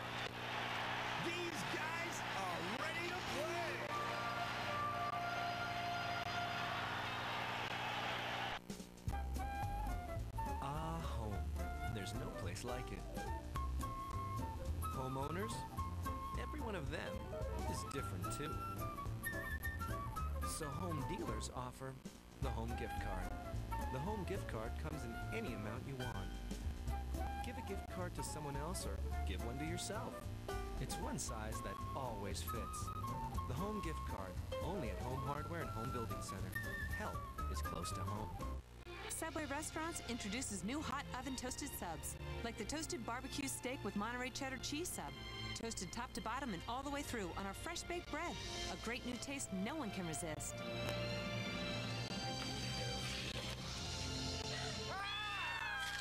That's our sub. Dude, you gotta stop doing that. Subway's new toasted barbecue steak with Monterey cheddar cheese sub. Oven toasting brings out a great new taste. I just want to look at it. Subway, eat fresh.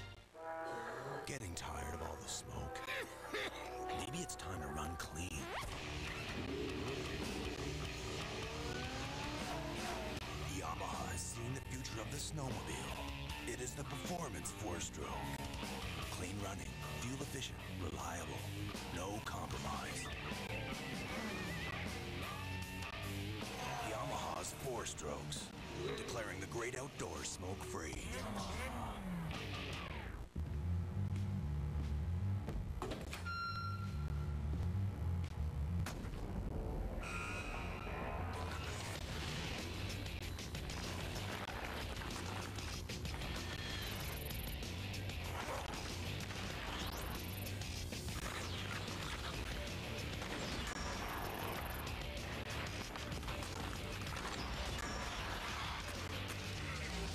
Vector breakaway.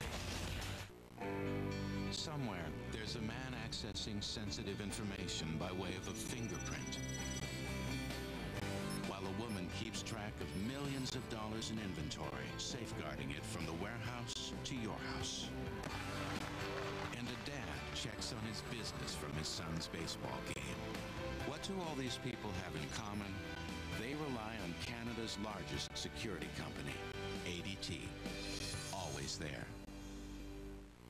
Tonight's stars of the game. No contest here. They were truly amazing.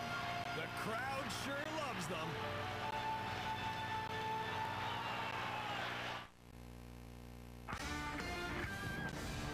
After tonight, the ADT Canada-Russia Challenge, two-thirds complete. It will wrap up with a pair against the Dove.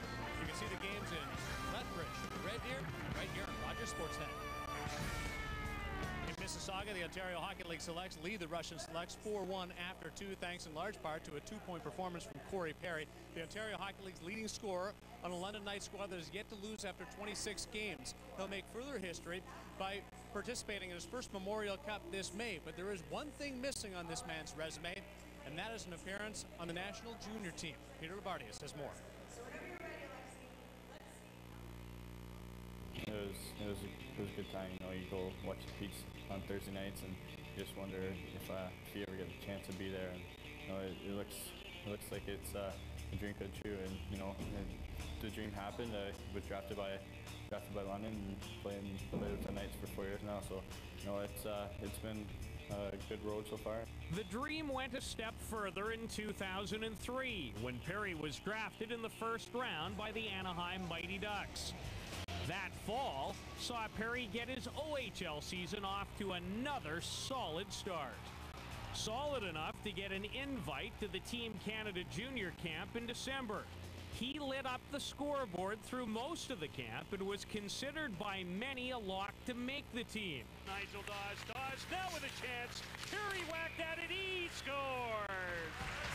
So when the final day cuts were made and Corey's name was not on the roster, none were more surprised than Perry himself.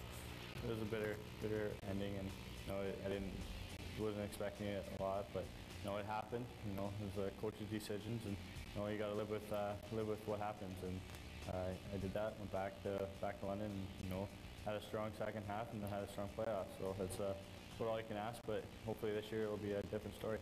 Putting on a Team Canada sweater is something any Canadian kid growing up and playing hockey has dreamed of. And for Corey Perry, that dream is something he still hopes to see come true. You know, it'd be an honor. You know, a lot of guys have have uh, gone up through the ranks, and you know, you watch it on TV at Christmas, and ever since I was like three years old, I guess you could say, I've been watching it, and you know, just wondering if I could play there one day, and hopefully this, this year is my chance. A more immediate concern for Perry and his Knight teammates is avenging last year's loss in the OHL Conference Final to Guelph. Although they are guaranteed attendance at this year's Memorial Cup as host, they want to enter the tournament by making a statement in the regular season first.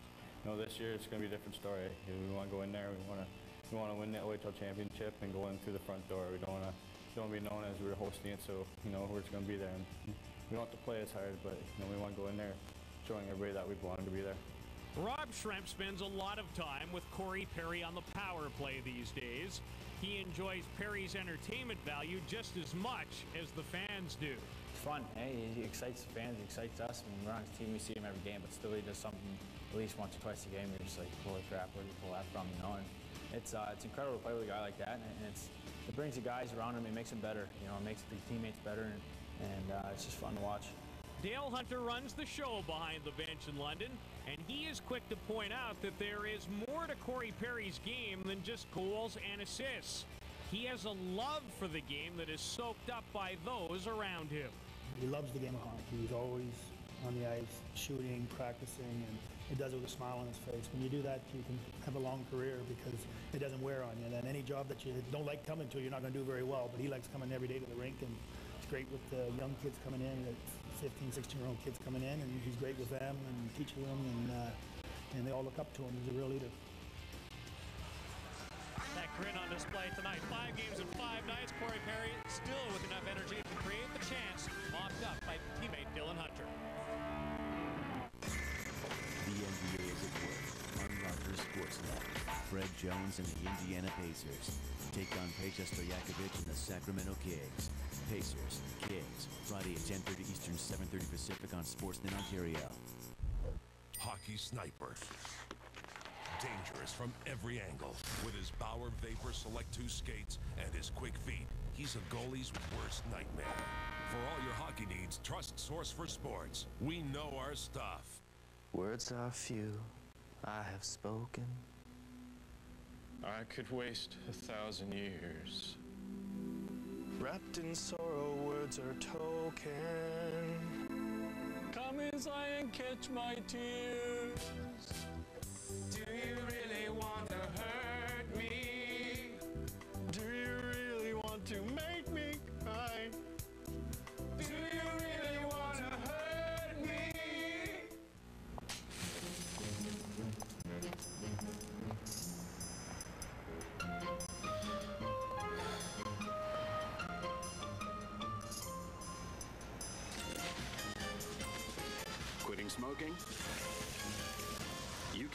ice the cravings with new Ice Mint Nicorette. It's deliciously flavor coated. So quitting never tasted so good. Nicorette, one craving at a time. You know, I was once in a vault while it was being robbed. This December, the only thing riskier than stealing 160 million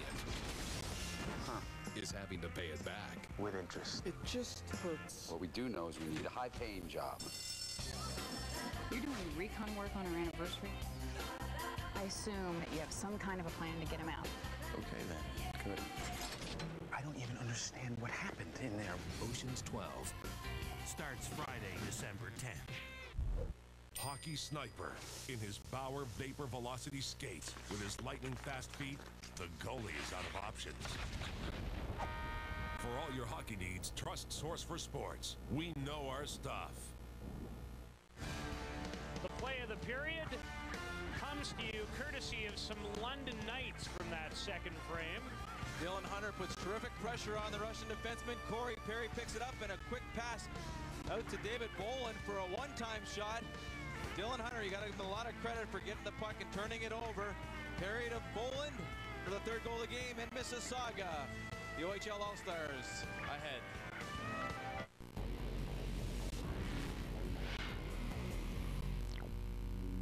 Muscle aches and pains, try new Rub A535 Dual Action Patch. Goes from cold to hot for deep penetrating relief.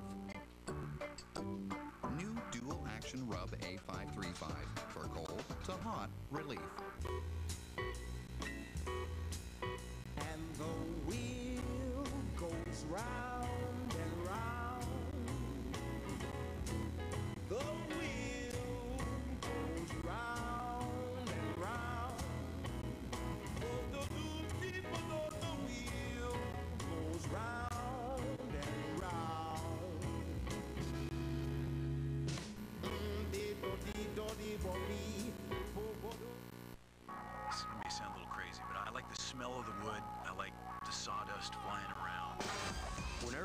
smooth, that's like the tool is doing all the thinking for you. Smooth as your work going off without a hitch. On time, every time.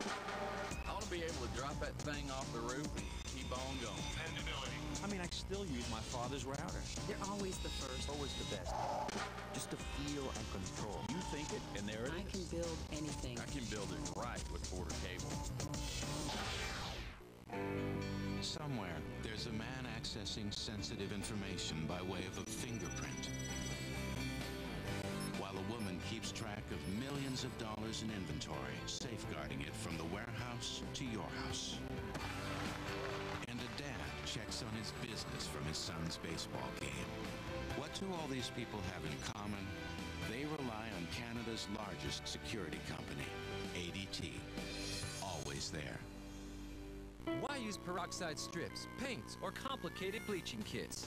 When Arm & Hammer Extra Whitening Toothpaste saves you trouble and cost. Now three shades whiter with just one tube. Prove it with our whitening guide. Get extra whitening. Three shades whiter, one tube, guaranteed. They're waving their pom poms in Mississauga. 4 1, and oh, there's a beautiful sight right there, if I don't say so myself. Second period, owned by the Ontario Hockey League, scoring both goals. And look at that advantage, John, as far as the shots on goal are concerned 16 to 6. They did dominate. They had the puck. They had control of it most of that period. And we were talking about how possibly the Ontario League All-Stars may be a little tired in this game. You'd never know it. So many guys playing four and four, five and five, five and six, and they just keep pouring it on in game four of the ADT Canada-Russia Challenge as we're likely, I would think, 20 minutes away from this series being even at two games apiece. But who knows? The Russians, the likes of Yunkov and Voloshenko can turn a game around in a hurry. Teams playing four on four with coincidental minors late in the frame to Alexander Plushev and Ryan Parent of the Guelph Storm. Jeff Carter with some extra room to maneuver. With McIver, Pouliot who has a goal, and Kyle Quincey of Mississauga. Pouliot, nice pass. McIver! Oh, wanted Carter on the redirect, and they just failed to connect. Voloshenko with a lone Russian goal, his second of the series tonight. And Megalinsky will toss it in. I don't know how Jeff Carter missed that puck. He was right wide open and a beautiful pass by McIver to get it through. McIver scored the game's opening goal. He's only scored one goal this season for St. Mike's. Yunkov trying to get free. Nice spin and turn to find Voloshenko, but Voloshenko was off balance and did not get very much on the shot. Well, the Russians were late to get on the ice for the third period. I'm sure that Sergei Gersonsky has given the word to these guys, show me something. We know it's tough, and Mikhail Yunkov starts playing physical, gets things going, battling down low behind the net. We may see a little difference in the Russian team this period. Washington may have found themselves a nice two-way forward in Mikhail Yunkov, the second round selection. We know they found a pretty good player in the first round. He's also a Russian. Ovechkin is Smith involved with Alexander Mikhailishin. You don't see that a lot in international play, but cooler heads prevailing at the end. I think Mikhailishin is pretty frustrated. Well, Mikhailishin will make the hit initially, swing his stick not once but twice and catch Jordan Smith right in the face. And the discipline by Jordan Smith on that play. If this is an Ontario Hockey League game, Jordan Smith will not hesitate to drop the mitts. Probably one of the toughest guys on the ice for the Ontario League All-Stars. Boy, that was nasty. That's very nasty. Dangerous, dangerous play. Sid Lucky to get away with being able to skate away from that. It'll Be interesting to see how referee Carmen Cox handles this. I can tell you this, Peter. Mikhailishin has been abused pretty much in the first three games of this series. He's been taking the body. He hasn't been able to play very physical. I think he's starting to get a little frustrated. Jim Hulton, an assistant coach with Canada's national junior team last year and will be once again this time around, along with Peter DeBoer. In Grand Forks, Brent Sutter, who will lead the Western Hockey League into battle. In Red Deer and Lethbridge will be Canada's head coach, Jordan Smith, and the dagger that I just saw Jordan Smith throw in the direction of Mikhailishin would melt ice. He is hot, and for good reason.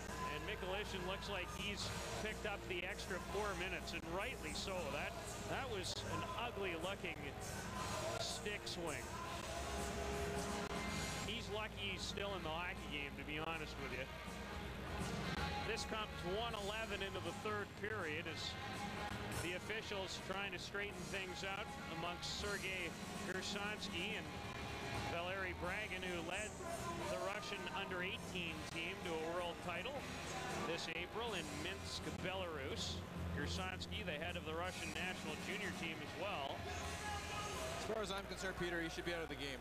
No, I agree that's with just you. terrible. Yeah, that, You- that's... You cannot do that. Not once, but twice. No, his night should be done. It's not. The OHL about to move to the power play, and they enjoy the manpower advantage. For the next 340. Here's Stewart, a quick drive. Kuznetsov stuffed him. Colbert just fails to keep it in the zone. And we'll see if the play continues to get nasty. Penalty coming up again to the Russians. Lekomsev touches it, and is it Shirokov on his way to the penalty box? And it is. Sergei Shirokov. Small, trying to play physical, and then gives him the extra shot, the cross check across the face. I mean, it's just getting nasty now, Peter. Sergei Shirokov in the penalty box, and he's had a bit of a rough night. Has taken some huge hits himself. So a five-on-three opportunity for the Ontario Hockey League to ice this one with a 4-1 advantage. Wolski, Blunden, and Brian Little with Syvret and Quincey. Syvret. 32 points already this season for Syvret has more points than any other OHL blue liner. Danny Syvret, cross ice. Wolski just couldn't get himself in a good scoring position, lost his balance. Syvret thinks about it, whips it, blocked in front, Little had a chance. Kuznetsov down and made the save. Two-man advantage for the OHL. Little stacking the pads and making a great save was Kuznetsov. Was there a little hesitation in Brian Little on that shot? Or did Kuznetsov just get across too quickly? Good stop nonetheless. More play in behind the play. This is getting nasty. Yes, we shouldn't be surprised. This is quite a hockey rivalry. As the puck sent by Megalinsky to the OHL line. 39 seconds remaining in the two-man advantage. Carter finds Quincey. Back to Carter. Leaves it for Quincey as they work it around. Quincey one-timer. And Kuznetsov had a good look. Great chance by Brian Little. Beautiful pass by Wolski off from the far side of the net. They'll, they'll work it around the outside. It'll go down quickly. Little tries to corral it just for that extra second. Doesn't have a nice clean shot for a one-time opportunity. Nice play by Kuznetsov to get across the crease. Last year's OHL Rookie of the Year, Brian Little, trying to go upstairs. Just couldn't get it up high enough to beat Kuznetsov. He's played a pretty strong game tonight. Jeff Carter finds Ryan Parent. McIver, Crombeen in front. Hunter on the doorstep as well. Looking for his second of the game as it's cleared just out off the arm and it'll be a glove to head pass. Peter, we've talked a lot about the World Juniors in this team and some returning players from last year teams playing in this game. You look at Jeff Carter, Mike Richards, and Anthony Stewart. Richards and Stewart played together, both of them plus 11. You can just see how effective they are. Five goals for Carter, five goals for Stewart. Richards and Stewart play with Nigel Dawes, who's going to be is fantastic. Those three guys probably the best line last year playing together. Well, you don't want to miss Nigel Dawes, the New York Rangers draft pick, when the Western Hockey League All-Stars tangle with these Russian selects Wednesday night in Red Deer and Thursday in Lethbridge. Looking forward to bringing you both of those contests right here on Rogers Sportsnet. John, how about that Western Hockey League blue line? Any talent there? Braydon Coburn, Dion Phaneuf, Shawn Belle, Brent Seabrook, all members of Canada's national junior team last year. Logan Stephenson, fine young player from Tri-Cities, trying to maybe earn his way. Mike Green of the Saskatoon Blades. Shea Weber, Memorial Cup champion. Yeah, let's not forget about Shea Weber. this just in, he's going to Grand Forks. I'm not trying to make any decisions No, for I Hockey Canada. I agree with he's you. going to Grand Forks. Cam Barker of the Medicine Hat Tigers. Wow, what a group. Now the Western League will be split a little bit. They have 29 players on the roster, so not all those players will play both nights, but they'll play at least one. Corey Perry has two points, and he takes a shot in behind the play from Dmitry Megalinsky, and I think Megalinsky's going to join his friends in the penalty box. Corey Perry has played such a strong game, driving hard to the net. This is the one time, one-on-one, he had to make a move, try to get through the defenseman, coming through on Plekhanov. And Megalinsky just comes in with a cross check, puck nowhere to be near him.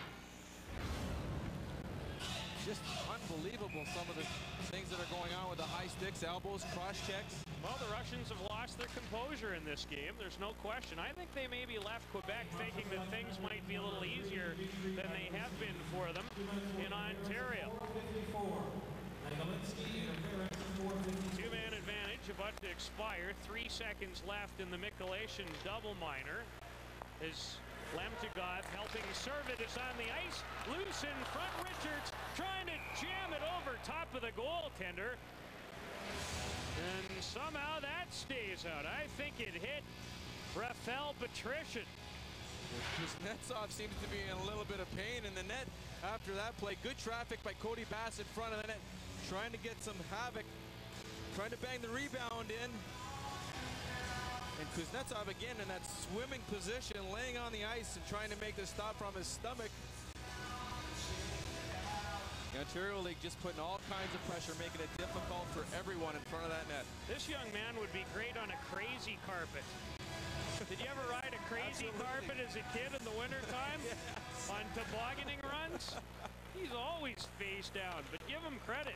The 18-year-old's made a lot of great saves in his two appearances in this set, taking over from Anton Khudobin, who was forced to go back to Russia and participate with his Super League team in Magnitogorsk. He was a star in the games in Quebec. Brad Richardson snaps one at the net. Syvret on this OHL power play. Pouliot cross ice. Quick relayed pass. Richardson Anthony Stewart who fanned on it. Stewart 19 goals on the season. To Pouliot. He has a marker tonight. His second of the series. Kyle Quincey controls it. Back to Brad Richardson of Owen Sound. Snaps it with Stewart going to the front of the net. Stewart, I think, is going to pick up a penalty for running into Kirill Lyamin. Peter, that was quite the battle, all power play long. Anthony Stewart very smart at trying to gain body position on Lyamin. You can see how fatigued Lyamin is standing there. He's just working so hard to try to get good position on Anthony Stewart out front of the net. He's a big, strong customer, Stewart is, trying to gain that body position. Lyamin just can't handle him in front of the net. And at the last second, after all the elbows and high sticks we've seen, that call is made. I guess you got to keep control of it. You do indeed. So the teams play five aside. Four on four hockey for the next 33 seconds, and the Russians will go to the power play. One thing you really have to give the Russians credit for in this series so far through four games is their penalty killing. They've only allowed the one power play goal and a couple of lengthy two-man advantages here in this third period for the OHL, and they failed to connect and beat Andre Kuznetsov. They seem to be very effective in the first two games against the Quebec League up ice forechecking. Lemtyugov let it go. It was blocked in front. Look at Shirokov again involved. No question in my mind, Coach Sergei Gersonsky had something to say to his players and told them that they were getting embarrassed in this game, so they've come out and played a lot more physical. Nikolai Kulemin has been on the team's top line as Michael Blunden rubs him off the disc. Sherry Bassin has found a good one in Michael Blunden. He had nothing but good things to say to him, talking to him the other day about Blunden. He shows a lot of character, especially coming back after his back surgery that had him off out of the lineup for a while. And he's come back playing very physical, hasn't changed his game. Russians on the power play with Voloshenko, Kulemin, and Yunkov up front. No surprise. Voloshenko with the Russians lone goal. He'll drive it shots. Good pad save. The Florida draft pick kicked it up. Some Russian fans starting the old Russian chant, Shai Boo. And then the Canadian fans in attendance were booing them. On this Russian power play. Yunkov loses it to Nathan McKeever, and he sends it the length of the ice. Sherry Bassin knows a thing or two about putting a good junior team together in this country. In the early part of the national junior team program, he was one of the guiding forces. Believe me, I used to have to play against his teams when they were in Oshawa. And then they moved. He moved up to Sault Ste. Marie and, and created some great teams as well. Love Sherry Bassin What passion for the game. Just thoroughly enjoyed just chatting about hockey and had some opportunities to spend some good time with him talking about those early team Canadas and the early 1980s. Some great stories and some great teams.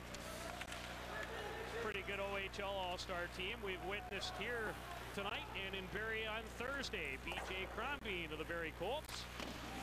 Shoots it wide, hit a stick. Dylan Hunter.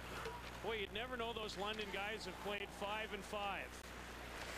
They're in terrific shape. That whole team was put on a weight program, diet program. Everybody's in terrific shape. I tell you, Paul Coffey was talking in the, during the intermission about how he's amazed that they can even do it, but they're doing it. And they've been amongst the best players in this game. I guess when things are going so well for you, doesn't hurt your confidence and your spirits to keep going either. As a penalty coming up behind the play, and it's guess who? Sergei Shirokov. He's not silencing anybody in the crowd tonight. The Russians trail by three.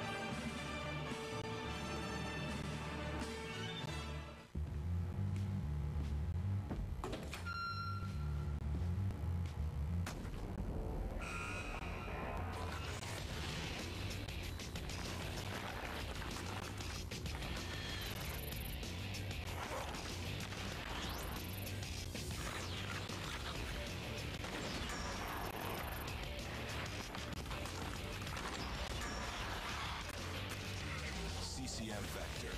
Breakaway.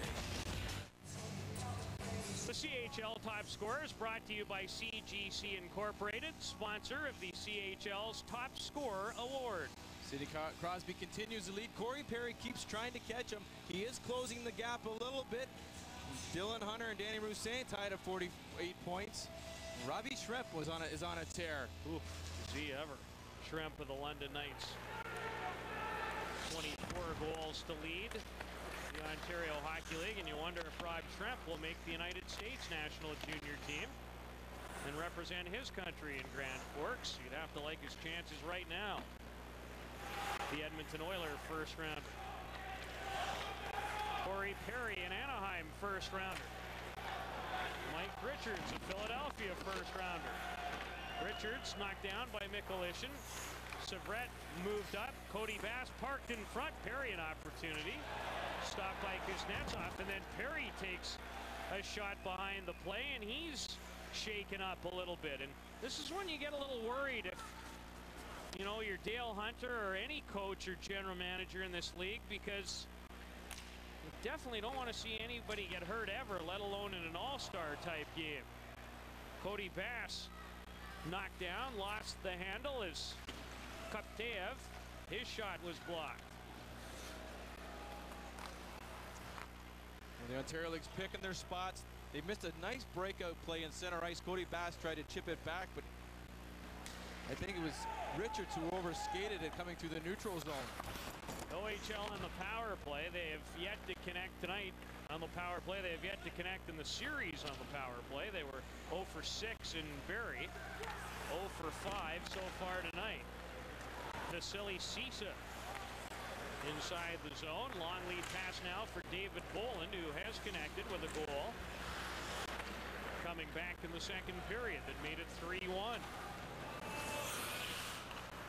13 seconds left in the penalty to Sergei Shirokov.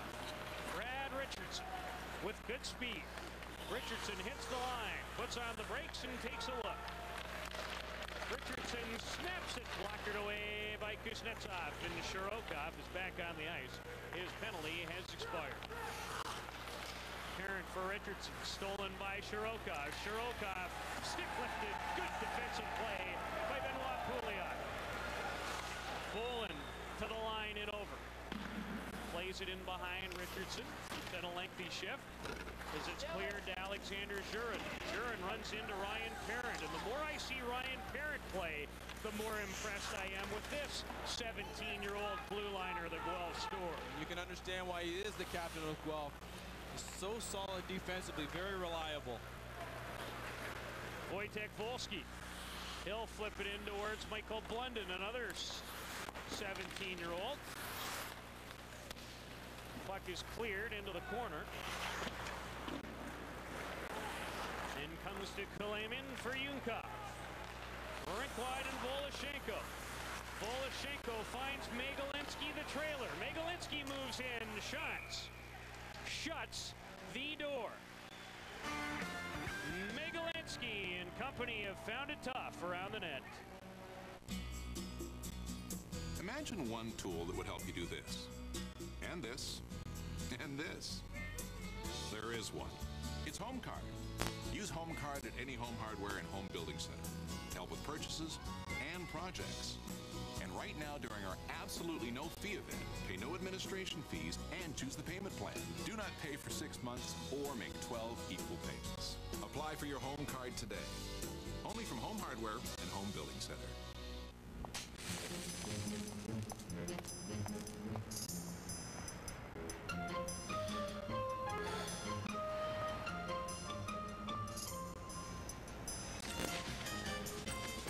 Quitting smoking? You can help ice the cravings with new Ice Mint Nicorette. It's deliciously flavor coated. So quitting never tasted so good. Nicorette, one craving at a time. Look at him. He thinks this is his truck. Nah, he's wrong. This is my truck.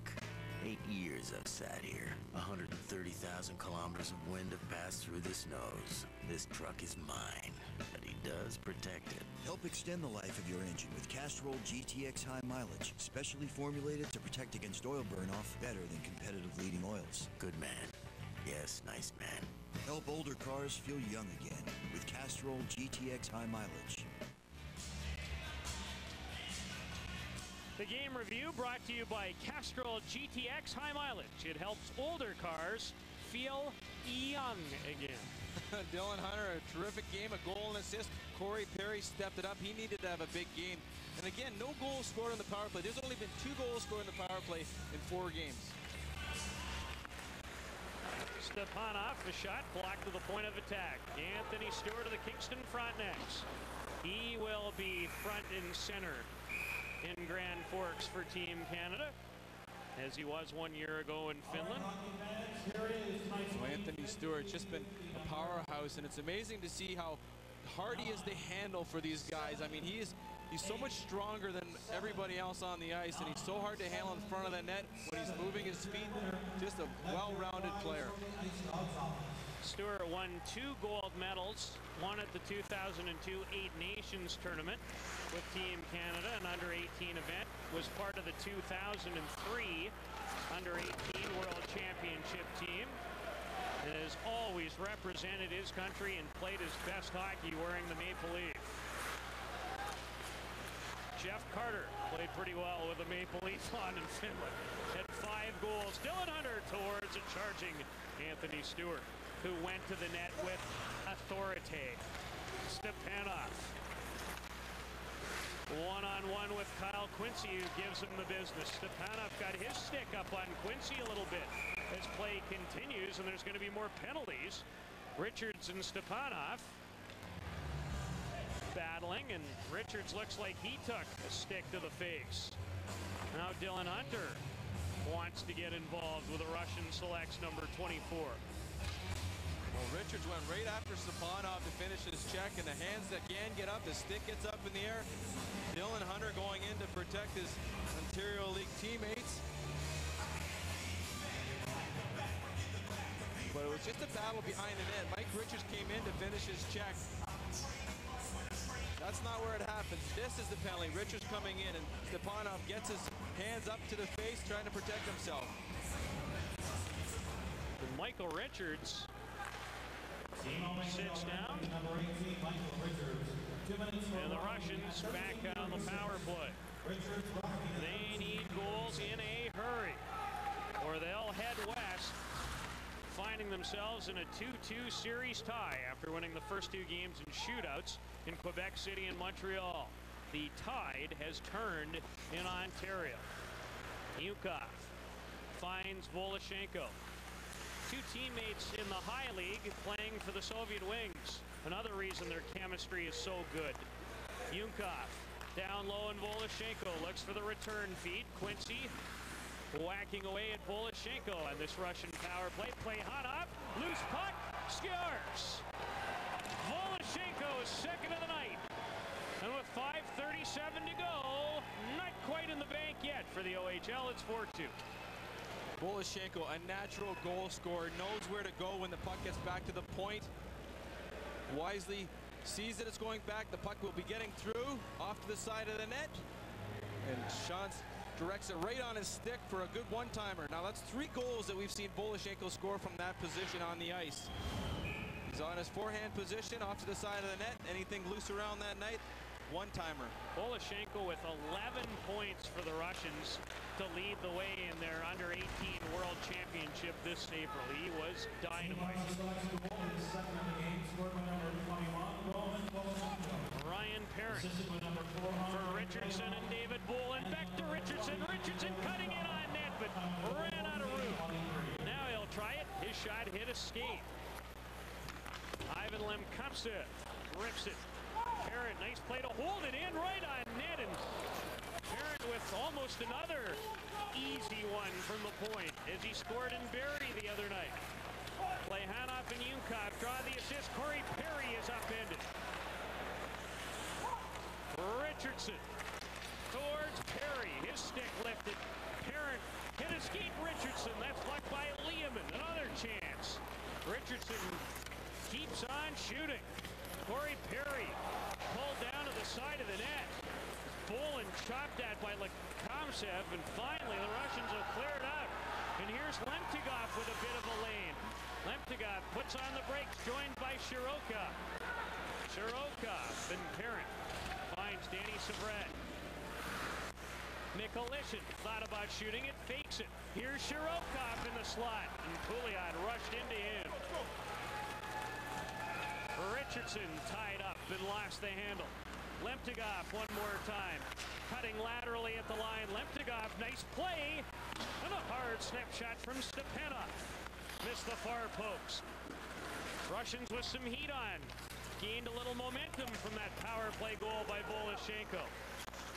Boy, there's some whacking going on, isn't there? There's a lot of slashing going on. Bryan Little towards the front of the net and just about Blunden's stick for a tap in on the doorstep.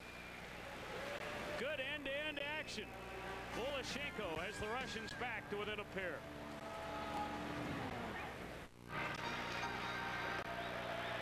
Look at that bench. Looks strong.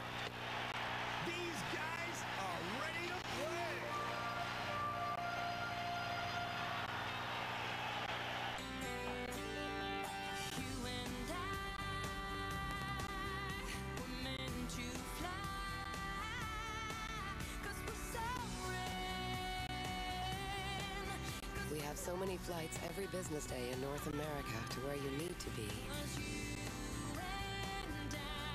It's easier to end the day where you want to be.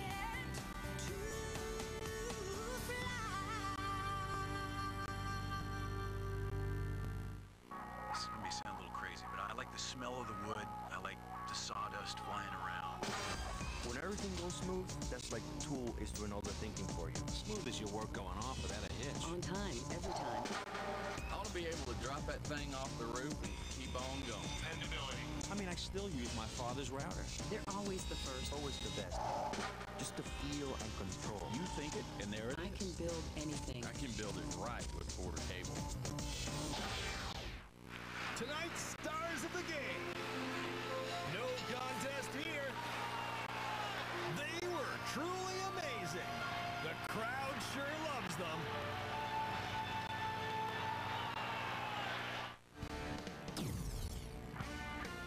ADT Canada Russia Challenge on Rogers Sportsnet. Brought to you by MasterCard. There are some things money can't buy. For everything else, there's MasterCard.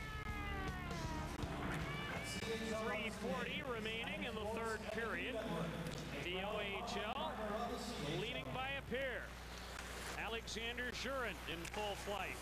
Shurin wants Yunkov in front. Play on a Faniel one timer. Here comes Anthony Stewart with Wojtek Wolski.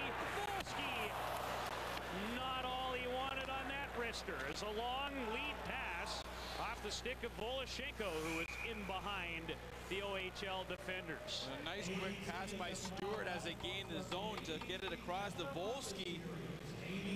And it's amazing. Stewart knew that he felt the pressure, saw that he had a guy coming to him and Wolski wide open, but that was a good, quick, sharp pass to Wolski, rolling a little bit. That's where, where he fanned on the shot, couldn't get good wood. Wolski of the Brampton Battalion shaking his head. Lemtyugov poking at the loose puck. Shirokov snapped it, but it was blocked in front. The Russians pinching, looking to draw within a goal, and sometimes that opens things up at the other end. Crombeen, Kuznetsov stopped him. Long lead pass for Lemtyugov. Did it hit his skate? No, it did not. Well, BJ Crombeen did a nice job getting up ice very quickly to get a shot on net. Crombeen gets a shot on net. Continues, tries to battle through it. Crombeen's a, a goal scorer. He's not going to be one guy who passes the puck. He's got 10 goals, only five assists. The one thing that he could work on maybe a little bit is his skating. Get him to that next level. The son of former NHLer. BJ Crombeen. Jemayev from a sharp angle.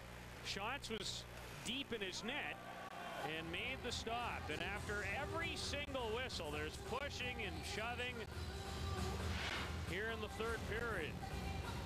Pushing and shoving, but again, keeping the shots from the perimeter very key. The defensemen on this Ontario League team have not giving a lot of, up a lot of shots in the middle of prime real estate in front of the net. Everything's been from the perimeter. Long drive. BJ Crombeen, the son of Mike Crombeen. Backhander, Stepanov. Kokteyev, the, the Russians looking to draw within one late in the third. Stepanov to the front of the net, and Jordan Smith taking exception to Stepanov. Jordan Smith. If I'm Jordan Smith right now, I'm pretty upset. I'd be, I'd be thinking twice about being reserved and holding back. It's, it's frustrating when you're getting slashed and hit the way he has tonight. He plays a physical game, probably gets him into the game even more, but it's no fun to be on the receiving end. Voloshenko towards Alexander Shurin, intercepted by Bryan Little. Out there with Pouliot and Michael Blunden. Yukov will steer it in. Two minutes to go in the third. A dominant second period for the OHL is the difference in this game. When they outscored the Russians 2 0. Pouliot and Bolland in that period. Upended in front of the net was Alexander Shurin. There's going to be a penalty. Megalinsky let it go as Shurin's knocked down by Ryan Parent, and Shurin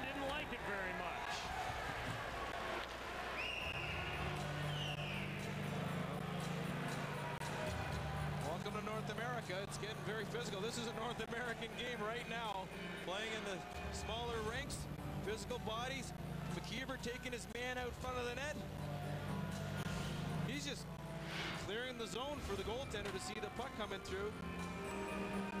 McIver in the penalty box. Ryan Parent the last man to knock down Alexander Shurin. 139 to go, and the Russians back on the power play. Voloshenko just scored a power play goal. It'll be their sixth opportunity in that category of this game. And you wonder if they might remove their netminder as well. Lemtyugov hit Will Colbert to the Ottawa 67. This could get awfully interesting. Lemtyugov, he'll drive it, and he had the far side. Didn't miss by much. No, it did not. Lemtyugov got all of it and had a little room on the far side. Khrushchev drops for Lemtyugov. He leaves it for Kirill Lyamin. A wrist shot and a glove save by David Shantz. I have to say the defensemen are really getting the puck to the net well. Leomin, one guy that should be able to do it for his forwards. Just getting the wrist shot, not a big wind-up to get it on the goaltender. You get traffic, a little bit of a rebound. All of a sudden, it's a 4-3 game. Lemtyugov just missed. Goaltender remains in the net. The Russians are not always in favor of sending an extra attacker out even at the best of times. With a manpower advantage, Sergei Gersansky at this point electing not to. 50 seconds away from a tie series, courtesy of two wins from the OHL if they can hang on. Voloshenko it on net. Shurin after it, upended by Jordan Smith. Jeff Carter, can he chip it out? Yes, he does. He finds Stewart. Short-handed opportunity. Jeff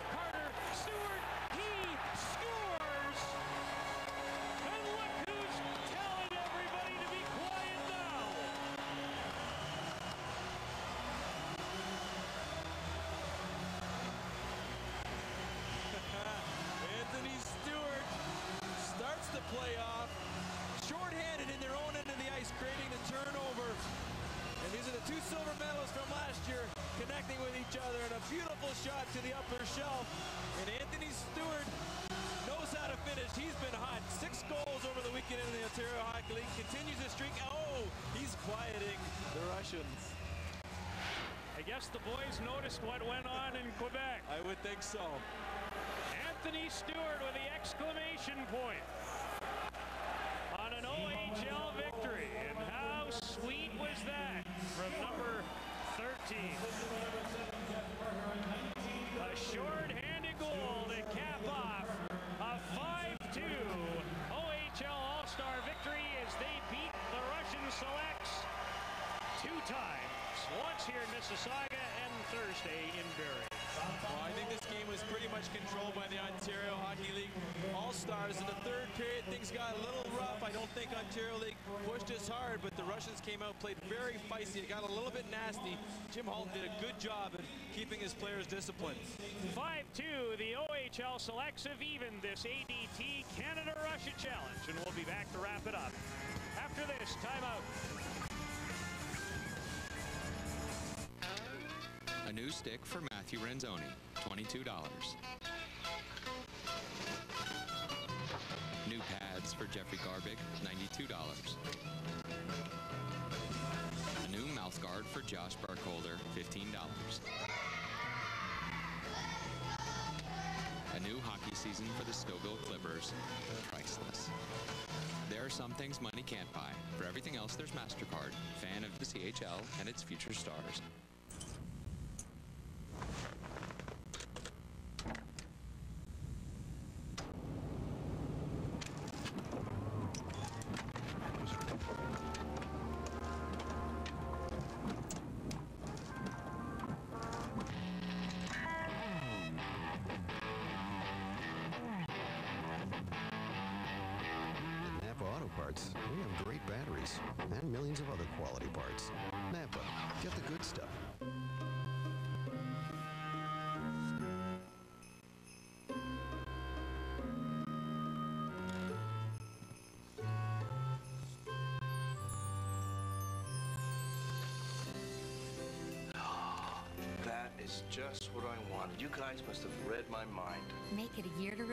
With Tim Hortons limited edition 40th anniversary mug. Just $6.95 with one packet of Tim Hortons coffee, or the canister, $10.49 with five packets.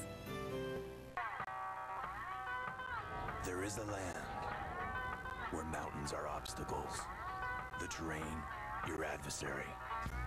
A land where the grizzly is still king. Where the Bruin is the workhorse. And the YFC 450, the hunter. Yamaha, the top of the food chain. The most reliable ATVs on the planet. Period. Play of the game brought to you by Acklands-Grainger. More of what's important to you. A shorthanded goal by the Ontario League All-Stars.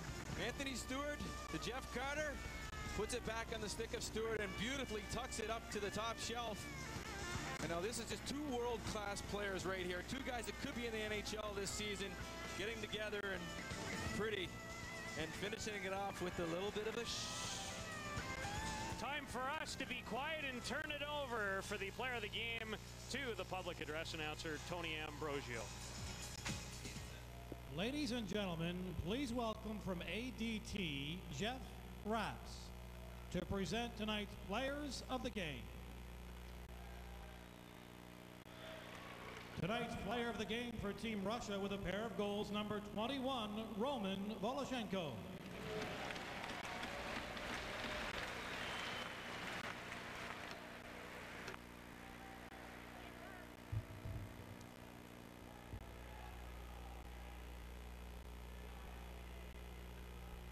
And tonight's player of the game for Team OHL is number 77, Nathan McIver.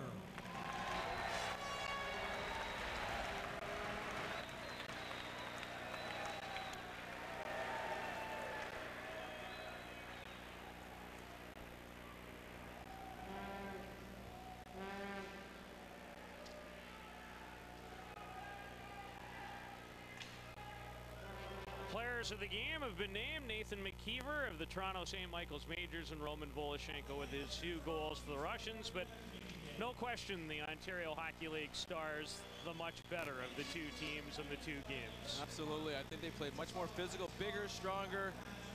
Uh, they seem to have a lot more chemistry. The Russians really came into this Ontario League two games. They had a slow start in the first game, did not have a lot of legs under them. Where they were a little unsure.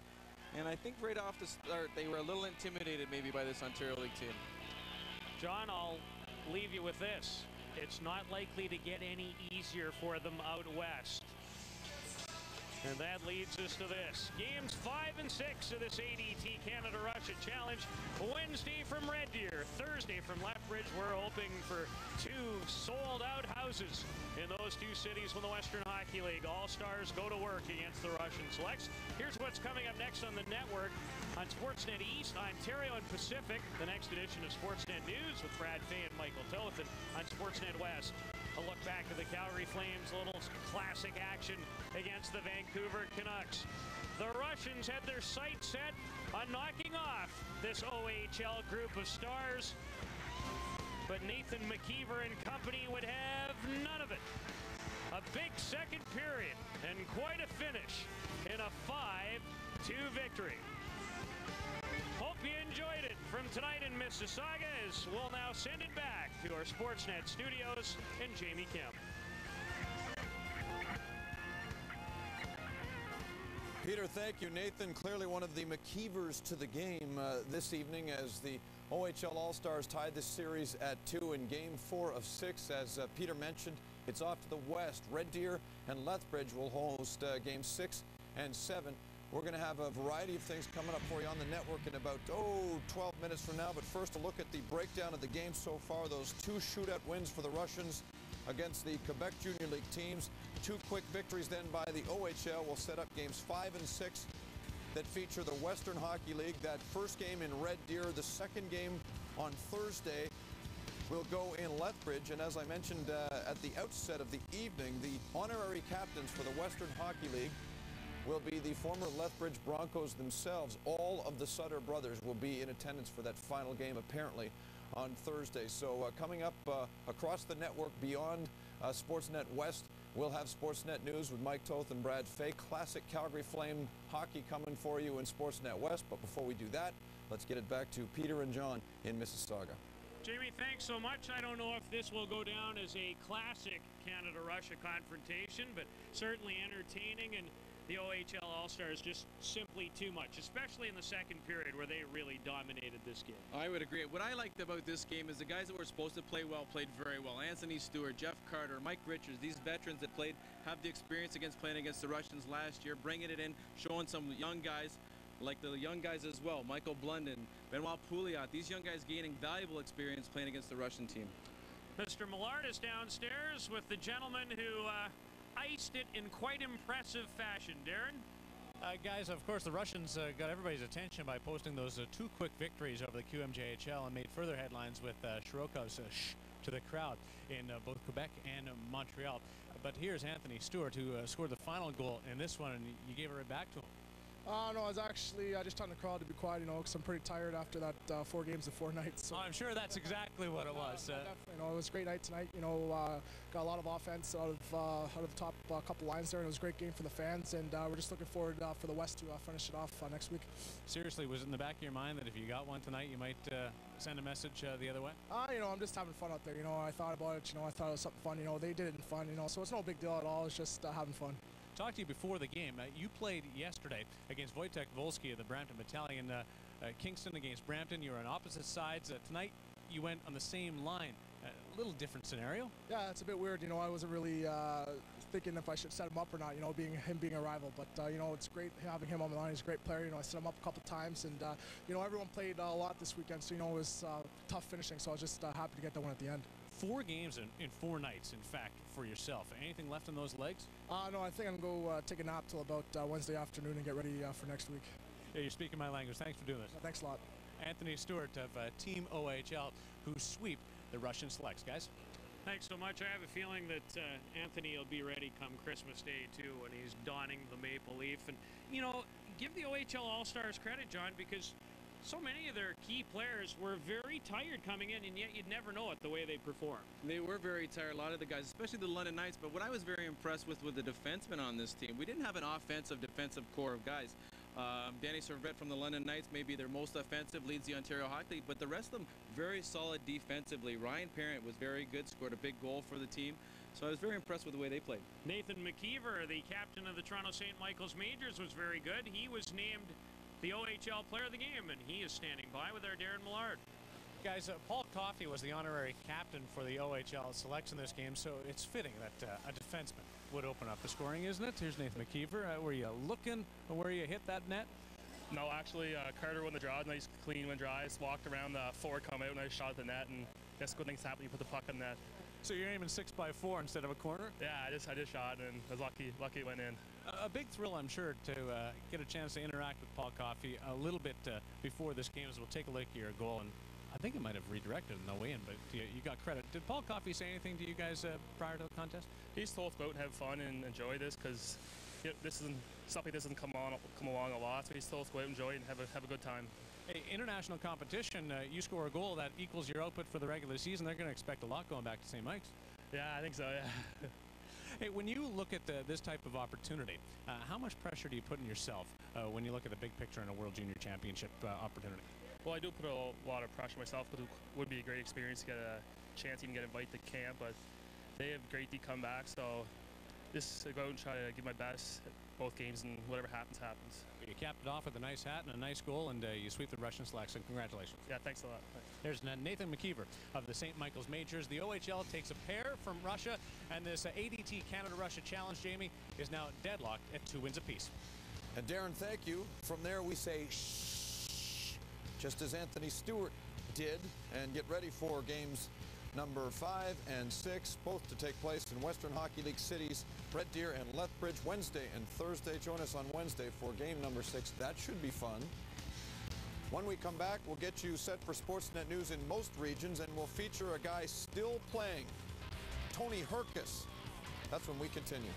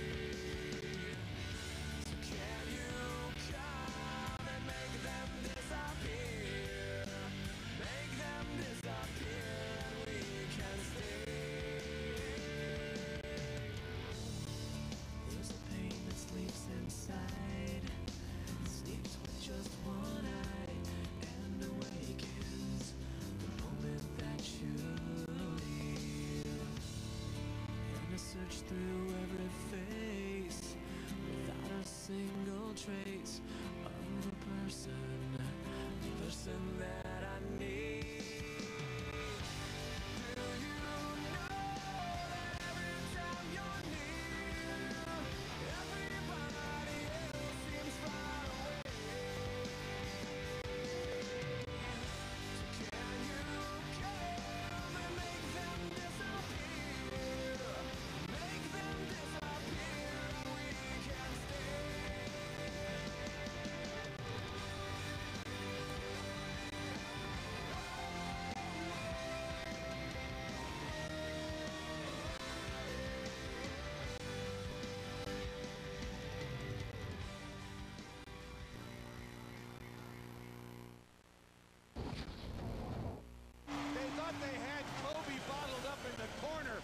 just disappeared. Cleared. Christie cuts him off. Christie Does he? he cut him off the first time.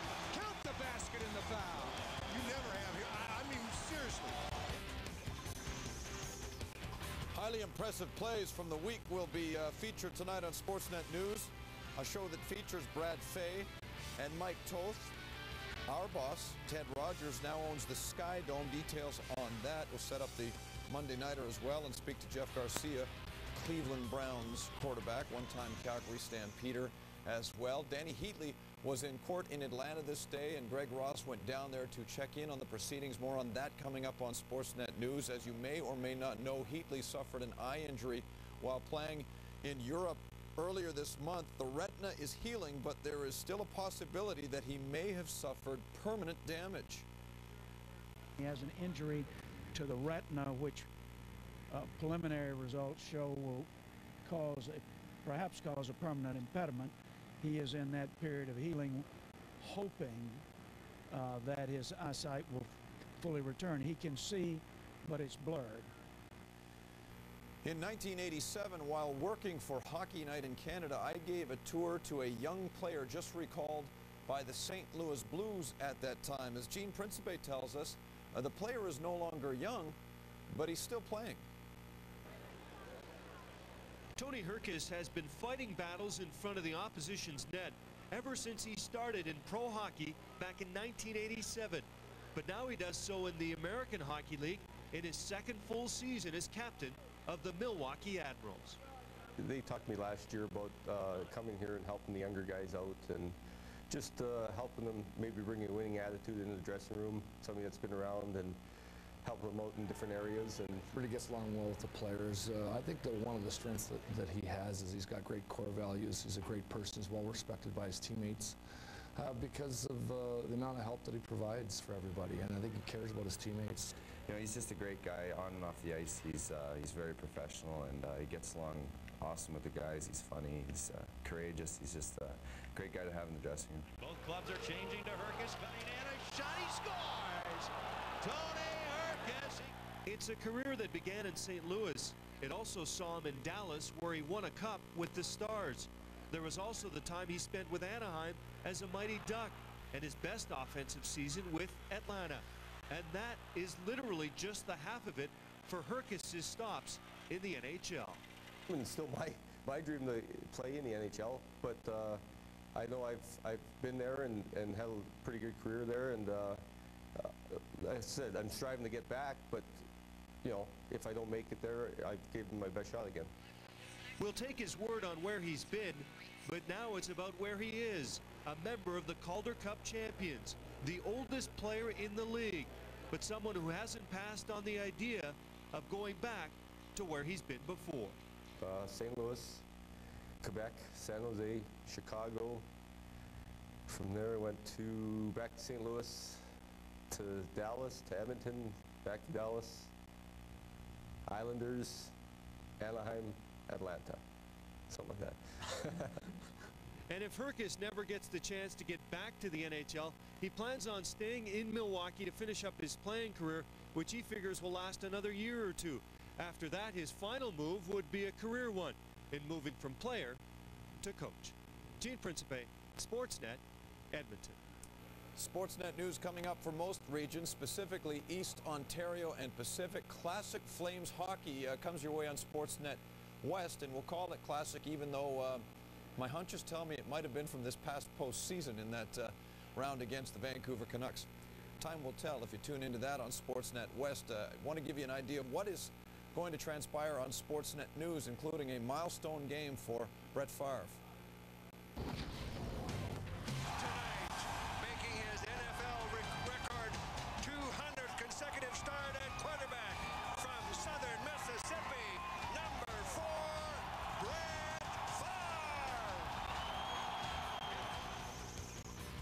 200 consecutive games. My goodness, that's um, well, that's Tony Hrkac type material there. As promised, Classic Flames hockey coming up on Sportsnet West. Other three regions. We'll get Sportsnet news with Brad Fay and Mike Toth.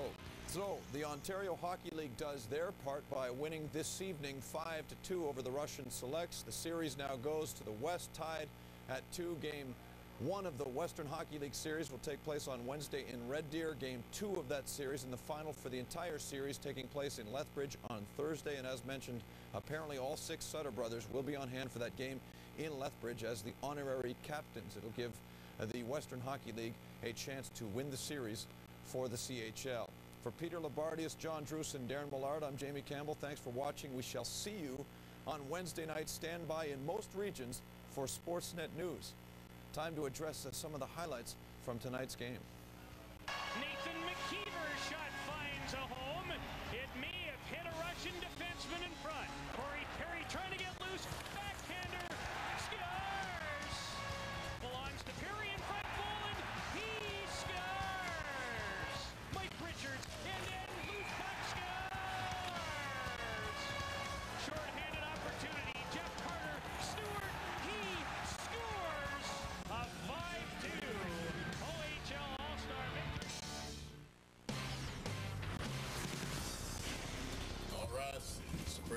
Fulton County is now in session. NHL star Dany Heatley goes back before the courts in Atlanta. There's a bargain to be had. $25 million buys a dome full of memories. Making his NFL record 200 consecutive start, number four, Brett Favre. A monumental achievement takes center stage on a Monday night. The Russians have plans to take over Ontario, but would the Red Army be forced to take a seat once again? Welcome to Miami, where the heat is on for an Alston homecoming. I think that I am very durable, that I am tough. I'll tell you though, this guy's as tough as the $3 steak. Underrated and unappreciated, well, we go up close and personal with Jeff Garcia on Sportsnet News.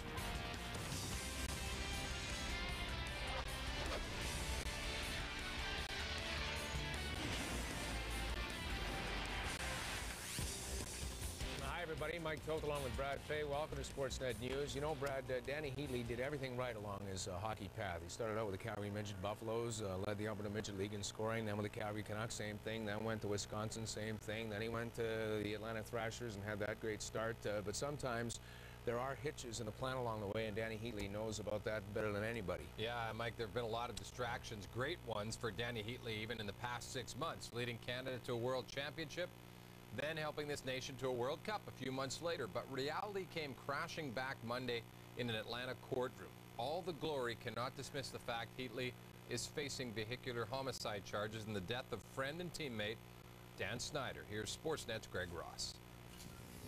Dany Heatley showed little or no emotion at his first court appearance on six counts, including vehicular homicide in the first degree.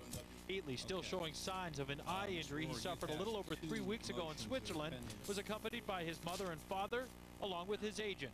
Speeding is speeding is speeding and speeding, and it doesn't matter what time, doesn't matter where, doesn't matter what kind of car you're driving, doesn't matter what the temperature is. Uh, all of those things that you would normally hear in similar transactions seem to be tossed out the window when it comes to uh, to the offense. Two main issues were brought to the forefront in a preliminary hearing to argue and decide motions. The first dealt with Heatley's previous traffic convictions. The prosecution asked to have two traffic tickets admitted into evidence, one for following too closely, which was denied by Judge Rowland Barnes, the other a speeding ticket, which was allowed. This isn't the first time that he has put citizens at risk by exceeding the speed limit or being reckless in how he drives. And the citizens need to know that, and that's what makes this a more egregious case than someone that had done this for the first time. There has been no adjudication that, in fact, in Kentucky, that he was speeding. There's never been a hearing or determination of that fact. We don't think, even if it comes in evidence, it really bears on what happened here. The second motion was to admit Heatley's blood alcohol level at the time of the accident. The prosecution argued Heatley had consumed two beers before getting behind the wheel. In this particular case, he's not charged with driving under the influence of alcohol, but the alcohol that he did have in his system did affect his coordination and his judgment, which um, caused him in turn to drive recklessly. We say there were numerous procedural defects in the manner in which the authority to take the blood was done and defects in the warrant that was used later to seize the hospital records. Judge Barnes did not make a decision on the motion to admit Heatley's blood alcohol level. He said he wanted to first read over all the documents presented by both sides before making a final ruling. Now, no trial date has been set in this case, although it's expected if it does get that far, it'll be tried sometime next spring. Greg Ross, Sportsnet, Atlanta. Greg, to be sure, there are far more legal issues in the NHL than there ever should be. To help continue sorting this one out, here's Sportsnet legal analyst Rob Becker with Jamie Campbell. Rob Becker is Sportsnet's legal analyst, and uh, he's here to break down the proceedings in Georgia. The question, Rob, is is this a good day or a bad day for Dany Heatley? It's a very slightly bad day for Dany Heatley. The judge ruled today that evidence of a speeding incident five months before his accident will be allowed in to show that he has a tendency to drive recklessly. But the key thing is that speeding incident, which took place in Kentucky five months before the accident, th there's been no payment of a ticket, no conviction, and what will have to happen in this trial is that the prosecution will have to prove that Heatley was speeding in Kentucky in that earlier incident. So it's just a slight bad thing. Why is the mention of alcohol still an aspect of this case? Well, as we all know, Heatley was below the legal limit for alcohol. But the prosecution is trying to say, look, he had a little alcohol in him, and it contributed to the recklessness. The defense responds, look, the Georgia Bureau of Investigation put the word negative on its report, and if somehow they put negative when there's a really, really small amount, that amount can't have anything to do with him driving recklessly, so it should stay out. The judge will have to decide. So lawyers on both sides then will say that uh, they're not a close to a plea bargain. Will we inevitably see that plea bargain? No, I, I, I, don't see it at this point. I, perhaps after all the tests have been done on the car, they might have something to substantively talk about. But right now, both sides have confirmed there's nothing concrete on the table, and all the earlier press reports about a plea bargain were just blown out of proportion. Rob Becker is Sportsnet's legal analyst. Thanks for joining us. You're welcome. Now, as far as the eye injury that Dany Heatley suffered in Europe a couple of weeks ago, here is the latest news. The retina is healing, but unfortunately, there's still a chance that Heatley's eye may have suffered permanent damage. He has an injury to the retina, which uh, preliminary results show will cause a, perhaps cause a permanent impediment. He is in that period of healing, hoping uh, that his eyesight will fully return. He can see, but it's blurred. Now, with no NHL games to follow, Sportsnet is in the secret agent business, covering what else? Player agents. For instance, we've learned that Gus Badali, decertified by the NHLPA for getting involved in the WHA, has now signed on as a scout with the Phoenix Coyotes. Uh, Wayne Gretzky, the connection there, as Gus Badali was number 99's first agent. Uh, meantime, Sportsnet has also discovered that there's talk of the union pulling agent David Frost's license now. Uh, that was triggered by the Central Junior A Hockey League banning Frost for allegedly threatening a referee during a recent CJHL game that took place in Ottawa. If you needed one, here's another indicator of how massive A-Rod's contract is. His yearly salary is worth exactly what Rogers and the Blue Jays paid for their stadium today. Yes, Skydome, the world's greatest entertainment center, built for 600 million bucks in 1989, is now worth a cool 25 million. The deal will close in December. At the time of its opening, of course, it was a state-of-the-art complex with the world's first retractable roof, and that was cool. Sportsco, a group of Chicago investors, bought Skydome out of bankruptcy in 1999 for around 80 million. The Jays now join the other 29 major league teams who operate their own stadiums, and that should provide a little more financial flexibility. for the Toronto Blue Jays. And who better to ask about that than the man who oversees the entire operation? He spoke with our Jim Van Horne. Joining me now is the president of the Toronto Blue Jays, Paul Godfrey. Paul, this is a, a great day not only for Rogers Communications, but for the Toronto Blue Jays as well, picking up Skydome at uh, a bargain basement price. Well, we're very pleased. We think it's a big day for the fan because I think now, for the first time since Rogers has owned the uh, Toronto Blue Jays, we can uh, control the uh, in-game uh, experience for the fan from the time he walks into the building till the time he leaves. What is this going to mean to the team? Is this going to make it easier possibly to increase payroll and go after free agents like Carlos Delgado? Well, we hope that uh, by increasing the uh, in-game experience and make it more exciting, maybe more fans will, will come. I don't think you'll see a, an immediate impact on uh, uh, team payroll, but over a period of time, I think you'll find that uh, as Skydome becomes a more exciting place to come and watch a baseball game or go to a concert, that hopefully uh, revenues will increase, and as revenues increase, uh, hopefully we'll be able to do more with the Toronto Blue Jays on a going forward basis. Now, let me get this straight. You paid $25 million for the building. You paid Carlos Delgado $23 million Canadian last year. Why don't you just give him the building and say, Carlos, you can uh, stick around and, uh, and have some fun with us for as long as you want? Well, uh, I haven't heard that argument before, but I think that uh, what we want to do is control the uh, uh experience for, for all the fans uh, and make it more comfortable for a guy like Carlos to play here. Paul, thank you very much and congratulations. Thank you very much. I think they should rename the building now the Jim Van Dome. That's what I think. Uh, sure, there's something about Mary, but there's also something about Brett Favre, or Favre, as he's known in that crazy comedy. Uh, Monday night, Favre makes his 200th consecutive start, and I'll tell you what, he's still jiggy with the kids, too. In fact, Favre's Packer jersey is the third most popular uni right now in the NFL, behind only Michael Vick and Terrell Owens. Making his NFL record 200 consecutive start, number four, Brett Favre. He's number four in your program, number one in your heart. And yes, he's played 200 straight games. Uh, absolutely incredible. First quarter, Brett Favre on the sidelines, but that's okay. The Packers' defense is on the field, and they're going to make something happen. They force the fumble. Ahmad Carroll recovering, and he goes 40 yards the other way for a touchdown. And just like that, people, it was 7 0 for Green Bay. Uh, second quarter, 7-3 for the Packers when we go again. Favre on the field looking for Donald Driver. Looking and finding Driver for 18 yards. Same drive. Favre hitting his big tight end, Bubba Franks. Big target, big play, 70-yard touchdown. Favre becoming the first quarterback to throw 20 touchdown passes in 11 straight seasons. Next Packer possession, Favre to Bubba Franks one more time for 29. And then here we go again. Favre looking for Javon Walker, starting to mix things up a little bit. 10-yard touchdown. And Favre's wife, Deanna, celebrating with Brett Favre there on the field. Look what I did, honey. 21-3 Green Bay at the half. And again, a sellout at Lambeau Field. That is the story every game that the Packers play. Third quarter, Marc Bulger looking end zone for Isaac Bruce. Picked off by Ahmad Carroll. That's his first career NFL interception. And, of course, he had the touchdown earlier in the highlight pack. What a night he had. Packers driving and thriving one more time. Far for driver. Great one-handed catch. You got to go back and get that thing for the first down. Same drive. Favre get another pass to the Donald. That would be driver. Gonna work. Gonna work every time. 28-10 Green Bay, the Lambeau leap, and Brett Favre does his own version. That was his third touchdown pass of the game. Fourth quarter, 31-17 Green Bay.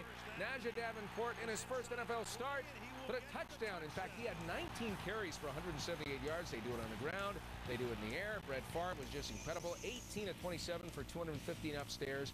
No picks and three touchdown passes as the Packers now move to 7 and 4. In fact, the Packers have won their six straight games. So all of a sudden, you've got to think about Brett Favre and the Green Bay Packers when you're thinking about the playoffs.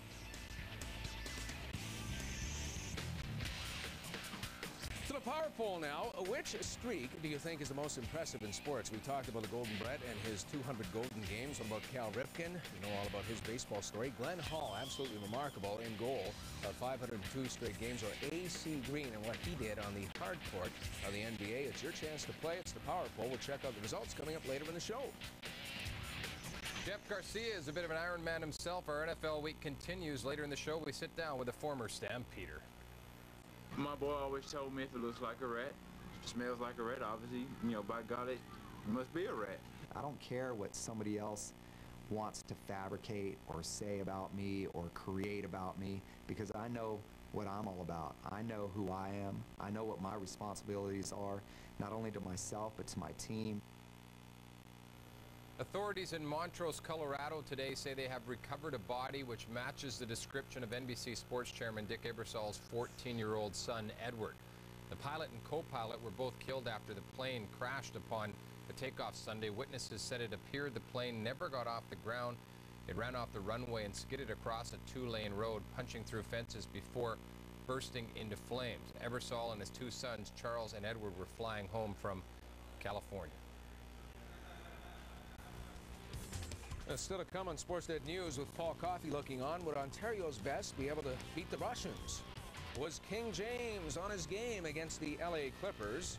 Just who did throw that chair in Auburn Hills? And retirement hasn't kept this hockey legend away from the rink. We'll explain when we come back.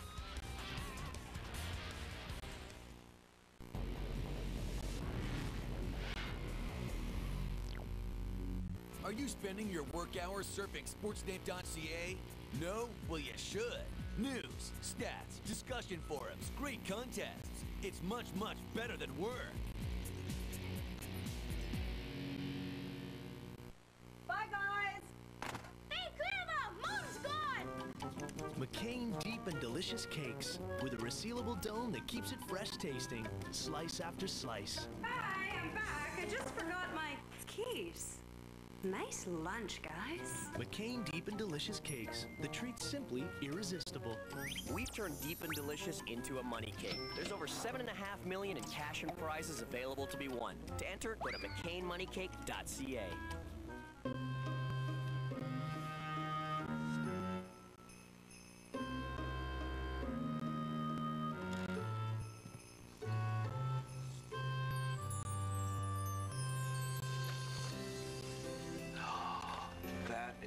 just what I wanted. You guys must have read my mind. Make it a year to remember with Tim Hortons limited edition 40th anniversary mug. Just $6.95 with one packet of Tim Hortons coffee, or the canister, $10.49 with five packets. You don't have to drill a hole in your wallet to get a great tool. This Craftsman EX cordless drill proves it. Come to Sears and see the Craftsman EX 15.6 volt cordless drill, one of the power packed lineup of EX cordless drills exclusively from Sears. The 15.6 volt gives you the most torque for the money with a battery that charges in just one hour. Whether it's plywood or drywall, the two-speed gearbox is ready for anything, letting you match the chuck speed to the job. Working smarter, not harder. That's what Craftsman is all about. Call, click, or come to Sears and see the Craftsman EX 15.6 volt cordless drill. A Sears More Value item, only $99.97. Comes with two batteries, charger, plus a three-year warranty. For this much torque on a cordless drill, it's got to be Craftsman. The Craftsman EX 15.6 volt cordless drill. Just $99.97.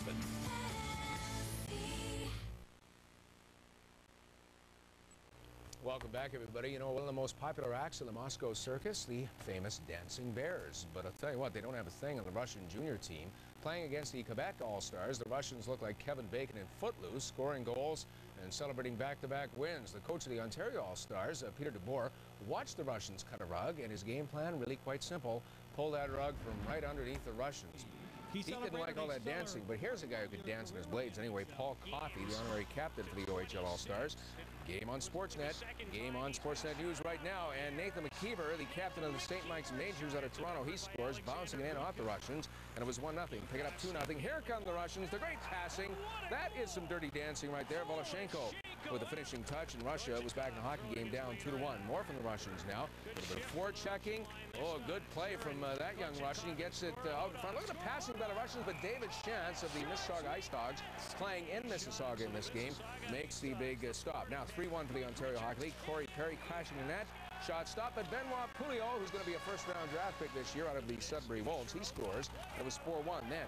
Physical turn, Jordan Smith nailing one of the Russians along the boards, and then the Russia starts to get frustrated. Mikulishin swinging his stick, hitting Smith right in the old noggin, and the referee's making the call. It's a high sticking penalty. But uh, a little bit later, the Ontario Hockey League actually shorthanded. Anthony Stewart, little give and go with Jeff Carter. They play together with the World Juniors, and there's the shh motion from Anthony Stewart because that's what the Russians were doing against the Quebec All-Stars when they scored. And I think they were saying because they wanted to hear Peter say, yeah. That's right, Peter Puck uh, and his great calls, and he had plenty of them as uh, the OHL wins at 5 to 2. And I've got to mention the attendance because now the NHL lockout coming into play. They've had some great crowds at the Hershey Center in Mississauga, 4,600 on the weekend and 4,700 at the Hershey Center to see the All-Star game. And now the series Alberta bound as the Western Hockey League gets their crack at the Russians Wednesday in Red Deer, Thursday in Lethbridge, and as usual, Sportsnet will have all the action for you. And the first stop, Wednesday in Red Deer. You can check it out at 7 o'clock Mountain Time.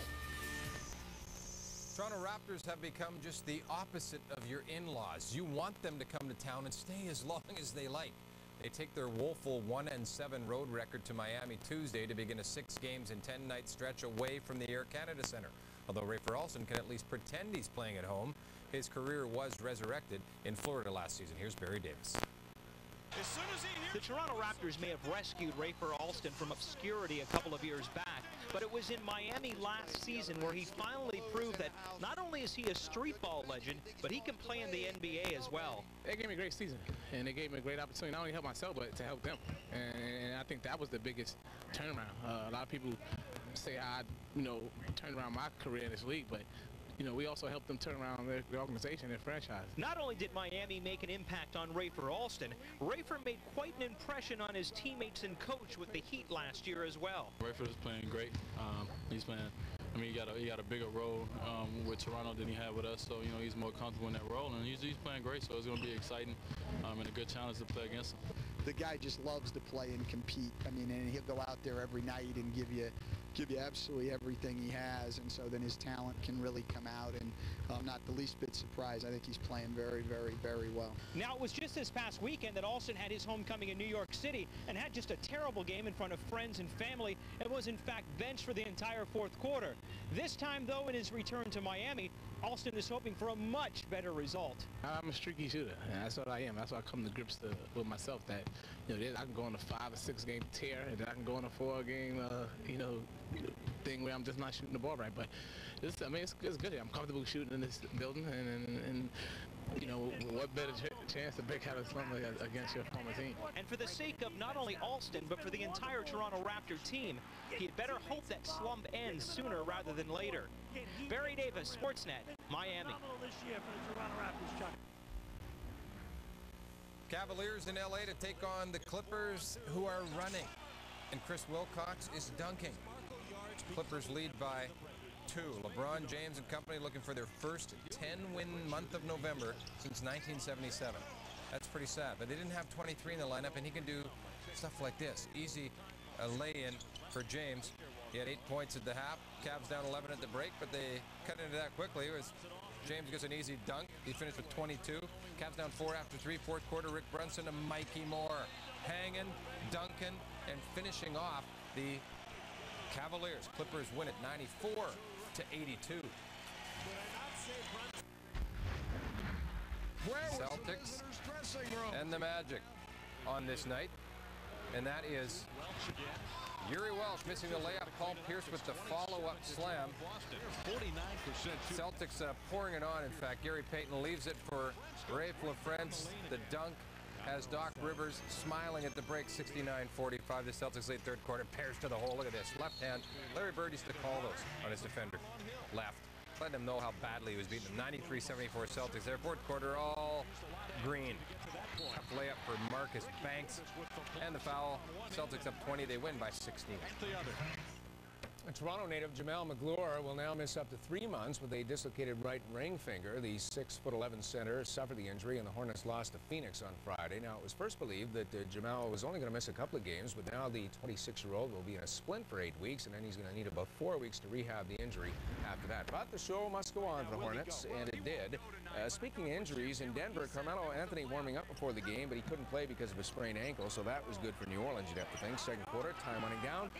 Oh, Earl the Pearl Boykins with the arcing three-pointer. Boy, Boykins with 18 points and a half. He can do it for a little guy. He can do it for a big guy. He can do it for any kind of player. Look at this. Junior Harrington drives to the hole now, gets the hoop and the foul.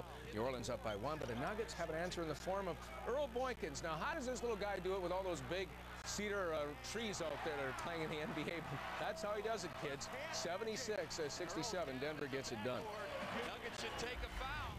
Now, according to reports in Detroit, police have identified the man now who threw that chair during the big brawl that broke out during that Pacers Pistons game. Police met with the attorney for Bryant Jackson, who confirmed uh, that yes, his client did throw the chair. The 35 year old Pistons season ticket holder apparently has a criminal past that includes domestic violence, uh, drug, and weapons charges.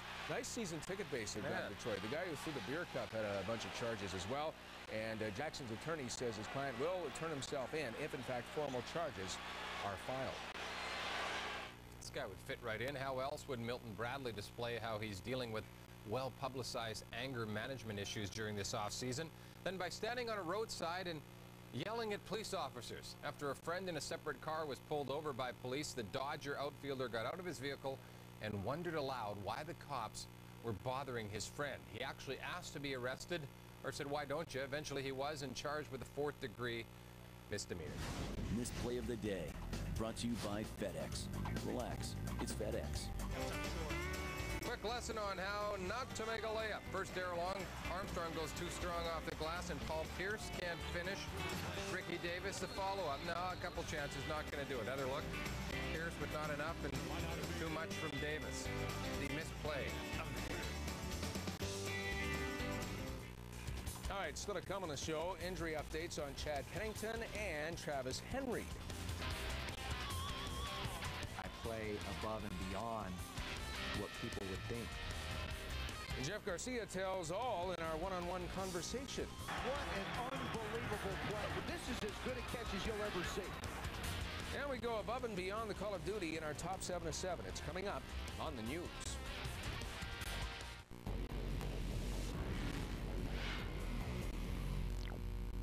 Rogers Sportsnet offers you four channels Sportsnet East, Ontario, West, and Pacific. Visit sportsnet.ca to check out our four channel schedule to see what you've been missing. Because the tricky thing about perfect right angles is the perfect part, Black & Decker created the Crossfire. It shoots horizontal and vertical lines that level automatically, so you get it right the first time. The Crossfire from Black & Decker. Because the evolution of the third hand is a bit slow in coming, Black & Decker created the Auto Tape. It's the only powered tape measure, so you can use it with just one hand. The Auto Tape from Black & Decker. Be the one to suit up and sweat the million dollar shot. Nelly, the Toronto Raptors, and Roger Sportsnet want you to have the chance to win a sweet meal. Grab your cell phone and text message the word Nelly to the number 13579, and you could be taking aim at a million dollar half court shot when Nelly's Charlotte Bobcats take on the Raptors. Yo, this is Nelly telling you to text message and suit up and sweat the million dollar shot. Log on to universalurban.com for more chances to enter and to get info on Nelly's new album, Sweat and Seal. Yo, suit up and sweat the million dollar shot as my Bobcat takes on your Toronto Raptors. I see you alone, surrounded by enemies. Now, you can't win this war alone. Get ready to roll with this. Blade, ready to die. Since the day I was born.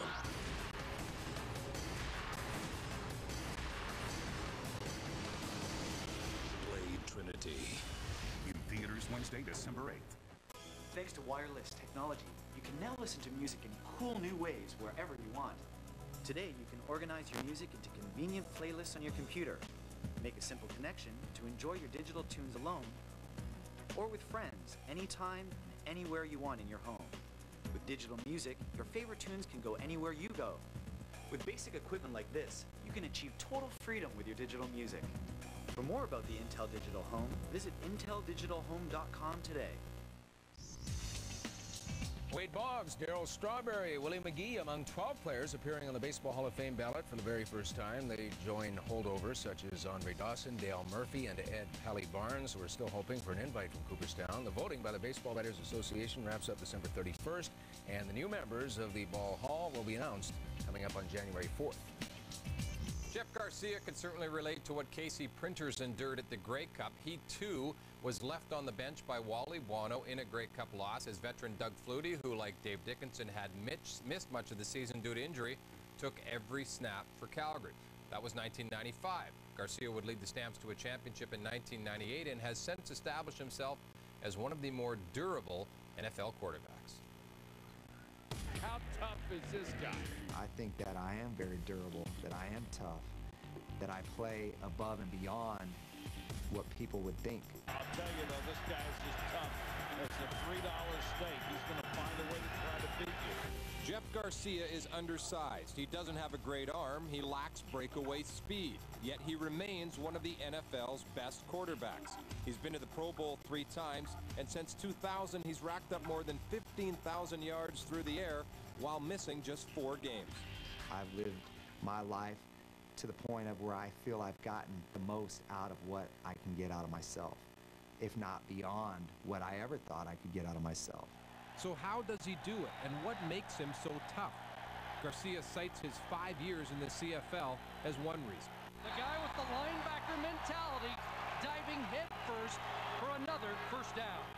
Going through the physical toughness of playing on AstroTurf week in and week out, uh, playing in a game where there aren't necessarily any rule stipulations of how you can hit the quarterback, that toughens you up. And I have the chin to show it. Garcia learned at a young age how to be mentally tough. When he was seven, his little brother Jason drowned on a camping trip. 14 months later, his sister Kimberly was killed after being thrown from their father's truck. Obviously, growing up the way that I grew up made me understand and value how important life is and how important it is to uh, take advantage of the opportunities that you either create for yourself or that are exposed to you. And I really believe that I have lived that life. He's not this physically dominant individual. He's not six foot four. He's not 245 pounds. But how do you measure a man's heart? That's what Jeff Garcia is all about. Physically, Garcia is much smaller than Brett Favre and Steve McNair.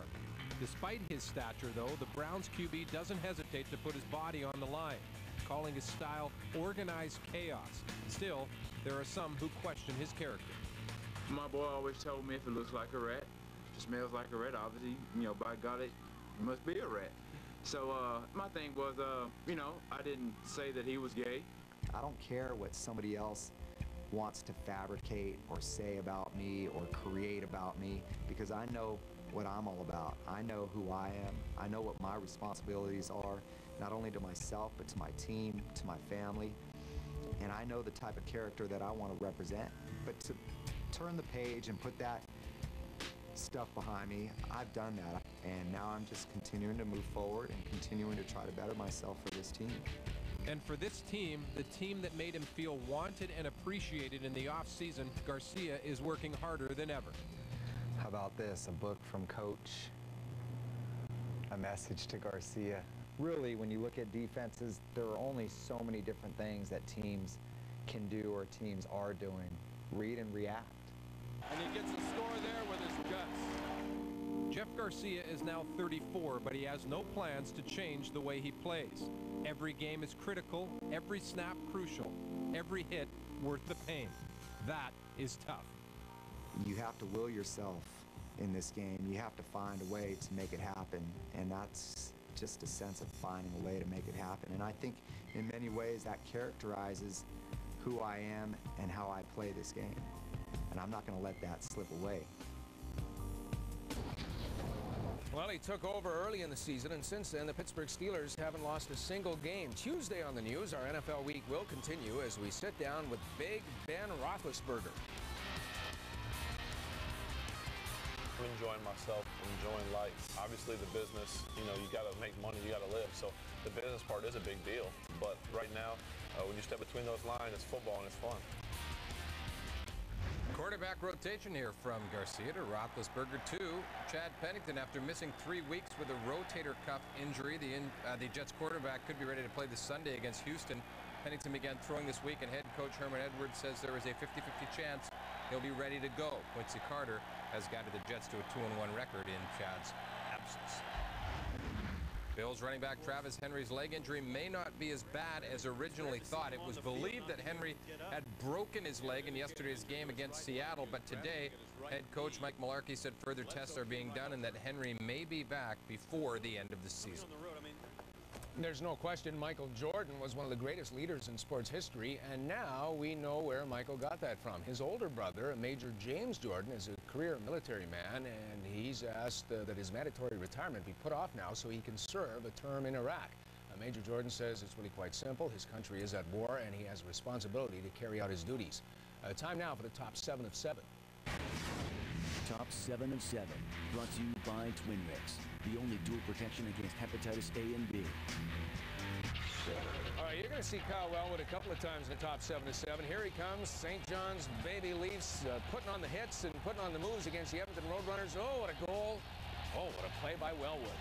David Laliberte, Patev, wide open, Stepanov, he scores! Great finish from Stepanov.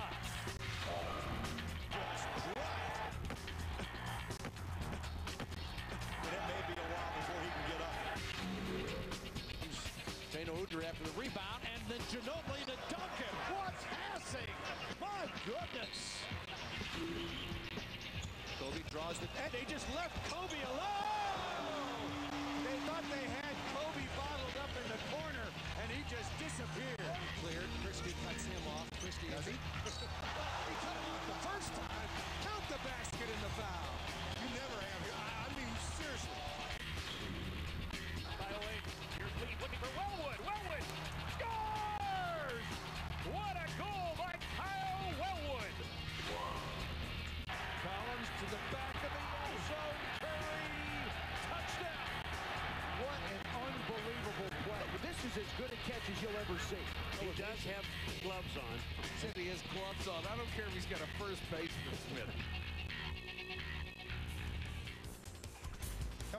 Sportsnet News, Dany Heatley steps into court for the first time. A well-traveled journeyman makes another stop on the ice.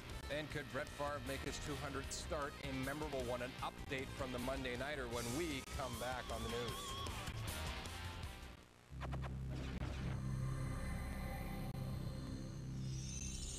Sportsnet HD, Canada's high definition leader.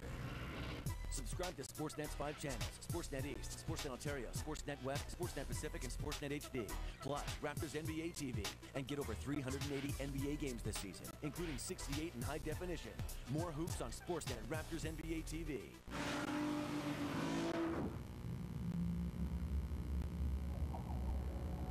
It's a state of control. It's mental. It's physical. It's powerful. Athletes call it being in the zone. We call it being in the driver's seat. The new G35 with a sport tuned suspension and the most powerful V6 in its class. The G35 from Infiniti. Hey, Jack. How do you make a half-blind dovetail? Well, I'd start with a thick drawer front, then rip a fat quarter-inch slab off, then plane both sides of the piece. And Jack, ever stud your meat? Because guys have other things they'd rather think about than cooking, there's Campbell's Chunky Chicken Noodle Soup. Studded with big chunks of seasoned chicken. Made with pasta and vegetables. Built with 9 grams of protein. Campbell's Chunky. Fully constructed. Come on, babe. It'll just be two short weeks. I know, I'm just gonna miss you so much. Listen, freeing circus bears in Calcutta is the most selfless thing I can do. You're so right. and I'm so proud of you. So, we're cool? Yeah, we're cool. Cool. Oh, my passport. Would you? Of course. You're the best. Find a road trip game card inside specially marked PlayStation 2 products at EB Games for a chance to win two weeks in the PlayStation RV. See store for details. Pookie?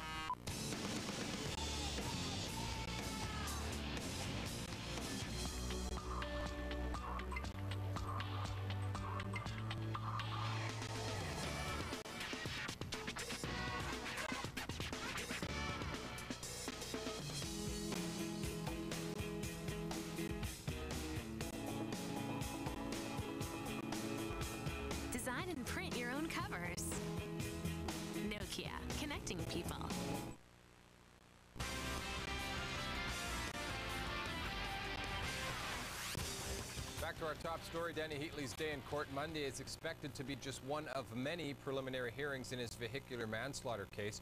Reports out of Atlanta say the two sides are not close to an agreement on a plea that would keep the case from going before a jury, probably in February. Monday saw the prosecution argue to have the fact Heatley had been drinking on the day of the accident admitted. They also allege he has a history of reckless driving. This isn't the first time that he has put citizens at risk by exceeding the speed limit or being reckless in how he drives. And the citizens need to know that. We don't think, even if it comes in evidence, it really bears on what happened here. The alcohol that he did have in his system did affect his coordination and his judgment, which um, caused him in turn to drive recklessly. We, we say there were numerous procedural defects in the manner in which the authority to take the blood was done and defects in the warrant that was used later to seize the hospital records. NHL players had their information meeting. The agents got together, and on Thursday in New York City, it's the general manager's turn to get the lowdown on the lockout. And with more on that, let's turn things over now to the Hockey Central panel. Guys, take it away. Thank you very much. Well, speculation of a proposal from the NHLPA continues to swirl. What we know for certain is the general managers from the National Hockey League will meet with Bill Daly and Gary Bettman later this week on Thursday in New York. I'm joined in studio by Bill Watters, Nick Kypreos, and Gord Stellick. Anything of substance expected to come out of this meeting on Thursday, Gord? I think fans are far too optimistic. I don't think anything will. I mean, really, what they're trying to do now is get the mechanism in place. And we, we talked to John Davidson about that in Hockey Central. Him being in New York, they're looking to take away from that casual type meeting and maybe do some things at the NHL office because later on, these casual things, and if it's you know not a cash bar, uh -oh. you never know what could happen as far, as far as the general managers go. And the other point is, Gary Bettman's basically said to the owners, these general managers are part of the problem, spending too much money. We got to keep them in line. So I don't think he's going to value a lot of input to turn the tables on the CBA talks from these guys. Well, you mentioned that truth serum. It'll be going pretty good, and that's one of the things that the league wants to avoid with one-on-one -on -one meetings is having some certain general managers call each other out. I know for a fact that there's a few general managers that would love to go up to John Ferguson Jr. or Ken Holland and say, excuse me, $10 million yeah, for Nick Lidstrom, yeah. uh, Eddie Belfour, uh, $18 million for three years. Like, why? Why when you knew that we were going to a lockout? Those are the type of things that Gary Bettman has to avoid. And they're entitled to that, Nick. Yeah. If uh, there was a set uh, uh, a set of rules that Bettman set forth and these guys have broken it, fine. But I don't know that Bettman's going to tell them anything. I'm with Gord. I mean, two of their six proposals that went to the Players Association include a negotiation of contracts not in the general manager's responsibility. Yeah. So it's not a popular setup. But to me, the key of the whole episode, I don't know what Bettman's going to tell him, but if Bettman doesn't call Bob Goodenow in the next two weeks, then he's got a problem because one or the other has to make communication, and it appears to me like Bettman's going to be the guy. And the GMs are really the ones that are totally frustrated out of all of this because the players can go and play in Europe, yeah. and the owners can go run other businesses. Their hands are tied. Tough business uh, being a uh, player agent in the National Hockey League these days. Bryant McBride has been decertified, likewise for Gus Badali. And little known fact, David Frost is under review in terms of the National Hockey League Players Association for an incident involving the CJHL in Ottawa. Gordon. Well, maybe they got something on him now because for a lot of people this has been viewed as the hypocrisy, particularly when a guy like Gus Badali was decertified for now about just, you know, something, providing some suggestions, a list for a league that never got going in the World Hockey Association. So people wonder, they think about Bob Goodenow's friendship with David Frost, and that's what protected him. Sounds like this one has some bite to pursue. Nick reminded me of one thing, though, Gordy. I, I've always been a proponent of what, what is going on with David Frost. Why has he gotten away with the fact that he and Goodenow were having dinner the night before he was about to be killed, fourth time planned, yes. and nothing was said about it? Those are all allegations. But now, as Darren's pointed out, perhaps they've got something that they can hang on their hang their hat on. Otherwise, Goodenow being it uh, like the rest of us. If you don't say allegations, you're in trouble. And the thing is, you know, you want to talk about conflicts of interest. A few years ago, Donnie Meehan tried to represent the officials. The NHLPA would have nothing of it because of, again, a conflict of interest. It's a fine line do your job, represent the players, and little else. Well, and as I mentioned, it definitely is a cutthroat business. New York beckons. We'll have the story from the general managers' meetings in Manhattan on Thursday on Sportsnet News. Guys, we actually had to look it up, but Tony Hrkac never played for Patrick Swayze and Rob Youngblood Lowe's Hamilton Mustangs. Mark that down as about the only team the man they call Circus hasn't worn a jersey for. Since turning pro, he has played for, get it, 15 teams, some of them more than once including his latest stop in Milwaukee. Here's Gene Principe. Tony Hrkac has been fighting battles in front of the opposition's net ever since he started in pro hockey back in 1987. But now he does so in the American Hockey League in his second full season as captain of the Milwaukee Admirals. They talked to me last year about uh, coming here and helping the younger guys out and just uh, helping them maybe bring a winning attitude into the dressing room, something that's been around and helping them out in different areas. And really gets along well with the players. Uh, I think that one of the strengths that, that he has is he's got great core values. He's a great person. He's well respected by his teammates uh, because of uh, the amount of help that he provides for everybody, and I think he cares about his teammates. You know, he's just a great guy on and off the ice. He's uh, he's very professional, and uh, he gets along awesome with the guys. He's funny. He's uh, courageous. He's just a great guy to have in the dressing room. And both clubs are changing to Hrkac, betting in a shot. He scores. Tony Hrkac. It's a career that began in St. Louis. It also saw him in Dallas, where he won a cup with the Stars. There was also the time he spent with Anaheim as a Mighty Duck and his best offensive season with Atlanta. And that is literally just the half of it for Hrkac' stops in the NHL. It's still my, my dream to play in the NHL, but uh, I know I've, I've been there and, and had a pretty good career there, and uh, uh, like I said, I'm striving to get back, but you know, if I don't make it there, I gave him my best shot again.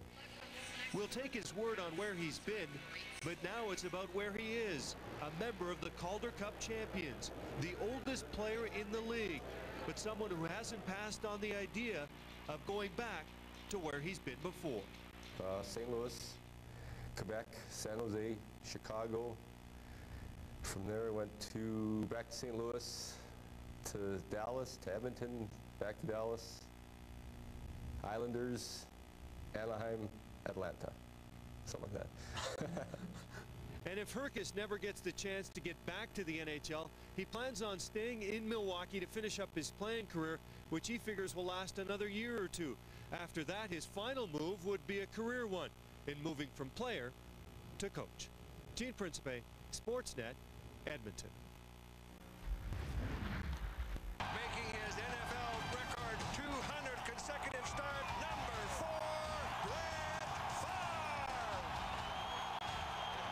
Want to recap the Monday Nighter because 200 straight games for Brett Favre, that really is a remarkable achievement. He's had to battle through a lot of injuries uh, to keep on playing. Favre on the sidelines won't pick things up, but that's okay. The Packers defense is on the field. Are they ever?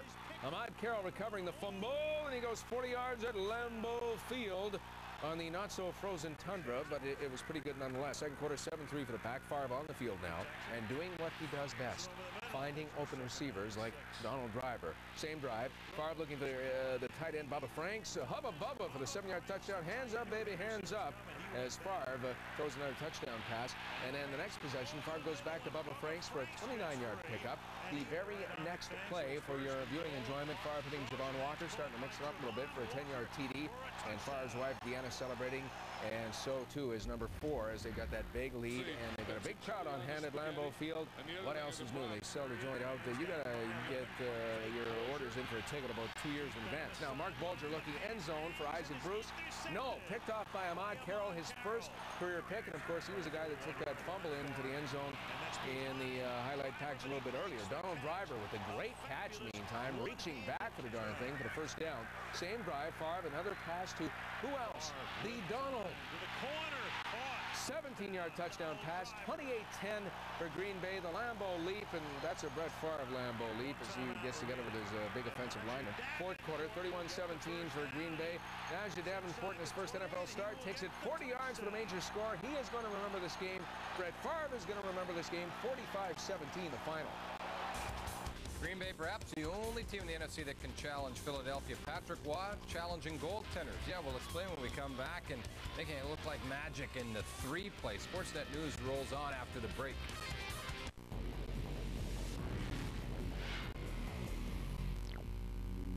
Are you spending your work hours surfing sportsnet.ca? No? Well, you should. News, stats, discussion forums, great contests. It's much, much better than work. When you whack a Terry's chocolate orange snowball,